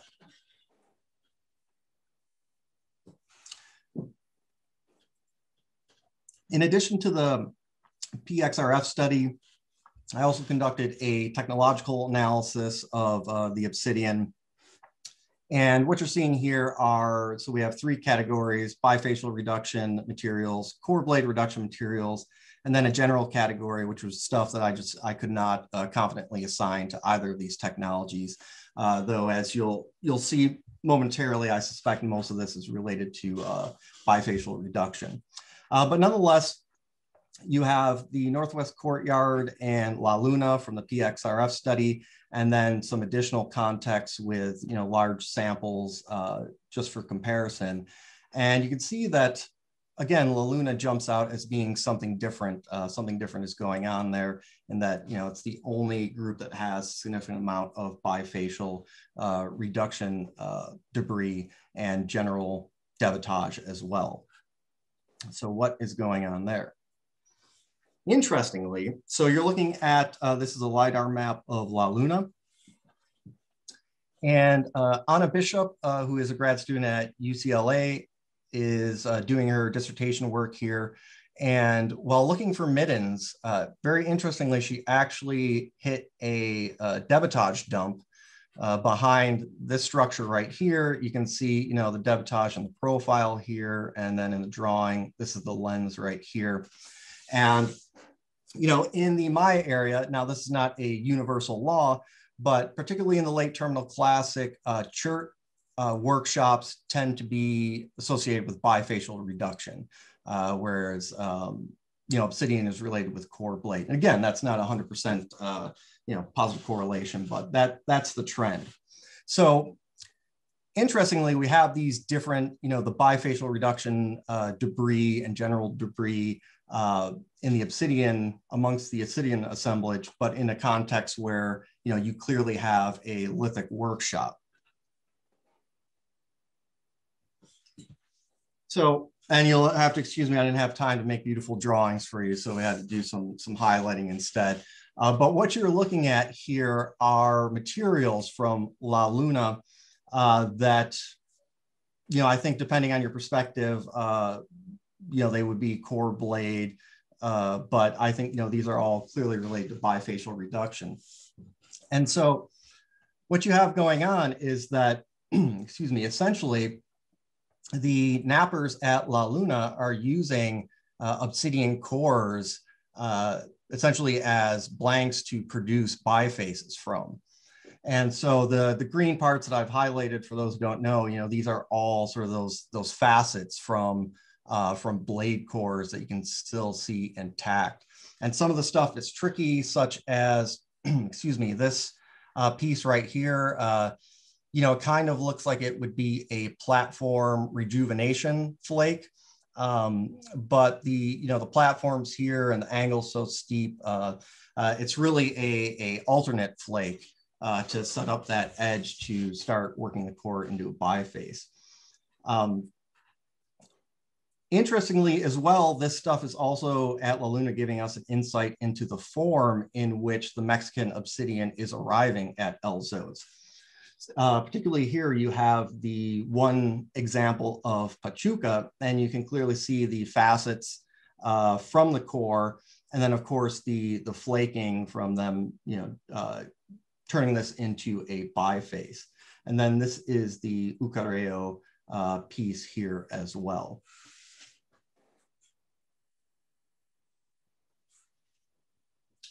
So sort of zooming out and looking at El Zotz as a whole, um, one of the things that is very interesting is that the, the obsidian assemblage is almost entirely related to core blade reduction. Um, La Luna is really the one place that does have some uh, bifacial reduction going on. Um, so when combined with the uneven distribution of obsidian across the site and the fact that it doesn't seem to be correlated with you know size of architecture or anything like that. Uh, that got me thinking about uh, the possibility that there might be a marketplace or some sort of market exchange. And one of the ways that you can uh, look at this, this specifically for core blade reduction is using the a, a really interesting model developed by uh, Jason De Leon, um, David Carballo and Ken Hirth, which is based off of Ken Hirth's uh, sort of distributional approach to identifying marketplaces. Um, the difference being here is that it's tailored for core blade reduction. And so they developed uh, three models. Uh, one, a whole blade uh, trade where, you know, self-explanatory, right? Uh, whole blades are being traded sites. Another one, uh, the process blade trade, you know, so complete, you know, blades are being produced somewhere else. Uh, they're being segmented before being shipped off to a, another site. And then you have local production, uh, which can be, you know, resident artisans or even itinerant craftsmen. And I'll show you their, their lines of evidence and, and expectations momentarily uh, as I wrap this up here. But a key uh, component of this is production evidence is there production evidence uh, present in the assemblage? And if so, what type is it? So they developed two types, primary production evidence, and that consists largely of cores and core fragments. And then secondary production evidence includes uh, you know, a wide array of things related to error correction, uh, core rejuvenation, platform rejuvenation, what have you. So, you know, a lot of error correction blades and things like that. This may be a lot, I apologize, but um, you could certainly take a look at it afterwards or reference that article for more detailed discussion. Um, but I won't go through all the expectations of these different models in detail, but um, I will show you sort of the aggregate of, of the El Zotz Obsidian assemblage from the late Terminal Classic, and we'll look how, at how it aligns with their expectations, and then I'll call it a day. Um, so the first category, primary production evidence, right? So their expectation is that it, um, you know, it should always be absent in a context where blades are being traded into a site um, or an itinerant craftsperson is producing on site because they're going to take cores with them when they leave. Of course, we don't have very much uh, primary production evidence. Secondary production evidence, um, that's also a no for a whole blade or process blade trade. But uh, you know, they they recommend, uh, rightfully so, that you need to uh, look at this with nuance, right? So, what type of secondary production evidence do you have? And at El Zotz, the secondary uh, core blade production evidence we have, it's all stuff that could be usable tools, right? Um, you know, they're sort of uh, percussion blades, or you know crested blades you know things that are very much blade like still that are useful tools so uh, those could also be traded but the vast majority of the assemblage is comprised of late series blades right? The end product of uh, uh, prismatic, blade production. And then sort of the final kicker for me uh, are these proximal distal ratios and medial distal ratios. And the, the important point here is that, you know, depending on core morphology, uh, the, especially as the core gets smaller, the distal portion of your blade can be curved, right? So if you're trying to bundle blades to pack them up to move, um, it's possible that you will snap that curved end off so that they can pack more efficiently. And so that's sort of what these expectations up here are supposed to represent. So when you look at those ratios at El Zotz, yeah, I think uh, all this sort of lines up to suggest that uh, you have processed blade trade uh, where already segmented blades are moving into the site. Um, and then folks are using perhaps interpersonal connections uh, to occasionally get a small core uh, to produce a biface from. Okay, I'll, I'll leave it at that. Thank you very much. I'll stop sharing my screen. Okay. Thank you. Thank you, Josh. Do we have any um, questions? Uh, yeah, I, yeah I have, as usual, I have one. Sure. So, Josh, uh, you were talking about snapping uh, for transport, snapping the tips off. Did you find those in the record? Did you find the tips of those things?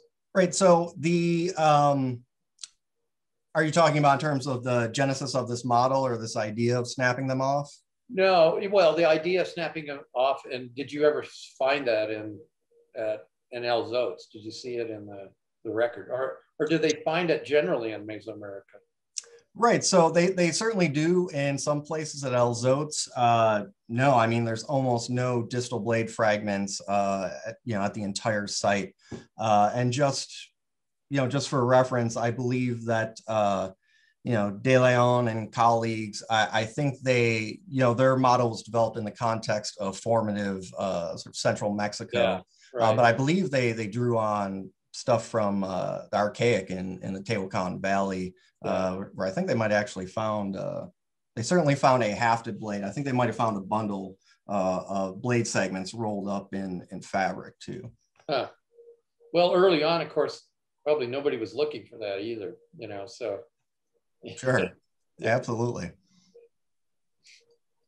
Can I ask you a quick question? Sure. Um, you're talking about this El Zotz site, and I was wondering, do you have any tools which were used for knapping?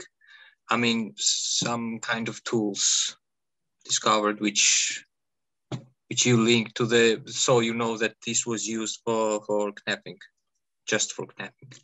Sure. So um, so I, uh, I'll say no, we don't have any, um, but uh, in the Maya area, uh, especially when you get to sort of later stage bifacial stuff like thinning bifaces and whatnot, um, and folks move to softer hammers, whether it be you know wood or antler or even limestone. You know those things are going to be really hard to to detect. Um, you know because of the environment, obviously the organic stuff's probably not going to preserve. Uh, and it's just a it's a harsh setting. So you know we have we have much better luck with uh, hard hammers. You know you'll get like chert cobbles that are all uh, have all the impact fractures. But at El Zotz and particularly that workshop group, um, we don't have any tools. Um, but I think you'd have to have a good eye to, to find them in the first place. Yeah. Thank you. Thank you. Sure. Yeah, I would add, Josh, that the it's good evidence of workshop stuff when you see these layering events. Um, you know, people are picking them up from maybe a central plaza and then literally just layering it as they're depositing um, other trash around it. Right. So, Absolutely, Lucas. Great point. I mean, that's that little lens I showed you is very much, uh, you know, it's probably 99% debitage uh, with a few sherds thrown in. So it is, it's a pure debitage deposit. Yeah, it looks like my backyard. uh, well, we this is the time for a, a quick um, uh, 10 minute coffee break just to kind of um, have a little bit of a break, we can keep uh, talking about um, Josh's paper or, or revisit uh, Guillermo's if we want to. Again, I'll remind you, feel free to use the breakout rooms if you want to have a private conversation. Um, it's easy just to put in the chat, hey, I'll meet you in room 10. Um, feel free to use those whenever you like. Um, anyway, this is a little 10 minute break that we can have, and then um, I'll introduce the, uh, the third Mesoamerican paper in about eight minutes.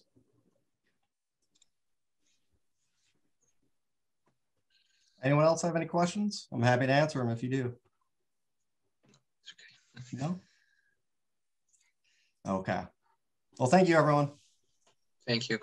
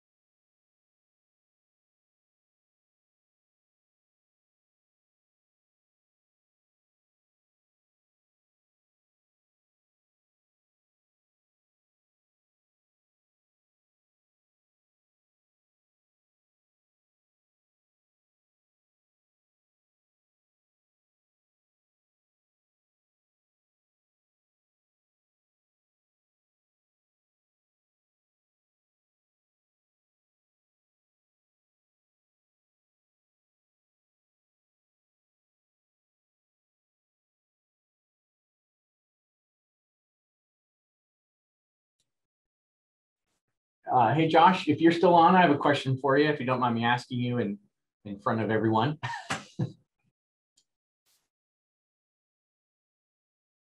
Here, maybe not.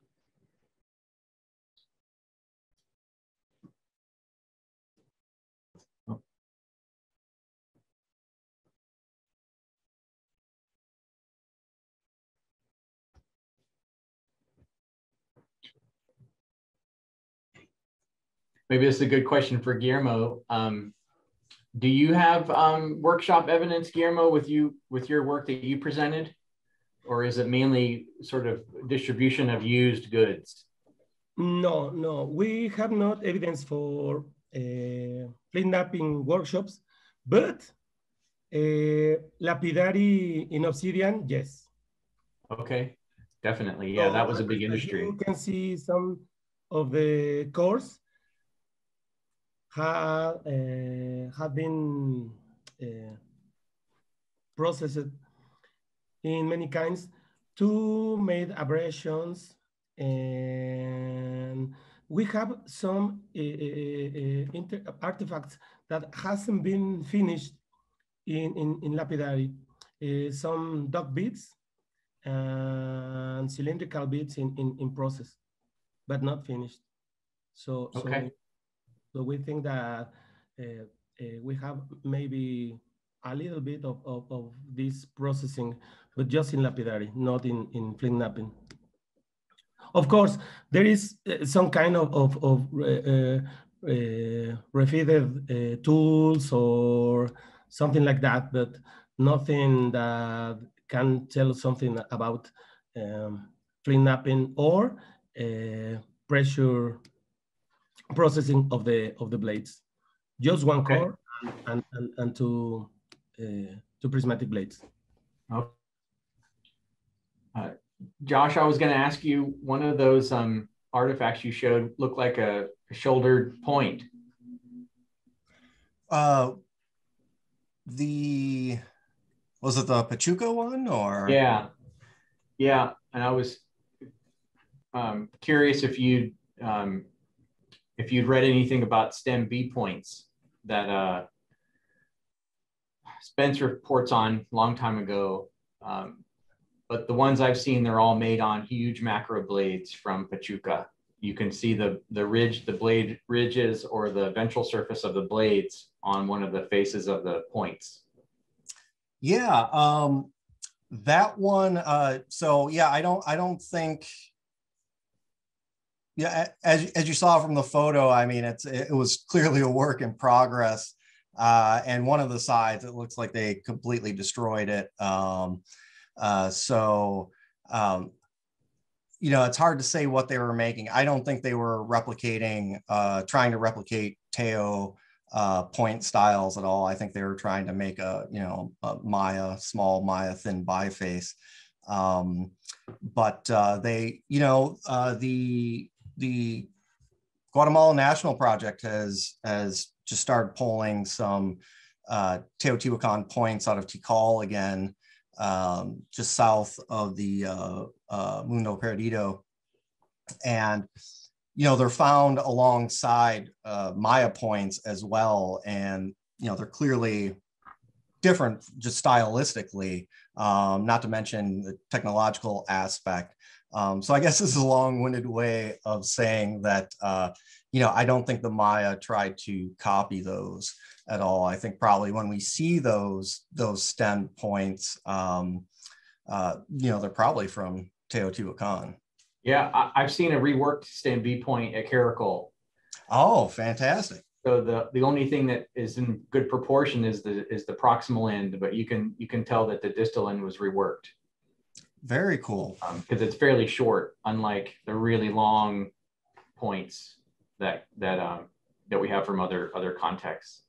So very cool. Yeah, and I mean, you see uh, that that La Luna context is is interesting because it's the only time that I've seen, uh, you know, Pachuca sort of used in I don't want to say a wasteful fashion, but uh, they're using a blade core to try to make a biface.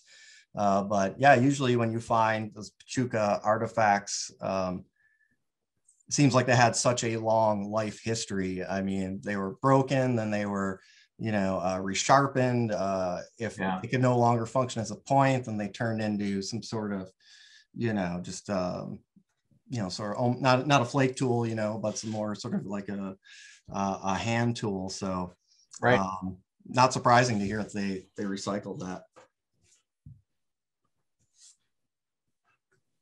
All right, I'm going to go ahead and um, we're about a minute ahead of schedule, but I'm going to go ahead and um, uh, return ourselves back to central Mexico, more or less, um, and introduce our next paper, um, and Exchange Spheres in Late Post-Classic uh, Mesoamerica, New Perspectives from Tlaxcalan, Mexico, utilizing uh, an Olympus Vanta portable X-ray fluorescence spectrometer um, by Mark Marino, Lane Fargher, and Wesley Stoner. Mark, have you take it away? Alrighty, thank you, Lucas, and uh, it's it's an honor to be here. So thank everyone. Let me go ahead and um, set about sharing my screen really quickly. Okay, can everybody see that okay? Is that visible? Yes, it is. Okay, excellent. All right. All right, well, thank you again. Systems of craft production and exchange in Mesoamerica are often correlated with the sociopolitical circumstances in which they formed. In this paper, we seek to understand the place of Tlaxcalan and the obsidian exchange spheres linking it to other states through the vibrant economic networks noted for the late post-classic period in central Mexico. Specifically, we test if Tlaxcalan participated in the previously identified obsidian exchange networks noted for the post-classic period, specifically the late post-classic uh, period, and we investigate if any Tlaxcaltecan households preferred obsidian of a particular source. Why is this discussion significant? The organization of lithic industries, including the exchange of prismatic blades, is often reflective of broader cultural patterns. Previous research in Tlaxcalan has identified that models of obsidian exchange utilized for post-classic Mesoamerica and applied to the Tlaxcaltecan polity were not entirely reflective of the consumption patterns identified from within uh, the city. Instead, researchers noted that consumption of obsidian blades, a bulk commodity, followed the broader geopolitical strategies of the late post-classic period, with a clear difference among the sources used in Tlaxcalan and those noted for other polities during the late post-classic. Ethnohistoric accounts coupled with archaeological research indicates that the state of Tlaxcalan encompassed about 2,500 square kilometers, and housed on the order of 250,000 to 300,000 people. The largest settlement within Tlaxcalan was the epon eponymous city of around 40,000 individuals. Systematic archaeological survey of this settlement mapped a densely occupied hilltop city covering approximately 450 hectares. Spatial patterns, coupled with ethnohistoric information from the early colonial period, led Fargher and colleagues to conclude that the city was organized in three districts, that were subdivided into neighborhoods. Additionally, Tlaxcalan's ruling council consisted of an estimated 50 to 250 members presiding over a multi-ethnic population that in some cases were fleeing the Aztec Triple Alliance. Based on the size of Tlaxcalan, market exchange would have been a key provisioning strategy as it was for most late post-classic central Mexican states. Market exchange of obsidian has been noted ethnohistorically for Tlaxcalan and Huechotzingo its sometimes ally, sometimes um, enemy. And Cortez, in his second letter to Spain, noted that the largest Tlaxcalan markets received thousands of visitors on the busiest market days. Additionally, both Zorita and Motolinia also note vibrant markets existed in Tlaxcalan, with Motolinia specifically stating that the largest market in Ocotelulco, uh, one of the districts, was the most frequented location in the city. Based on these descriptions, Tlaxcalan merchants would have experienced high demand for bulk goods as they did in other places, including that of obsidian. Excavations in Tlaxcalan recovered large amounts of lithic materials. In this paper, only blades recovered in clear association with a structure uh, or household context are discussed. Of those materials associated with a structural context, our sampling strategy consisted of selecting obsidian blades greater than two millimeters in thickness, and including a sampling strategy of at least 10% of all obsidian blades recovered per household. Our final sampled amount was 1,343 blades. Of the structures that contain these lithic goods, one non-residential context is located in the Quihuixtlan district. One other status household is located in the Ocotelulco district. One high status household is located in the Tepeticpac district, and two other households of other status are also located in Tepeticpac. Thus, each of the three districts are represented in our study, and status contexts are represented by one possibly high status household, four other status households, and one non-residential context. Methods for classifying the obsidian first entailed assessing the Olympus Vanta's factory calibration. I'm not going to show everyone all the regressions that went with this, but this was accomplished using the MURR Obsidian standard source library.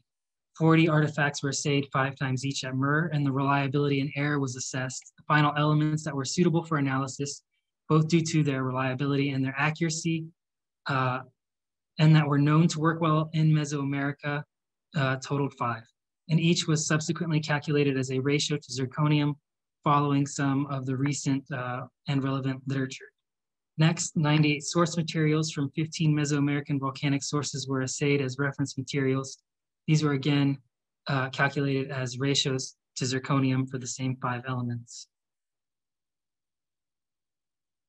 Classifying the actual obsidian samples excavated, excavated from Tlaxcalan and analyzed by the Vanta uh, PXRF was accomplished using Mahalanobis distance as part of the Gauss statistical software package, and uh, also using the data manipulator tool of the same uh, software package. Following after that, uh, principal components analysis was also used uh, to assess the effectiveness of this method, uh, and later reference groups were also tested with a, a MANOVA using the past statistical software package.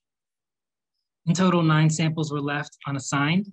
Um, some of them were assigned, however, they did not represent enough uh, in terms of actual samples to, to, comprise a statistical group. So we just, we left them unassigned for that case. Uh, but all groups were statistically significant according to the MANOVA, meaning they were all statistically distinguished. Uh, except for the Malpais source, excuse me, which again, uh, since it only had 200, uh, two samples, not 200, uh, it could not be tested using MANOVA. This source is far removed from the others, however, in terms of compositional space. Okay, so uh, our site-wide patterns uh, both confirm and discredit old models.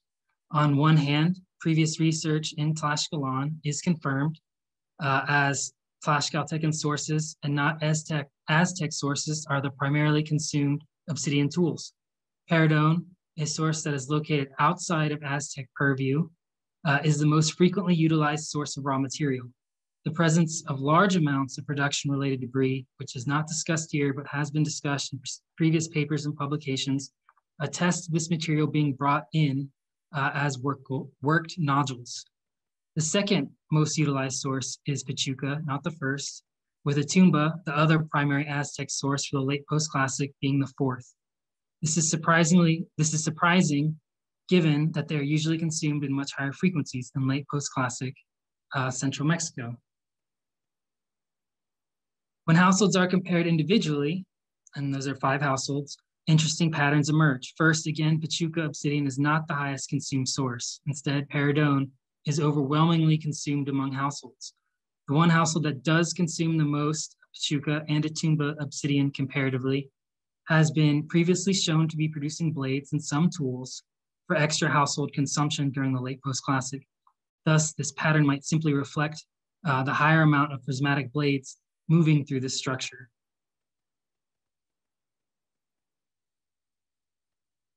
Further, all sources are utilizing Paredon obsidian above frequencies of 55%, um, which is the lowest. They're, they usually range 60 to 70 uh, Ocotelulco structure one is again using the least amount of Paredon obsidian, that's the 55%, but all structures are still using it at a rate of two to five, two to four more times uh, than other sources. The non-residential structure in Quihuixtlan uh, consumes slightly more of uh, the Paredon source.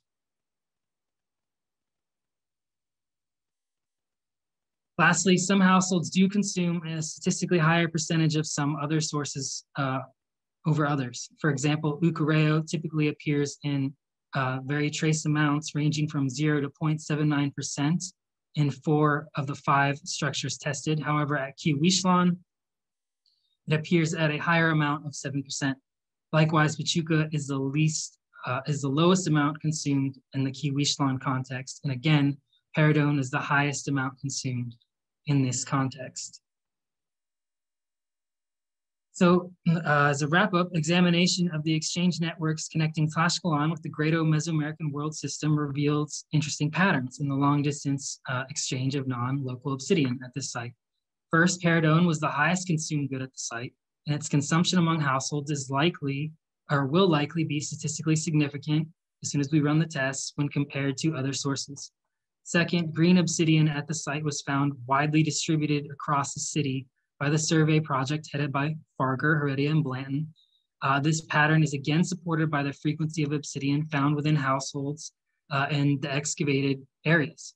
However, this does not mean that all households are consuming every source equally, as some households do consume slightly more obsidian, Pachuca, in the case of Ocotelulco Structure 1, um, or a statistically higher amount, uh, Ucare, Ucareo, uh, at the individual household context, uh, for example, at Quihuixtlan.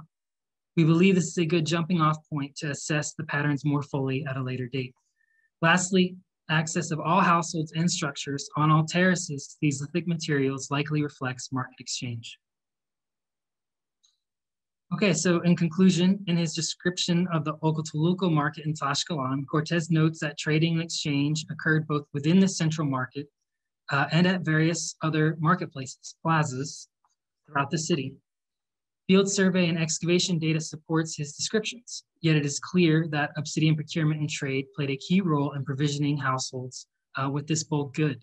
And current models do not highlight the importance of the Acoculco caldera, also known as the El Paredon uh, obsidian source, in provisioning the residents uh, of the Tlaxcalan polity. So where does Tlaxcalan fit into current late post-classic models of obsidian procurement and exchange? Based on the survey and excavation data, the size of the polity, and the amount of Paredon obsidian consumed by households, again, 55 to 70% per household, we believe Tlaxcalan represents a significant consumption sphere in and of itself, utilizing primarily and comparatively uniquely uh, for this time period, the El Paredon source and other sources uh, within the broader Mesoamerican world system. So with that, I'd like to thank uh, several people. I'd like to thank Aurelio Lopez of INAH Tlaxcala, specifically for uh, taking us to Paredon several times for active research. And by that, I mean the, the volcanic source El Paredon. Um, I would like to thank uh, the MURR Archaeometry Program, which um, helped support and fund this project. I would also like to thank the Sturgis International Fellowship at the University of Arkansas for the same reason for uh, support and funding uh, as well as the uh, Tlaxcalan Archaeological Project in Lane Fargher and Mexico's CONACYT. And that is all I have. Thank you. So I will stop sharing. Okay. Thank you, Mark. Absolutely. Thank you. Very welcome. We have some time for questions. Uh, yes, sir. Guillermo? I have a question, Mark. Yes, sir. Uh, Ucareo seems an outlier for me. Uh, what do you think about, about this particular source? Uh, in Quihuixtlan, there is a good stratigraphic control, or maybe just uh, surface findings on, on, on, on these materials. What do you think? Um, well, being I actually helped excavate uh, Quihuixtlan, so I would I would of course, I was a supervisor. I wasn't uh, necessarily the the PI, um, who was a very good friend of mine, however. And so I would I would like to say that we have a very good stratigraphic control. One thing I will note also, Ucareo is definitely a very unexpected and a very uh, interesting outlier. We all agreed to with you on that one. Um, this is very recent, very new to us as well. So we're interested in that. But I will say that there are uh, several ethnohistoric accounts of a, of a connection between Tlaxcalan and uh, the Tarascan Empire in terms of, uh, you know, one of the main generals obviously went that way. So we, uh, it's something that we're, we're interested in and we're actively pursuing. We also have uh, some ceramic data that we analyzed with uh, neutron activation analysis at MURR. So maybe that will shed some more light on uh, on these exchange patterns. Thank you very much. Very good. Yes, job. sir. Thank you.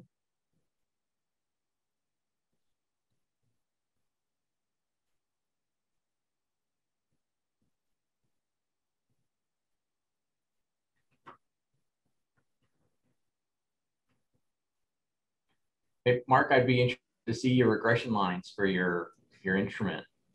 Uh, I will absolutely send them to you. Honestly, there was there was just too much. There was just you know it was overwhelming all the all the figures and data. Uh, I just didn't know how to streamline it. But perhaps Well, that's Yeah, those those things can can really be cumbersome to show, but the the fact that you're reporting that level of rigor is a good thing. Oh, well, thank you. Yeah, and anyone that's interested in seeing them, I would be more than happy to have a very long and probably boring discussion uh, about it. I, I love it. So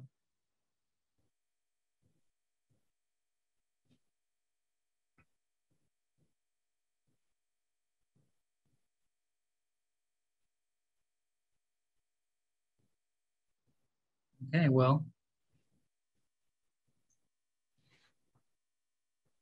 And we're, we're a few minutes early. I don't want to start our, our next paper too early.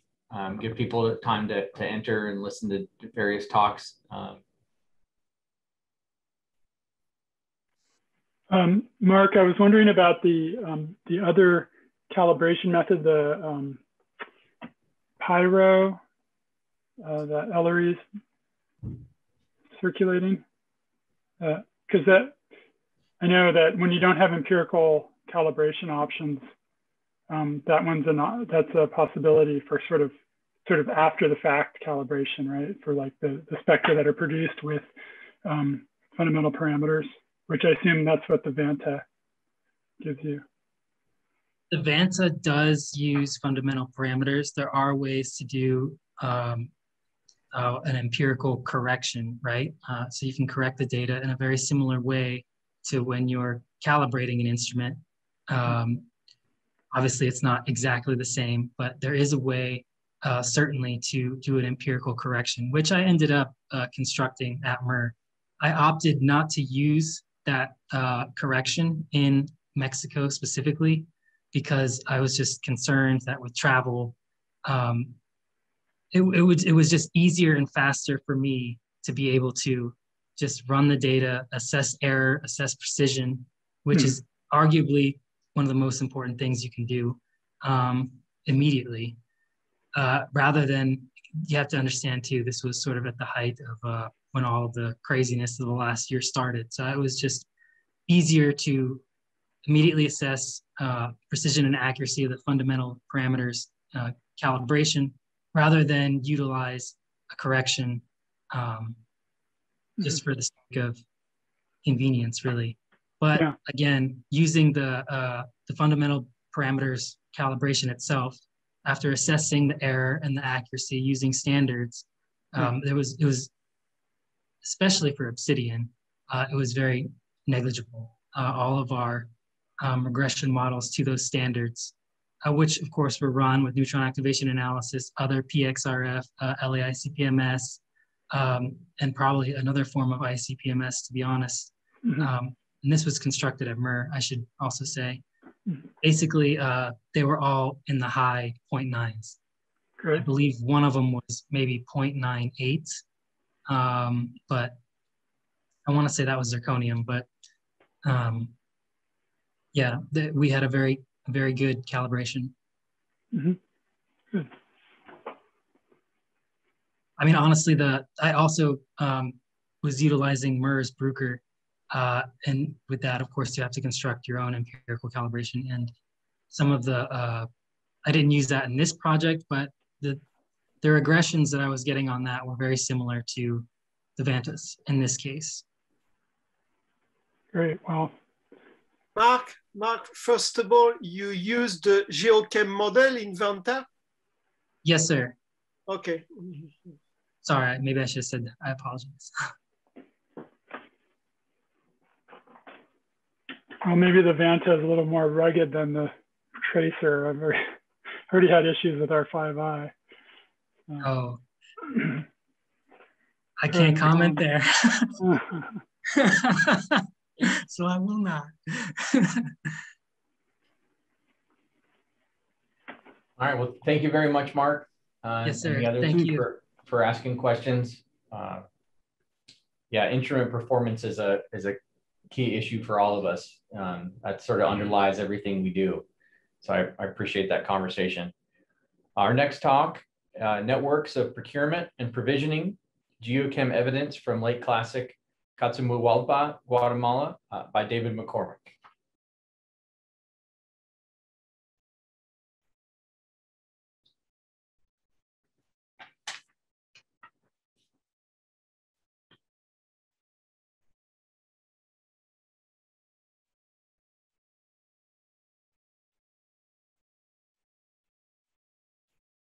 All right. Looks great, David.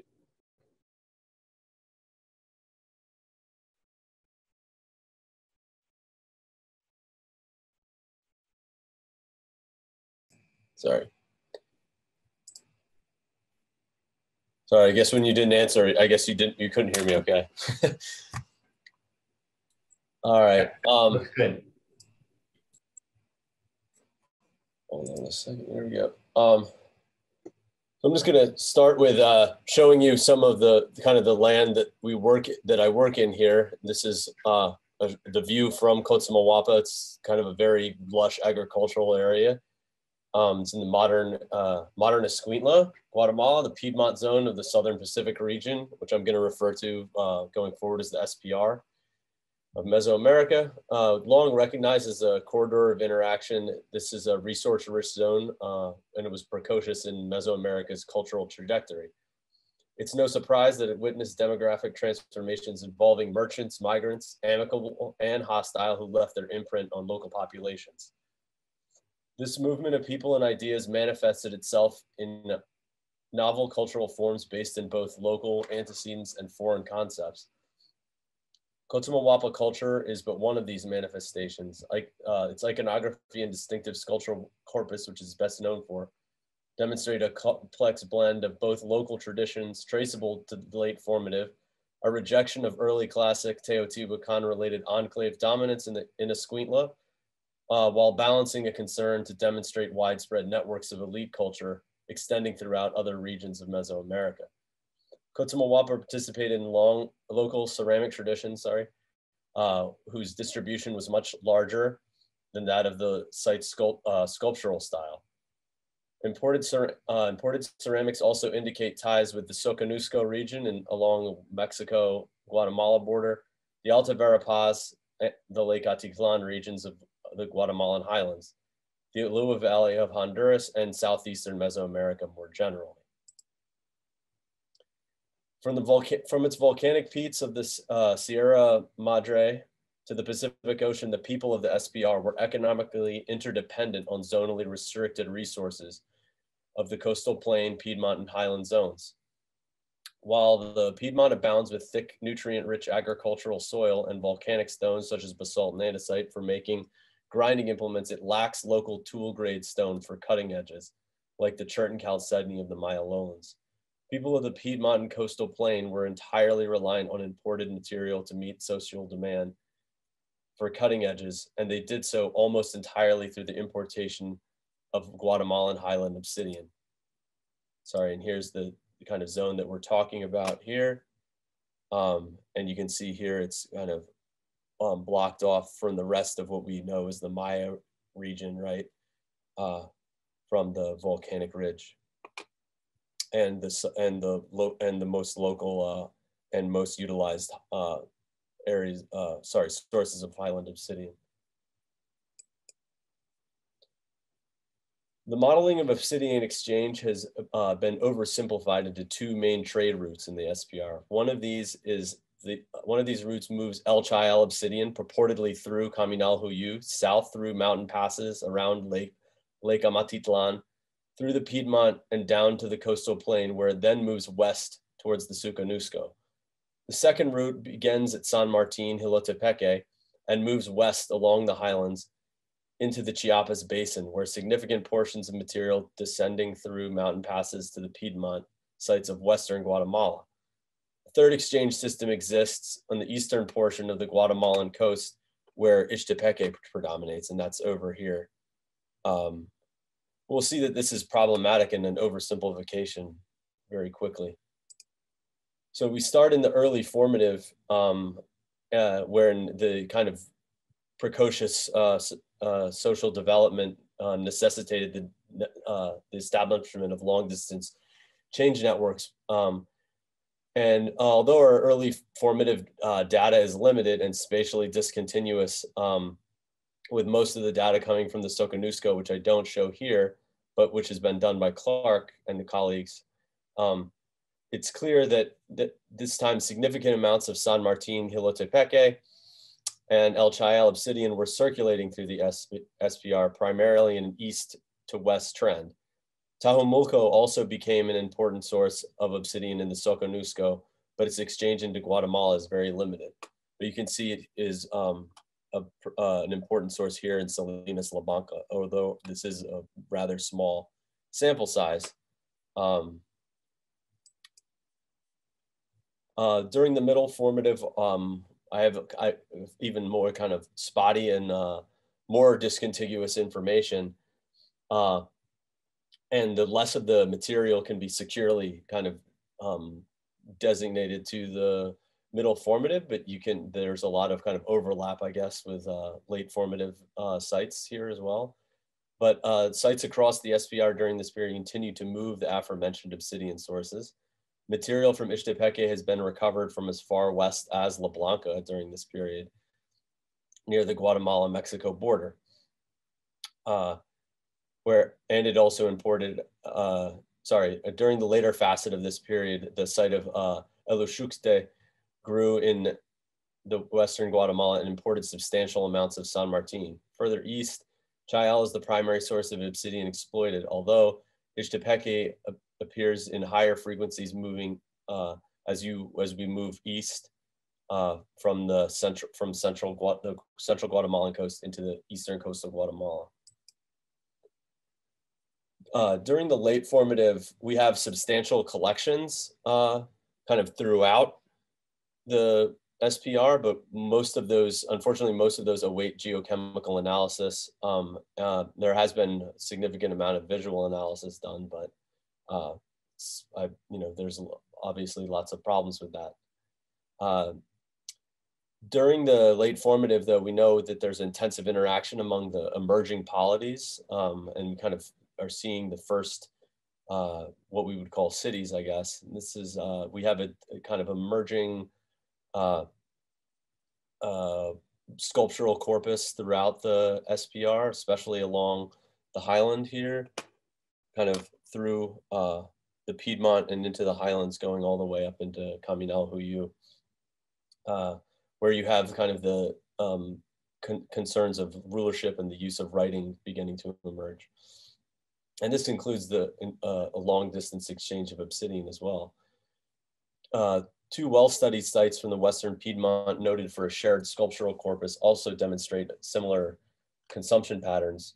Rebecca Mendelsohn's recent work has demonstrated differential patterning in the distribution of sources in blade versus non-blade obsidian at uh, Izapa. And while Tajumulco obsidian dominates the non-blade assemblage, San Martin dominates the blade assemblage. Visual analysis suggests that San Martin dominates the Piedmont of Tacalica This is the visual analysis of love, although Krasborn uh, presents evidence to the contrary. You can see they, uh, that these two analysts disagree. Uh, however, if the frequencies reported by these two analysts are similar to the blade frequencies reported uh, by Mendelsohn, Mendelsohn for Izapa, if if those two are if they you average those two um, um, visual analyses along the Guatemalan uh, Guatemalan Mexico coast. Eluxuxte's assemblage is dominated by El Chayal, but importation of San Martin is substantial and accounts for about one quarter.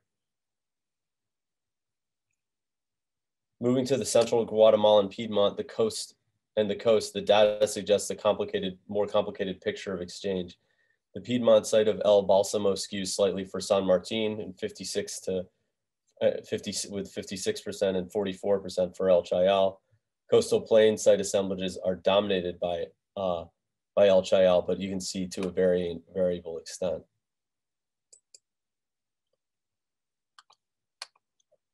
Um, oh, sorry. Oh no, it's the really classic.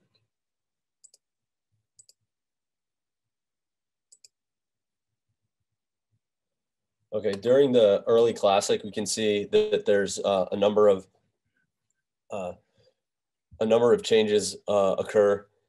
You have a again uh, the visual analysis of Krasborn uh, suggests that Chayal is dominating in uh, Tacalica Uh, Izapa is still being dominated overall by um, by uh, San Martin in the, in the blade category and uh, Tajumulco overall.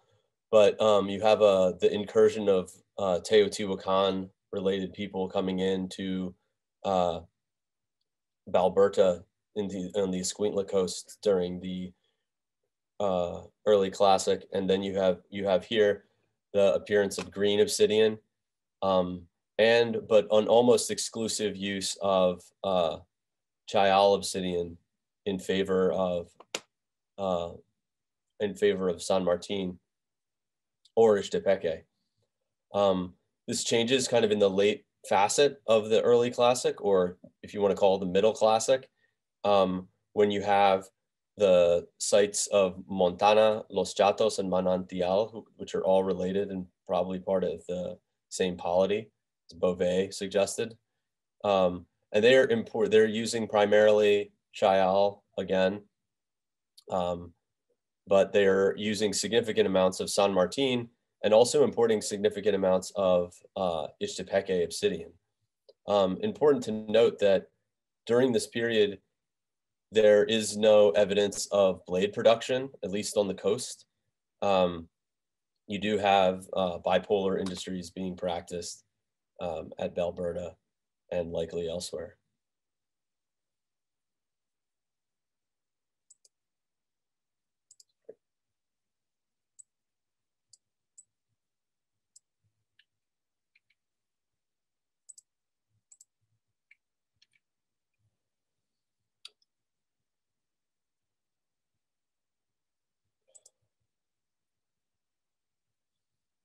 Okay. Sorry, these slides got messed up.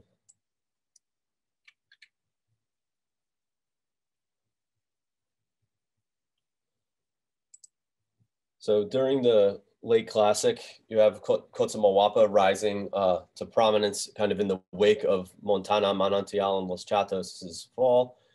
And uh, it's the center of a three-tier political system where you have Cotzumalguapa here at the center, um, blown up here. Um, and we have uh, two kind of tier two sites followed by a number of tier uh, three sites.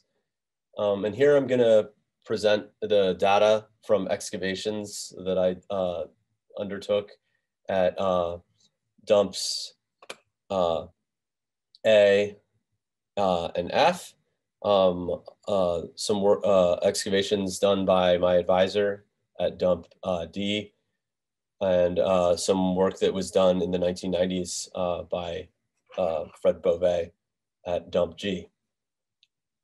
Um, um, each dump is going to present a separate, as you can see, each dump presents a different profile uh, obsidian profile. And what's uh, what's important to see here is that uh, each one not only is using uh, is is constructing out of different frequencies of different material, but some are essentially ignoring um, San Martin altogether or not utilizing San Martin the San Martin procurement network at all.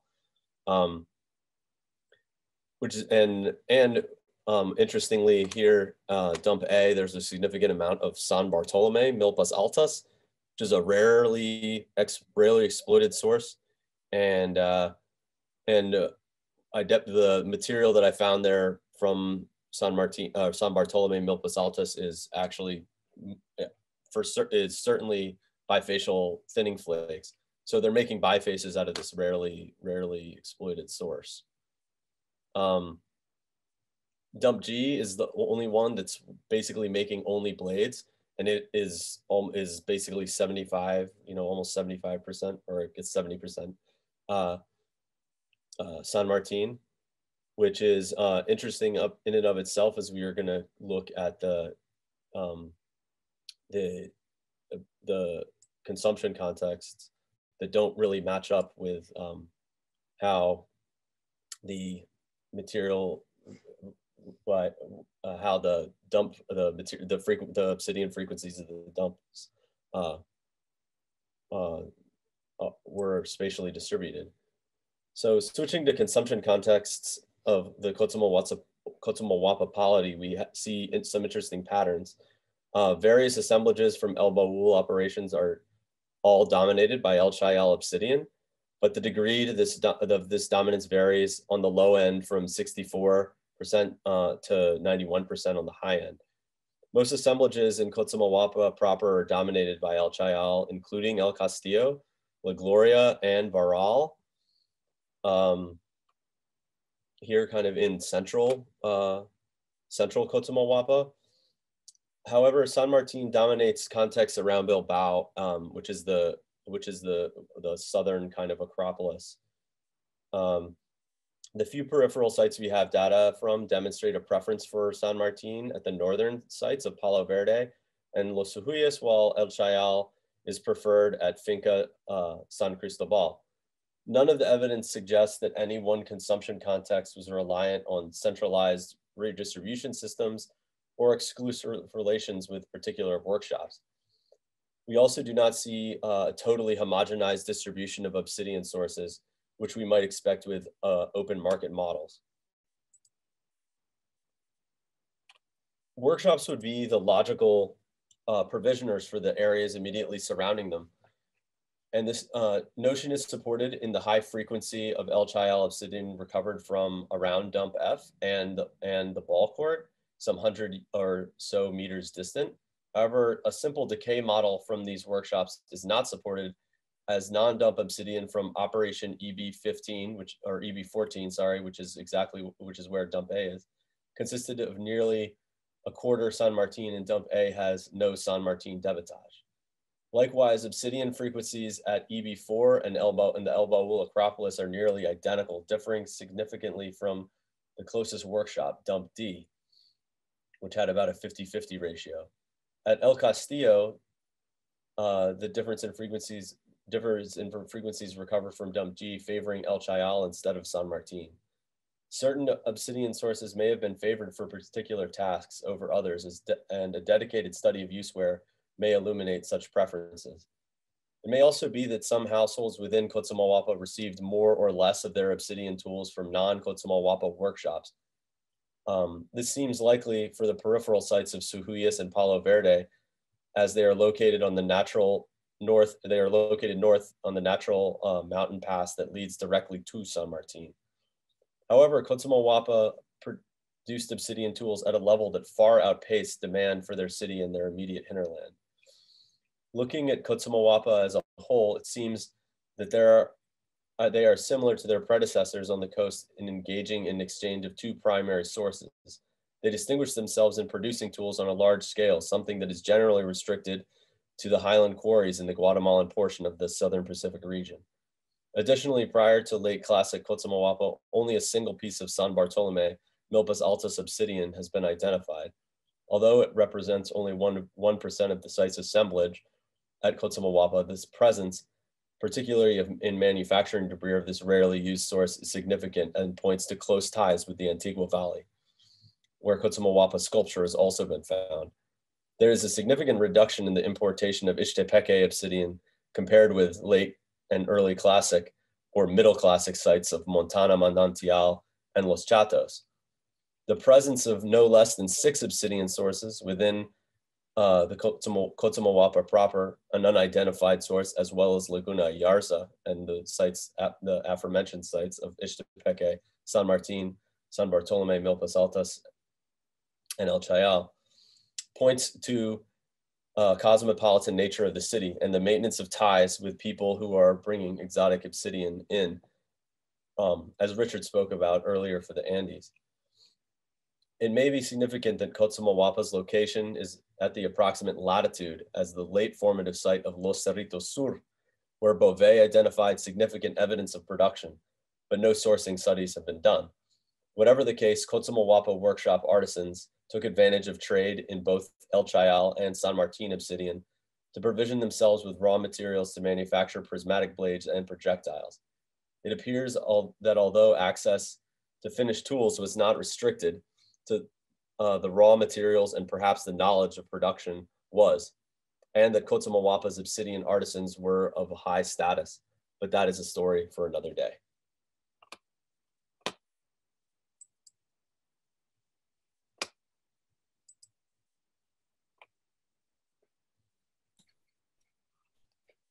Thank you, David.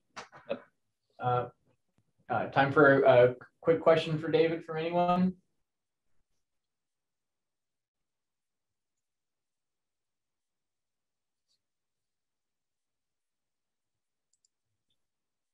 All right, with that, I will um, go ahead and introduce our next paper.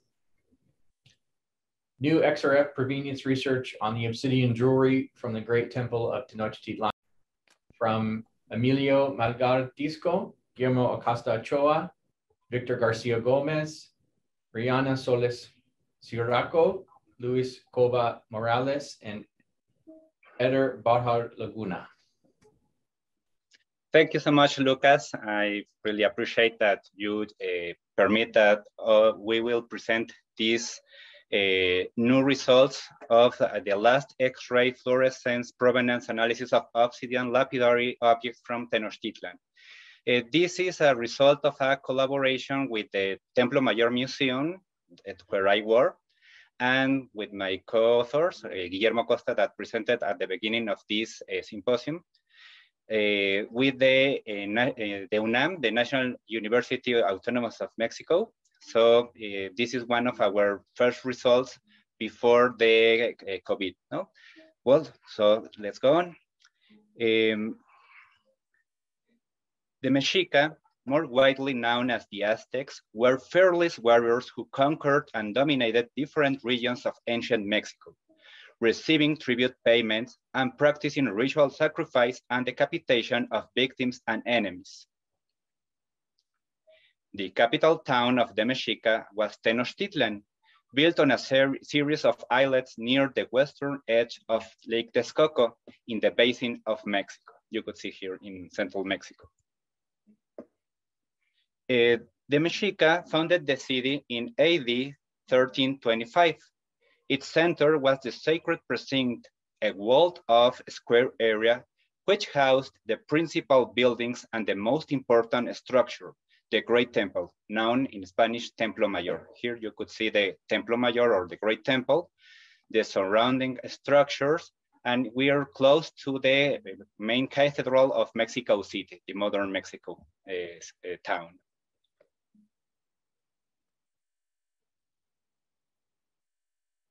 From the foundation of Tenochtitlan on AD 1325 until the arrival of the Spanish conquerors on AD 1520, the archaeologists identified seven constructive stages at this large stepped pyramid. And you could see, well, because uh, this is a, a, project that burned or started at 1978, the, well, other colleagues from my museum uh, detected seven stages or construct, constructive stages and related with a chronology and the correspondent Tenochcan, was the name of the ruler or the uh, Aztec, well, the Mexica king, because Aztec is not a, a very good term.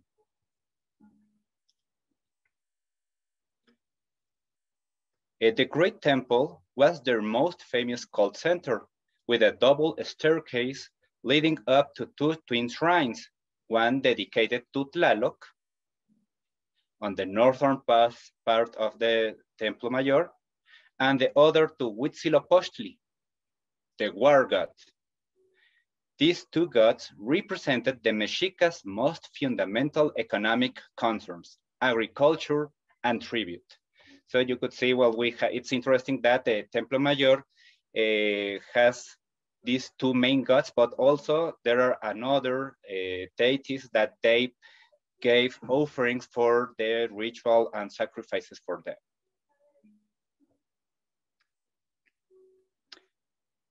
Both aspects were reflected in the more than 100 offerings associated with the Great Temple.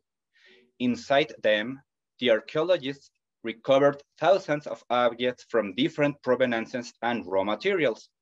These wealthy contexts include local crafts, goods from tributary regions, relics or artifacts belonging to cultures prior to the Mexica, and faunal remains from diverse ecosystems.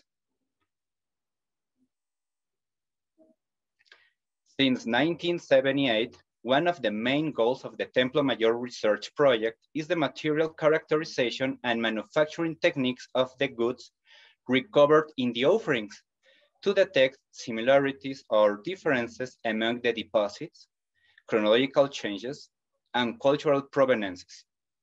In the case of obsidian objects, there are hundreds of pieces with different morphology and aesthetics deposited in almost all the constructive stages, covering the stage second, AD 70, uh, 1375 to seventh stage, AD 1520. So you could see we have uh, lapidary items, another ear flares, but also we have flaked scepters, uh, other kind of um, uh, prismatic blades, and uh, points, no, for example. And we have different kind of and quantity of these obsidian items in the offerings. Among the assemblage, the archaeologists have been recovered more than 1,000 artifacts of cheap obsidian or flaked obsidian, but only 210 pieces of jewelry. So you could see it the, there are more research about the flaked pieces from Templo Mayor than on the lapidary pieces because the minor quantity of them.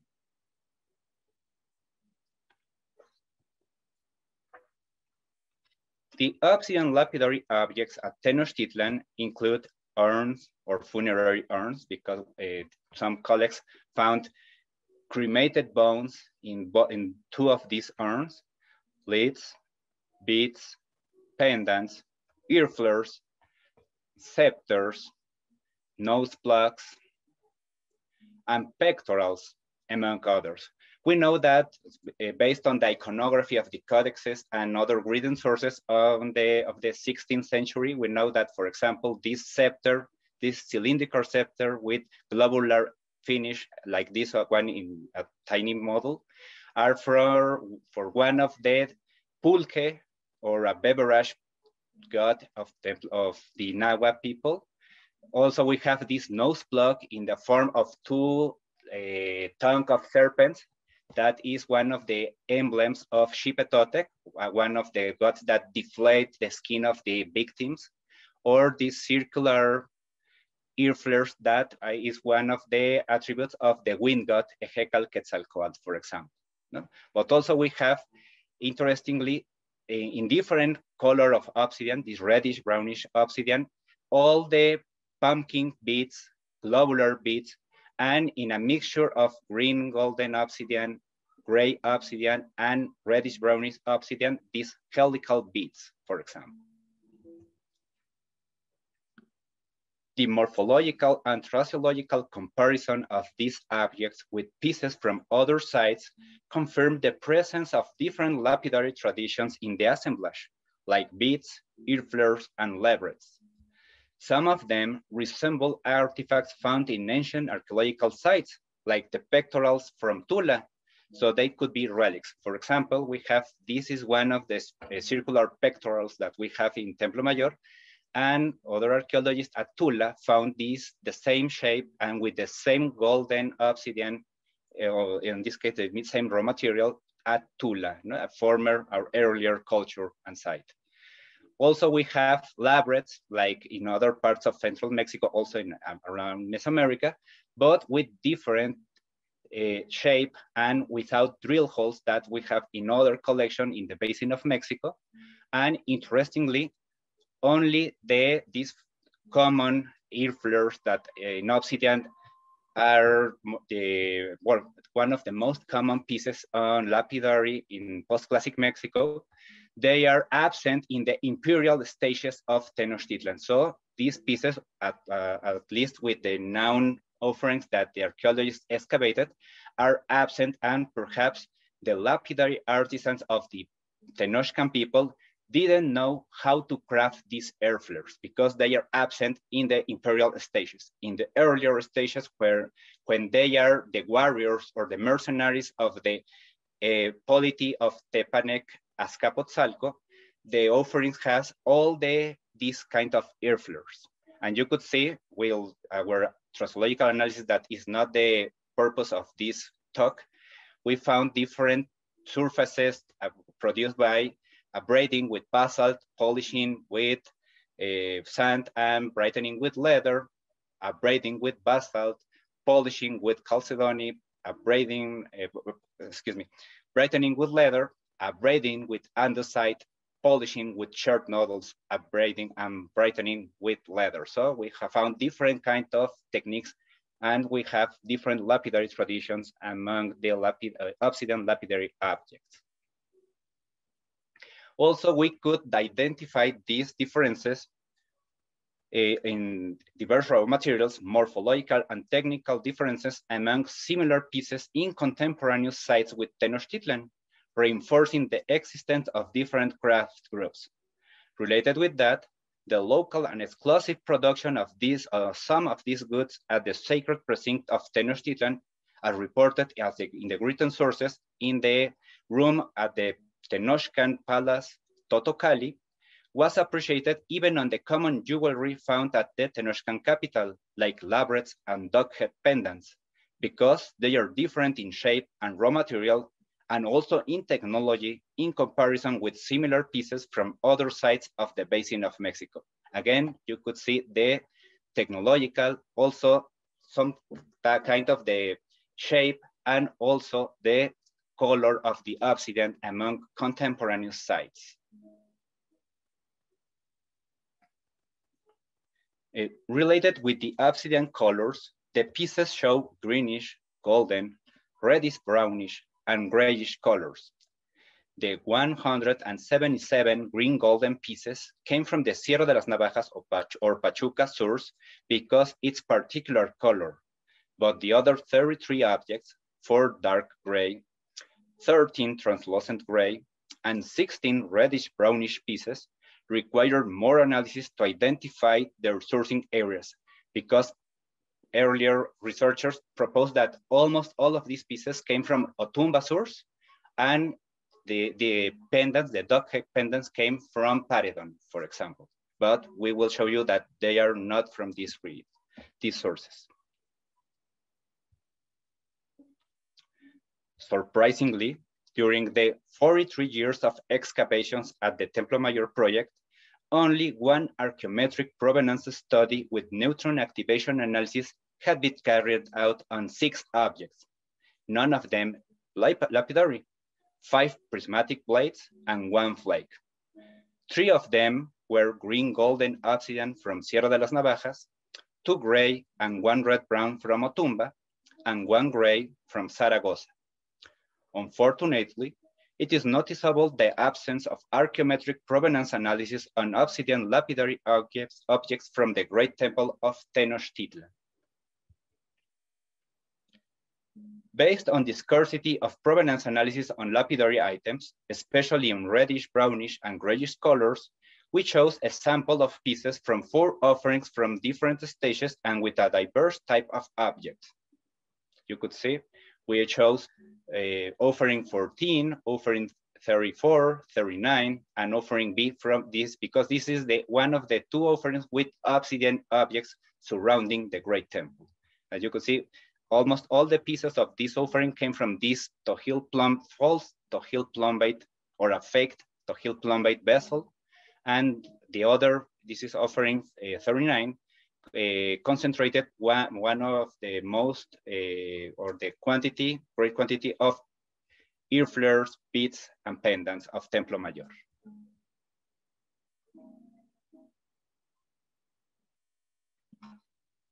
This sample includes 19 pieces, beads, pendants, urns, lids, and scepters. The beads and pendants concentrate the grayish, reddish, brownish colors among the assemblage. The others are green golden pieces. So you could see the different, the type of object, the offering, the constructed stage, the roller, and the color of the obsidian. As Guillermo Acosta, my co-author and colleague, uh, showed at the beginning of this symposium, uh, we use the same equipment. In this work, we will present the results of the recent analysis with portable X-ray fluorescence applied on these 19 obsidian lapidary goods with different morphology, function, temporality, and color.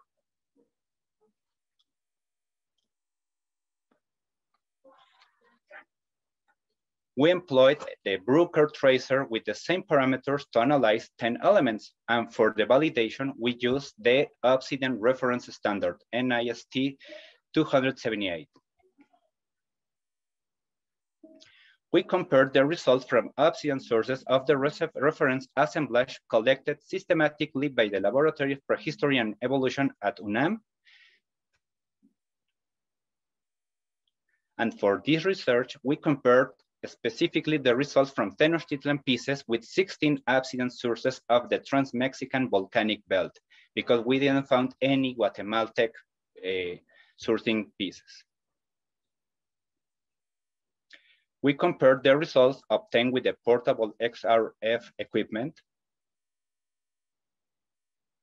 and the statistically the statistical study by analyzing the main components, PCA, of the obsidian artifacts from the Great Temple, compared to geological samples, allowed us to define that five of the 10 elements analyzed, yttrium, rubidium, strontium, zirconium, and niobium, are the most significant to define the provenance.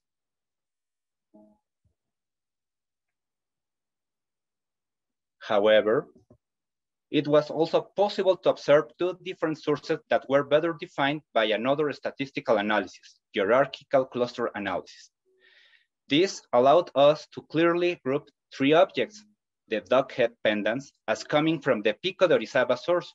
Remember, uh, other colleagues proposed only by optical analysis, they came from Paredon in Veracruz, in, in the case of the Pico de Orizaba source, while another one, an helical bead, was made with gray obsidian from Ucareo, Michoacan. Based on that, we could determine that most of the samples belong to the main deposits of the Basin of Mexico, of Otumba, the subsource Buenavista, and Pachuca, a common sourcing pattern among the assemblages of central Mexico during the post-classic period, AD to uh, 12,000 to 1521. However, two distinct deposits were defined better with hierarchic, hierarchical cluster analysis. Thus, three objects came from Pico de Orizaba in Veracruz and one piece from Ucareo in Michoacan. The interest of the Mexica on the Pico de Orizaba source was important for the military garrisons located about 20 kilometers from the mines, and also with the Tizoc, one of the rulers of Tenochtitlan, that tried to conquer central Veracruz. In contrast, the Ucareo material was an unexpectedly result because this source was unusual in the basin of Mexico, at least in the Mexica times, due probably to the dominance of the mine by the Tarascan Empire in West Mexico, one of the principal rivals of Tenochtitlan. This object could be a relic obtained by looting ancient sites of the basin of Mexico, as Guillermo showed us, this helical bit, in the case of Southern Basin of Mexico, with prior occupation or as a gift or a war prize. Finally, it would be the first reported material originated in West Mexico in the Great Temple assemblage. As concluding remarks, based on the XRF provenance analysis, we identify four, four sourcing areas for lapidary objects. Sierra de las Navajas for green golden, Otumba subsource Buenavista for the brown red color, Pico de Orizaba for the translucent gray, and Ucareo for the dark gray. Sierra de las Navajas was the main source controlled by the Mexica, while Otumba was the nearest source. The Mexica controlled its distribution through markets and workshops. Interestingly, obsidian was absent in the imperial tribute list, as Guillermo showed earlier in this symposium. There are two new records in the obsidian provenances at the Great Temple. Pico de Orizaba for the translucent gray and Ucareo for the dark gray, both located outside the Basin of Mexico.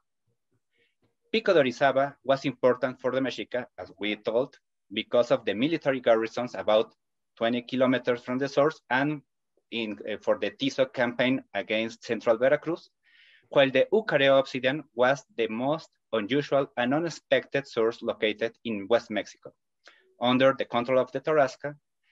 And this is the first record among the Tenochcan assemblages. This research would not have been possible without the collaboration and participation of different colleagues and institutions. Thank you.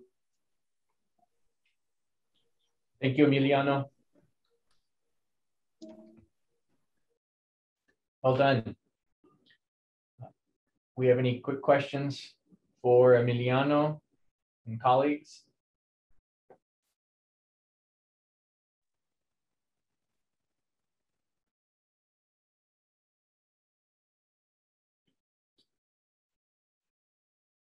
Thank you very much. Uh, with that, um, our next talk is a pre-recorded one. I will be responsible for uh, playing that. Uh, titled uh, Mesoamerican Obsidian in the American Southwest, what it means for Southwest Mesoamerican connections and Coronado's Mexican allies by Sean Dolan.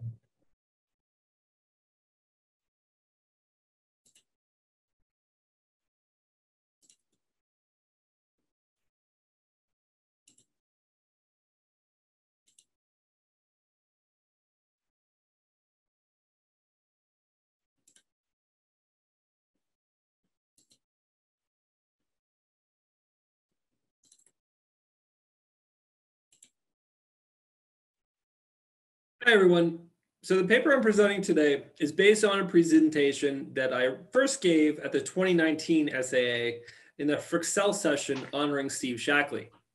Since then, I've added additional content and data.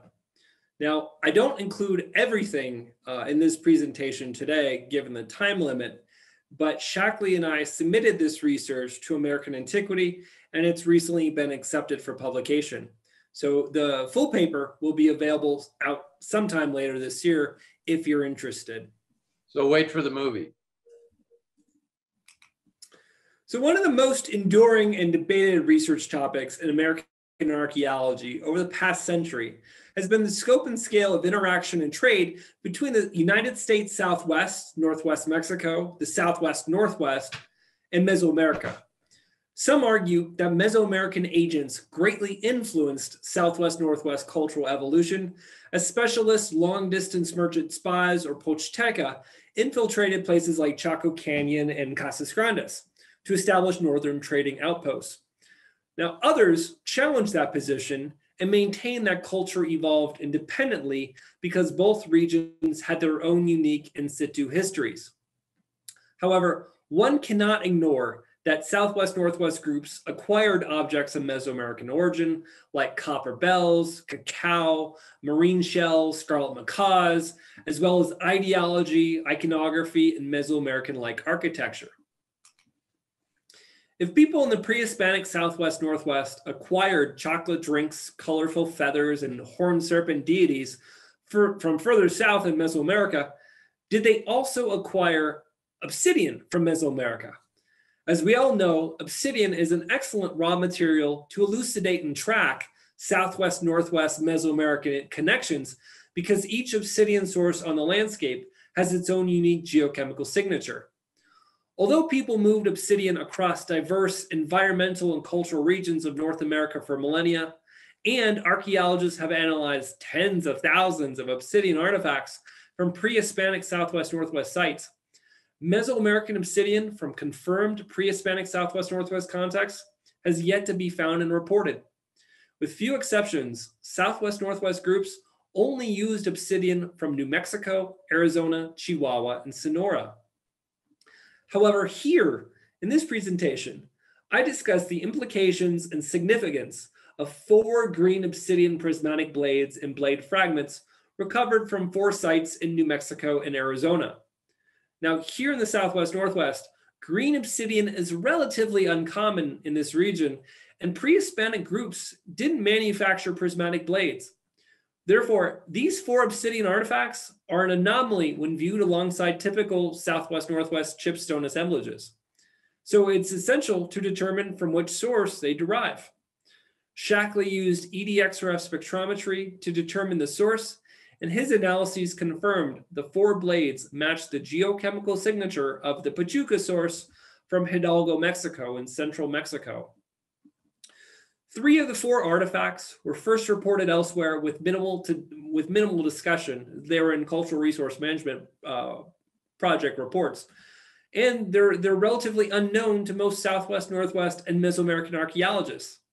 I contextualize them here because they're the only known Mesoamerican obsidian in the Southwest Northwest.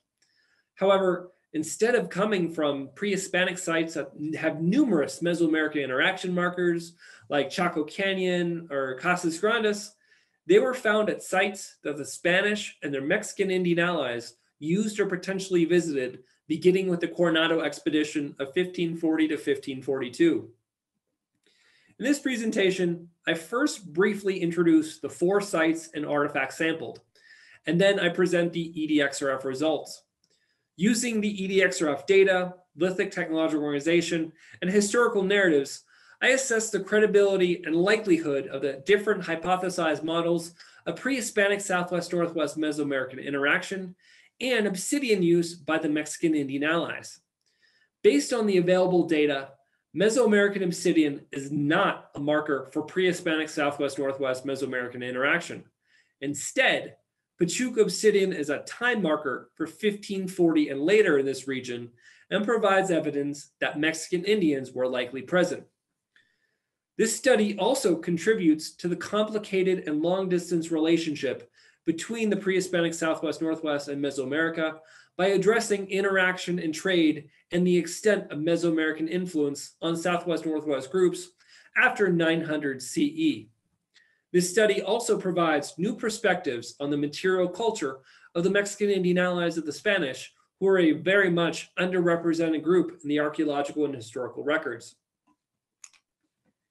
Site LA 54147 is in Bernalillo, New Mexico, and archaeologists excavated the site in 1986.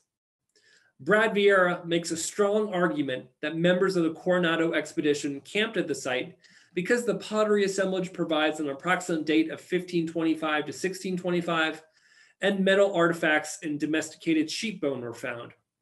Three radiocarbon dates also support a 16th century occupation. A green obsidian blade fragment was recovered, and Robert Santley visually identified the source material as Pachuca, and Bart Olinger used XRF spectrometry to confirm.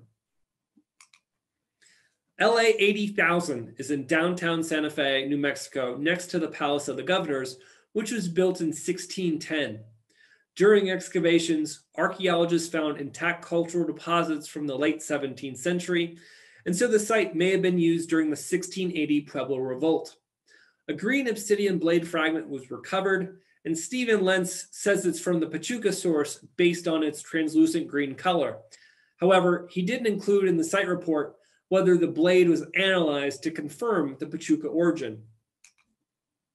Otowi is an ancestral Tewa village on the Pajarito Plateau near Los Alamos, New Mexico. Dating to 1325 to 1600, Otowi has five multi-storied Pueblo room blocks with an estimated combined total of 700 total rooms.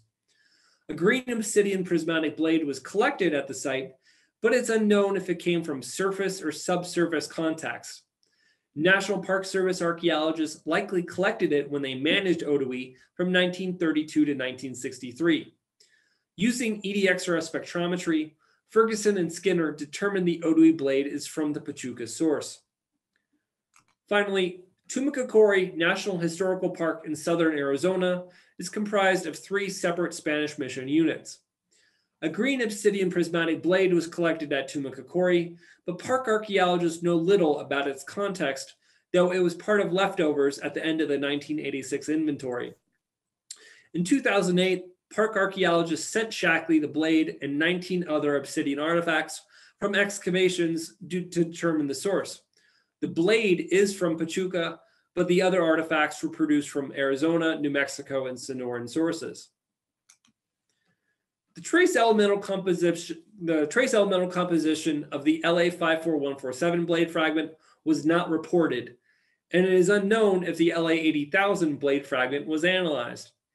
Also, I don't question Ferguson and Skinner's source assignment on the Otowi blade, but I wanted all four obsidian artifacts analyzed by the same analyst. In 2018, Shackley analyzed the three New Mexico artifacts using EDXRF spectrometry at the Geoarchaeological XRF Laboratory in Albuquerque, New Mexico. A decade earlier, he analyzed the Tumacacori blade, also using EDXRF at the University of California, Berkeley. Three subgroups of Pachuca obsidian exist, Pachuca 1, Pachuca 2, and Pachuca 3. And the trace elemental composition of the New Mexico and Arizona blades compares well with laboratory reference samples of the Pachuca 1 source. The Pachuca source is 10 kilometers from the modern city of Pachuca, 100 kilometers northeast of Mexico City, and approximately 1,900 linear kilometers south of Otowi, making the Otowi blade one of the longest traveled obsidian artifacts in the North American archaeological record. Pachuca obsidian is a peralkaline glass and is elementally distinctive with generally high amounts of iron and zirconium. It is also phenotypically distinctive as the color varies from translucent bottle green to green black to a shimmering gold green and a brownish red variety also occurs at the source. Pachuca obsidian played a significant role in the state level economies of Teotihuacan, Tula, and Tenochtitlan for millennia. So, material and ideological evidence exists demonstrating that people in the Southwest, Northwest, and Mesoamerica were undeniably and inextricably linked. People in the Southwest, Northwest interacted with and acquired objects from Mesoamerica before the 900s, However, there is more evidence for interaction and trade after 900 CE because this was when the Southwest Northwest snapped together with Mesoamerica. Consequently, Mesoamerican obsidian should have entered the Southwest Northwest during this time. However, the lack of Mesoamerican obsidian at pre Hispanic Southwest Northwest sites raises questions about the degree of interaction and trade and the extent of Mesoamerican influence on Southwest Northwest groups. For example, would green Pachuca blades have been valuable to Southwest Northwest elites if available? And why was obsidian not part of the suite of Mesoamerican material culture that moved north? Also, the limited presence of Pachuca obsidian after Spanish arrival in 1540 elicits questions. Who brought the Pachuca blades into New Mexico and Arizona? And why are there so few uh, examples of blades? I now address these questions by using historical narratives from the 16th century and discussing how pre-Hispanic Southwest Northwest groups and the Mexican Indian allies organized their lithic technology. The raw material people use impacts how they organize their lithic technology because the material size, shape, and quality can structure the reduction strategy used and impacts the size of tool produced. Green Pachuca blades would have been valuable to political and religious elites in Southwest Northwest societies because lithic practitioners in the Southwest Northwest didn't use obsidian resources and lithic technology in the same manner as those in Mesoamerica. People in Mesoamerica uh, rarely had limits on the size of tool they could manufacture since obsidian was available in mass volume and large boulder size.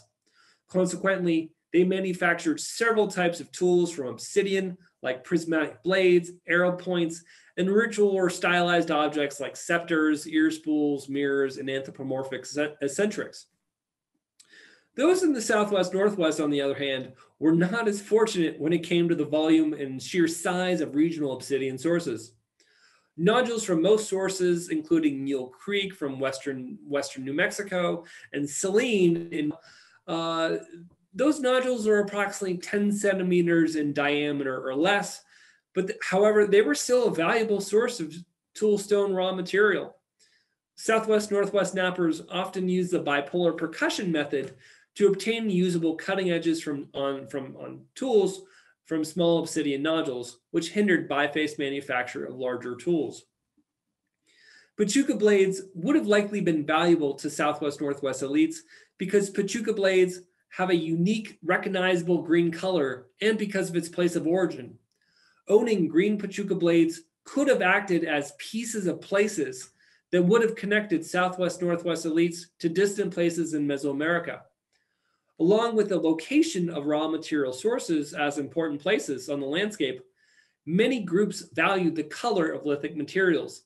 Green Pachuca blades would have likely been valuable because green or blue green colored objects were associated with water, fertility, and directional symbolism in Southwest, Northwest, and Mesoamerican societies. So if people, objects, and ideas circulated more freely throughout the Southwest, Northwest, and Mesoamerica after 900 CE, and if green Pachuca blades would have likely been valuable, then why was obsidian not part of the suite of Mesoamerican material culture that moved north? One potential reason is that the Southwest Northwest already had sufficient obsidian to produce tools, and people there were only interested in acquiring copper bells, cacao, and scarlet macaws because those objects were not locally accessible. Also, the Pochteca distributed green Pachuca blades using long distance trade networks, but Randy McGuire proposes that the Pochteca may not have traveled really far north into the Southwest North, or Southwest Northwest elites may not have wanted obsidian blades because they were the most common cutting implement in Mesoamerica and cost so little to acquire that they were often discarded after one use. The LA 54147 blade fragment is from contexts associated with the Coronado expedition, and the LA 80,000 blade fragment derives from later contexts, perhaps associated with the Pueblo Revolt approximately 140 years after Coronado, around 1680. I suggest that these Pachuca artifacts were brought into New Mexico by Mexican Indians because there could have been as many as 2,000 Mexican Indian allies accompanying the Coronado expedition in 1540, as well as Mexican Indians lived in Santa Fe during the late 1600s at the Barrio de Analco community. Unfortunately, Less is known about the other two artifacts from Otowi and Tumacacori, although there is evidence that the Spanish and their Mexican Indian allies visited those sites. It is important to discuss who the Mexican Indian allies were, because they most likely brought the four Pachuca blades into New Mexico and Arizona. The Coronado expedition included approximately 350 people from several European countries in North Africa. However, the expedition would have hardly been possible without an estimated 1,300 to 2,000 Mexican Indian allies from Central and West Mexico. If as many as 2,000 Mexican Indians entered the Southwest Northwest and likely brought obsidian blades for personal gear or weapons, why have archaeologists only found four blades and blade fragments? There are explanations as to the limited number, and the answer stems from how the Mexican Indians organized their lithic technology, specifically their obsidian resources. The Mexican Indians were well trained, fierce warriors who used several weapons. The most infamous weapon was the obsidian edge wooden broadsword, also known as the macana. This weapon was approximately 50 to 80 centimeters long and fitted with four to eight obsidian blades on both sides. Warriors used this weapon for close combat, and this weapon easily cuts muscular tissue and fractures bone, though experimental studies show this weapon's limits. Obsidian is so brittle that the blades inserted fracture after striking the opponent once, and the warriors had to replace the blades. If they brought the, uh, the Macana into the southwest northwest, then they must have also brought additional finished blades and polyhedral cores to replenish their stock. Mesoamerican obsidian blades from post 1540 Southwest Northwest contexts are so uncommon, potentially because of how blades were made. Few Mexican Indian allies on the Coronado expedition were probably trained in core blade technology, and Mesoamerican craft specialists used a wooden crutch to gain a mechanical advantage to detach long blades from polyhedral cores through pressure. The Mexican Indians would have needed to bring this device on the expedition to make additional blades, but there is no written evidence that they did. It is also quite possible then that they brought few obsidian edge weapons since they could not replace broken blades. Moreover, the Mexican Indian allies may not have brought a sufficient enough uh, supply of chipstone raw materials from their homeland because they didn't expect to, to be on the expedition as long as it did, as long as they did. Once they ran out of their supply, they likely used the locally available lithic materials from the Southwest Northwest. They could have acquired obsidian from several sources as the expedition moved through Sonora, Arizona, and New Mexico. However, they couldn't have made prismatic blades due to the small size of obsidian nodules they encountered, though they could have made arrow points and other tools. One way to assess the arguments made above would be to increase the sample size of source obsidian artifacts from sites with warfare between the Pueblo groups in the southwest northwest and the Spanish and their Mexican Indian allies. For example, at Piedras Marcadas in central New Mexico, close to Albuquerque, archaeologists found dozens of Coronado era crossbow bolt heads, metal artifacts, Mexican style arrow points and slingstones, and numerous obsidian flakes that could be debris from uh, Aztec weapons. EDXRF spectrometry analysis of obsidian artifacts from that site demonstrates that the obsidian is all from New Mexico. It is beneficial to analyze additional obsidian artifacts from this time period, but studies already show that Mesoamerican obsidian is not present at other post-1540 sites in New Mexico and Arizona. In conclusion, despite the long geographic distance and vast disparities in sociopolitical scale, people in the Southwest, Northwest, and Mesoamerica knew each other, or at least knew of each other. At the same time, however, contact and trade were variable both regionally and through time. If Mesoamerica had more political and religious influence over the Southwest, Northwest, utilitarian items like obsidian blades might have entered because they are low bulk goods that are easy to transport long distances. Until archaeologists find Mesoamerican obsidian from confirmed pre-Hispanic Southwest Northwest contexts, Pachuca obsidian is a time marker for 1540 and later in this region. Elites at Chaco Canyon and Casas Grandes likely emulated Mesoamerican elites by drinking cacao from special vessels and using scarlet macaw feathers on ritual paraphernalia. However, they did not need Mesoamerican obsidian because they had other more iconic symbols of Mesoamerican culture. Finally, this study contributes to the complicated and long distance relationship between the pre-Hispanic Southwest Northwest and Mesoamerica and the material culture of the Mexican Indian allies, were an underrepresented group in the archaeological and historical records. These four Pachuca artifacts represent the only known pieces of Mesoamerican obsidian in the Southwest Northwest, but many obsidian artifacts are, are in museum collections that have yet to be analyzed with XRF or neutron activation analysis. Some, some obsidian artifacts may be from post 1540 sites and may also derive from Pachuca or other obsidian sources in Mesoamerica. So I encourage researchers to continue to use geochemical methods to study the long distance movement of people, objects, and ideas across ancient North America. Thank you so much.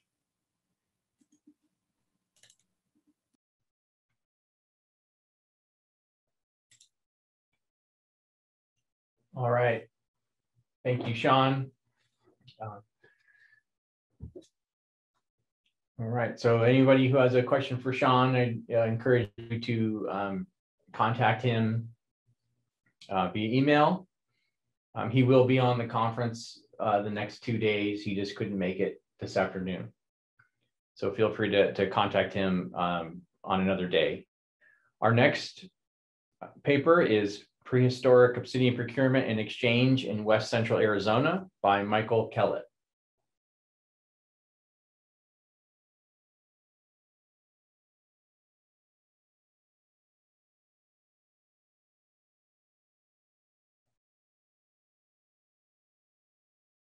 Um, Michael, are we here?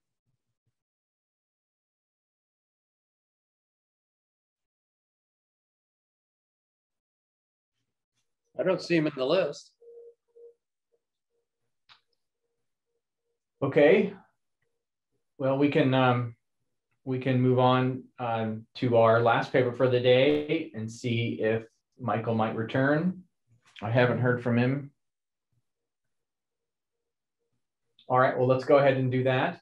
Um, uh, hopefully our last paper of the day is ready a little early. Um, I'll introduce them and then um, make sure that, that that's okay that they go. Uh, the last paper of the day before posters is Finding Obsidian Sources in Yellowstone National Park.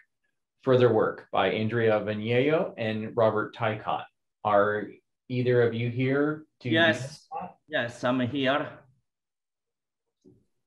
All right. Thank you for uh, for going a little out of order. I appreciate you going early. Thank you.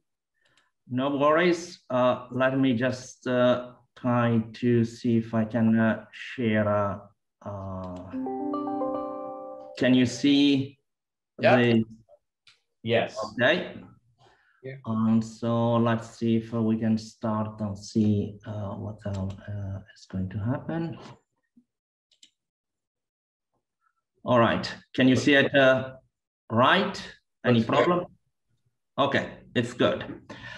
All right, thank you uh, very much for uh, uh, giving me this opportunity to present again these uh, uh, materials. Uh, I have to say I worked there alone with Professor Tykot, obviously here in the lab in Florida, uh, working on some of the analysis and statistics. Uh, I presented some of these materials uh, already at the previous meeting, but uh, I, don't have really uh, much more than preliminary observations done.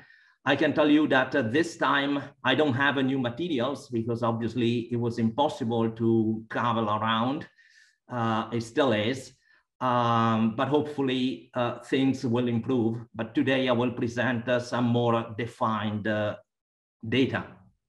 So this work that I've done uh, uh, in the national park there in uh, Yellowstone, and incredibly, although we know that there are many sources, and I guess everybody knows where Yellowstone National Park is.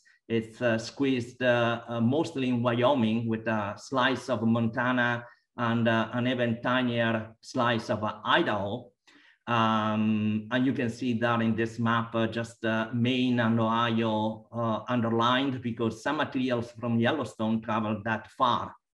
My project uh, really is about uh, uh, looking at the sources in, in the national park and the immediate surroundings, and then uh, look uh, uh, possibly uh, uh, uh, at as many artifacts I can and gather data from those already published and see how the distribution and procurement of obsidian in that area worked. So not really long distance routes, but the short area, which is with plenty of sources, some possibly not yet identified.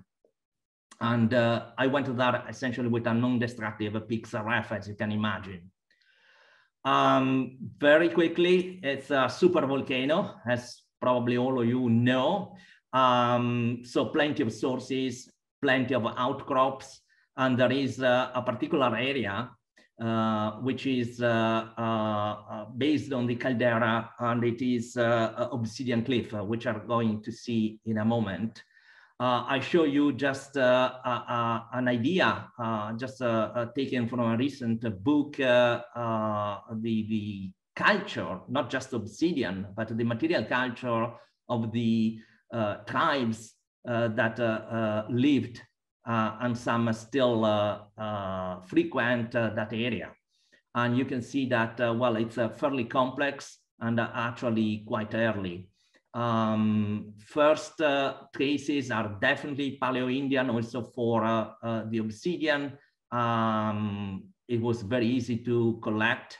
And uh, you can see that uh, plenty is actually scattered in temporary settlements and areas there. They were going there um, both to procure uh, obsidian, but also uh, to live uh, seasonally in some areas, and so to use directly that obsidian locally. And very little has been done, I must say, uh, uh, to detect uh, the movements within the park. Uh, this is uh, uh, another view just to show you the variability of this material culture and the many differences that you can see in, in the periods. Uh, we will see some of the materials that I managed to ac access. I had a permission to check uh, a lot of materials. Obviously, uh, some have uh, already been analyzed, uh, so I didn't want to do those. Some were really put away in various deposits. And then there was the issue with geological sources, which brings me back to Obsidian Cliff, which you can see here. Uh, there was a, um, a, survey that was done a few years uh, ago. Um, you can see here traced uh, on a map uh, uh, the area that was surveyed. And it was actually a very good period because uh, there had been a fire that had exposed the many areas. unfortunately, the materials picked up during that survey were mixed on the assumption that uh, all obsidian from that area is uh, uh from uh, just obsidian cliff, so one source. And uh, then they were analyzed and there were doubts that something wasn't really quite working.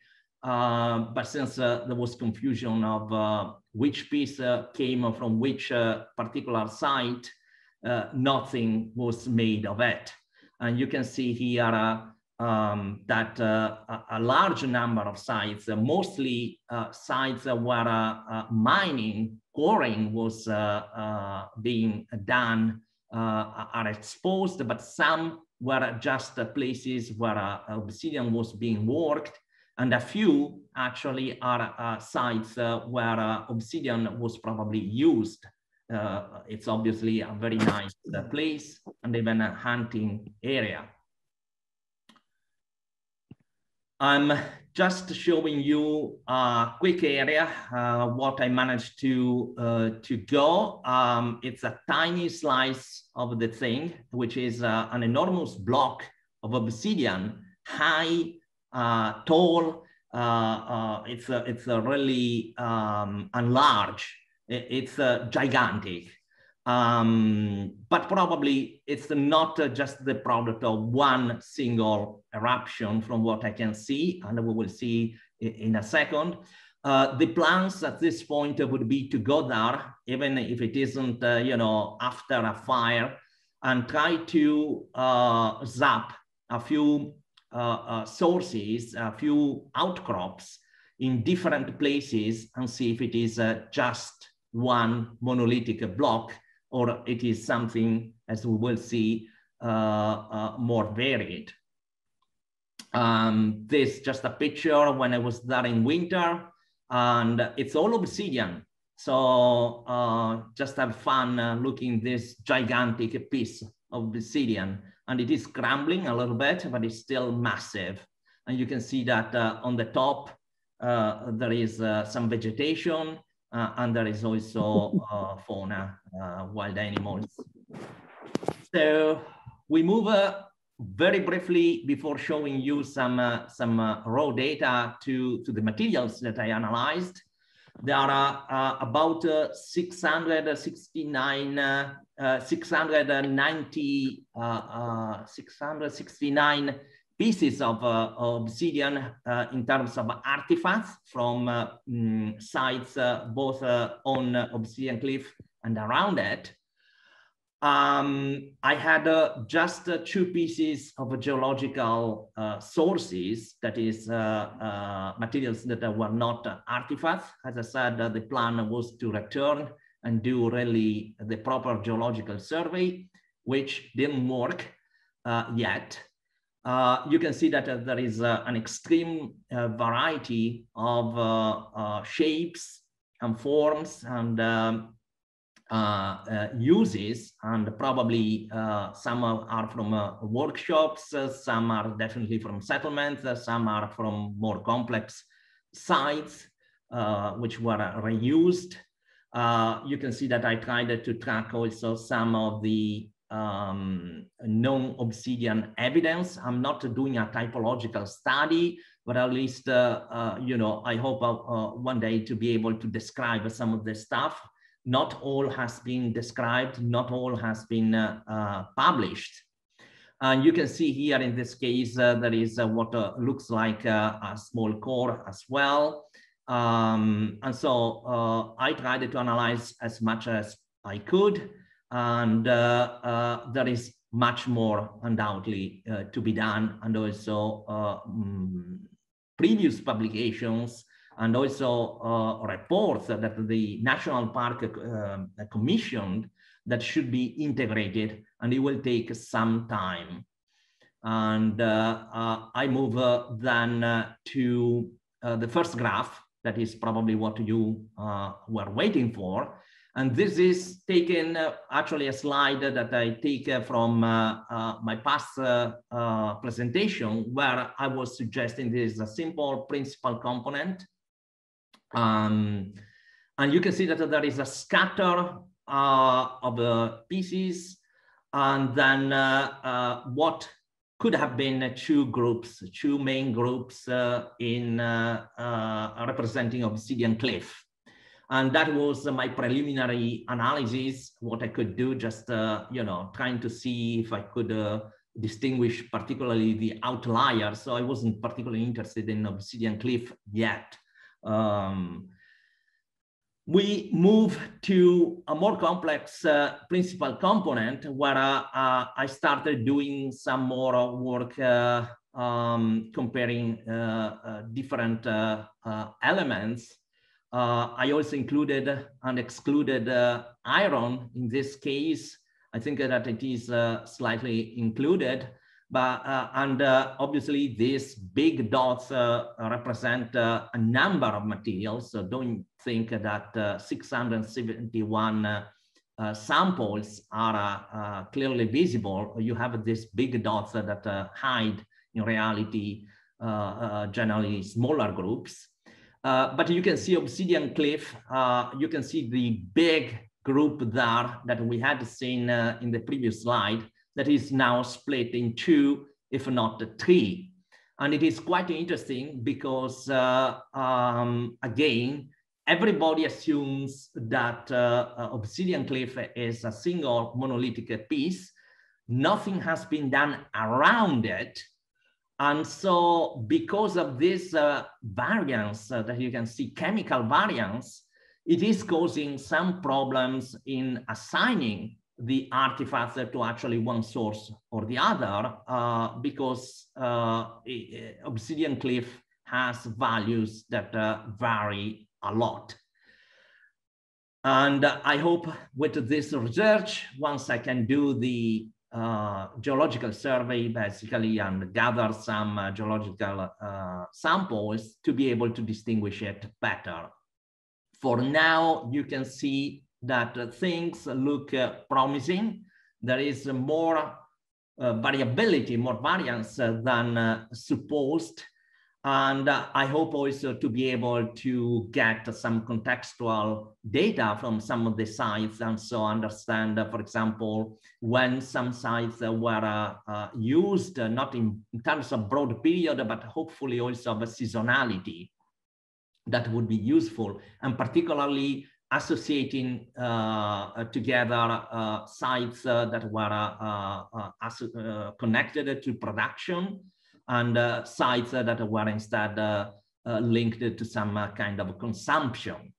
Um, as I said, uh, uh, Obsidian Cliff is essentially a, a, quarry, but also it's a hunting ground and there is uh, all the area surrounding it that uh, uh, is still beautiful and uh, it's it's still used by some Native American communities, for example, for hunting bison, and, and so it's still very active. Uh, I show you uh, from the main group, uh, I still at this point treat it like one, um, just to show some variability there. you can see some averages minimum, maximum, and this is just a tiny slice of the table. It would continue, as you can imagine. Uh, it's uh, just to show you a little bit uh, what kind of data I have. Uh, I don't have a data uh, because obviously you should uh, scroll. I can share eventually the headings, but it's not really important. the first column, as you can imagine, is just the mm, basic elements, iron, and then the trace elements, and others are simply columns trying to doing um, analysis of specific elements. Um, we can move to a smaller group.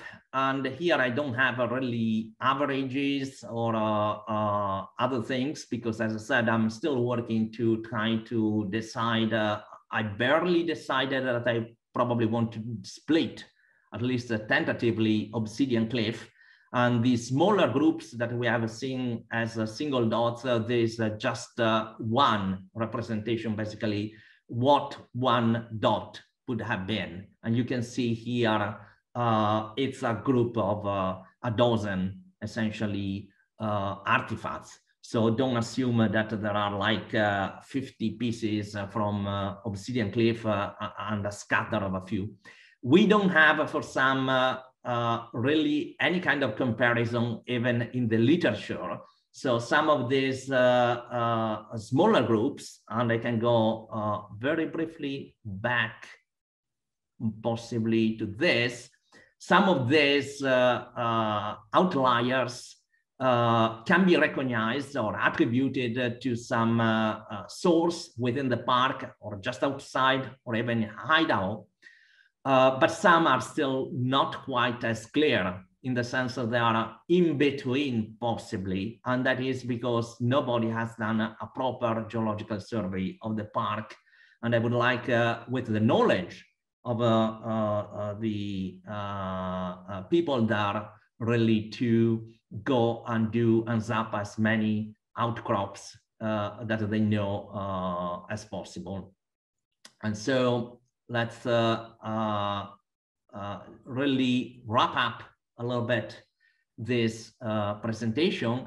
I'm really sorry that I can show as new thing only uh, really this idea of uh, uh, Obsidian Cliff being split and talk a little bit more about the plans. I was hoping that at least some of the geological survey would have been completed and I could uh, uh, actually confirm this idea that Obsidian Cliff is uh, not just one piece of, of obsidian that is homogeneous. I can't do that yet. we all know why. Um, but it is quite intriguing and it will be important also to assign materials that are uh, dug in different areas of the park and just outside the small number of outliers, uh, I have uh, identified uh, Cougar Creek as one of the major uh, uh, uh, sources outside Obsidian Cliff that is known in the literature. But I have to tell you that, again, I couldn't really get samples from there.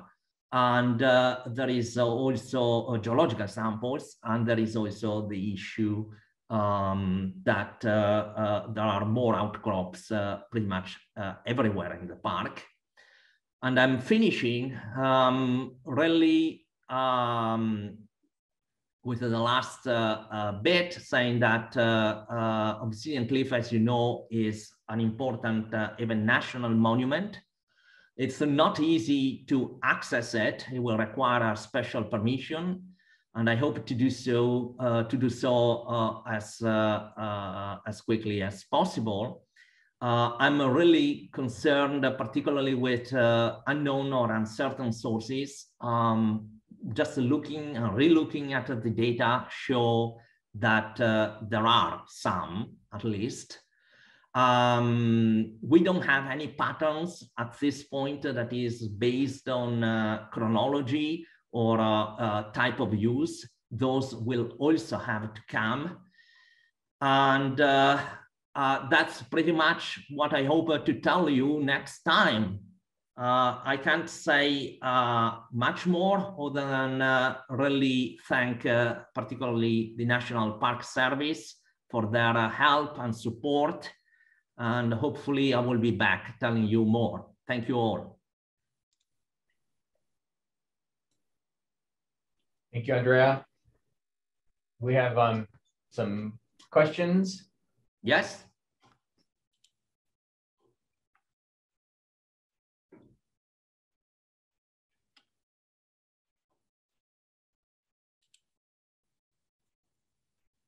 I think I can stop the share.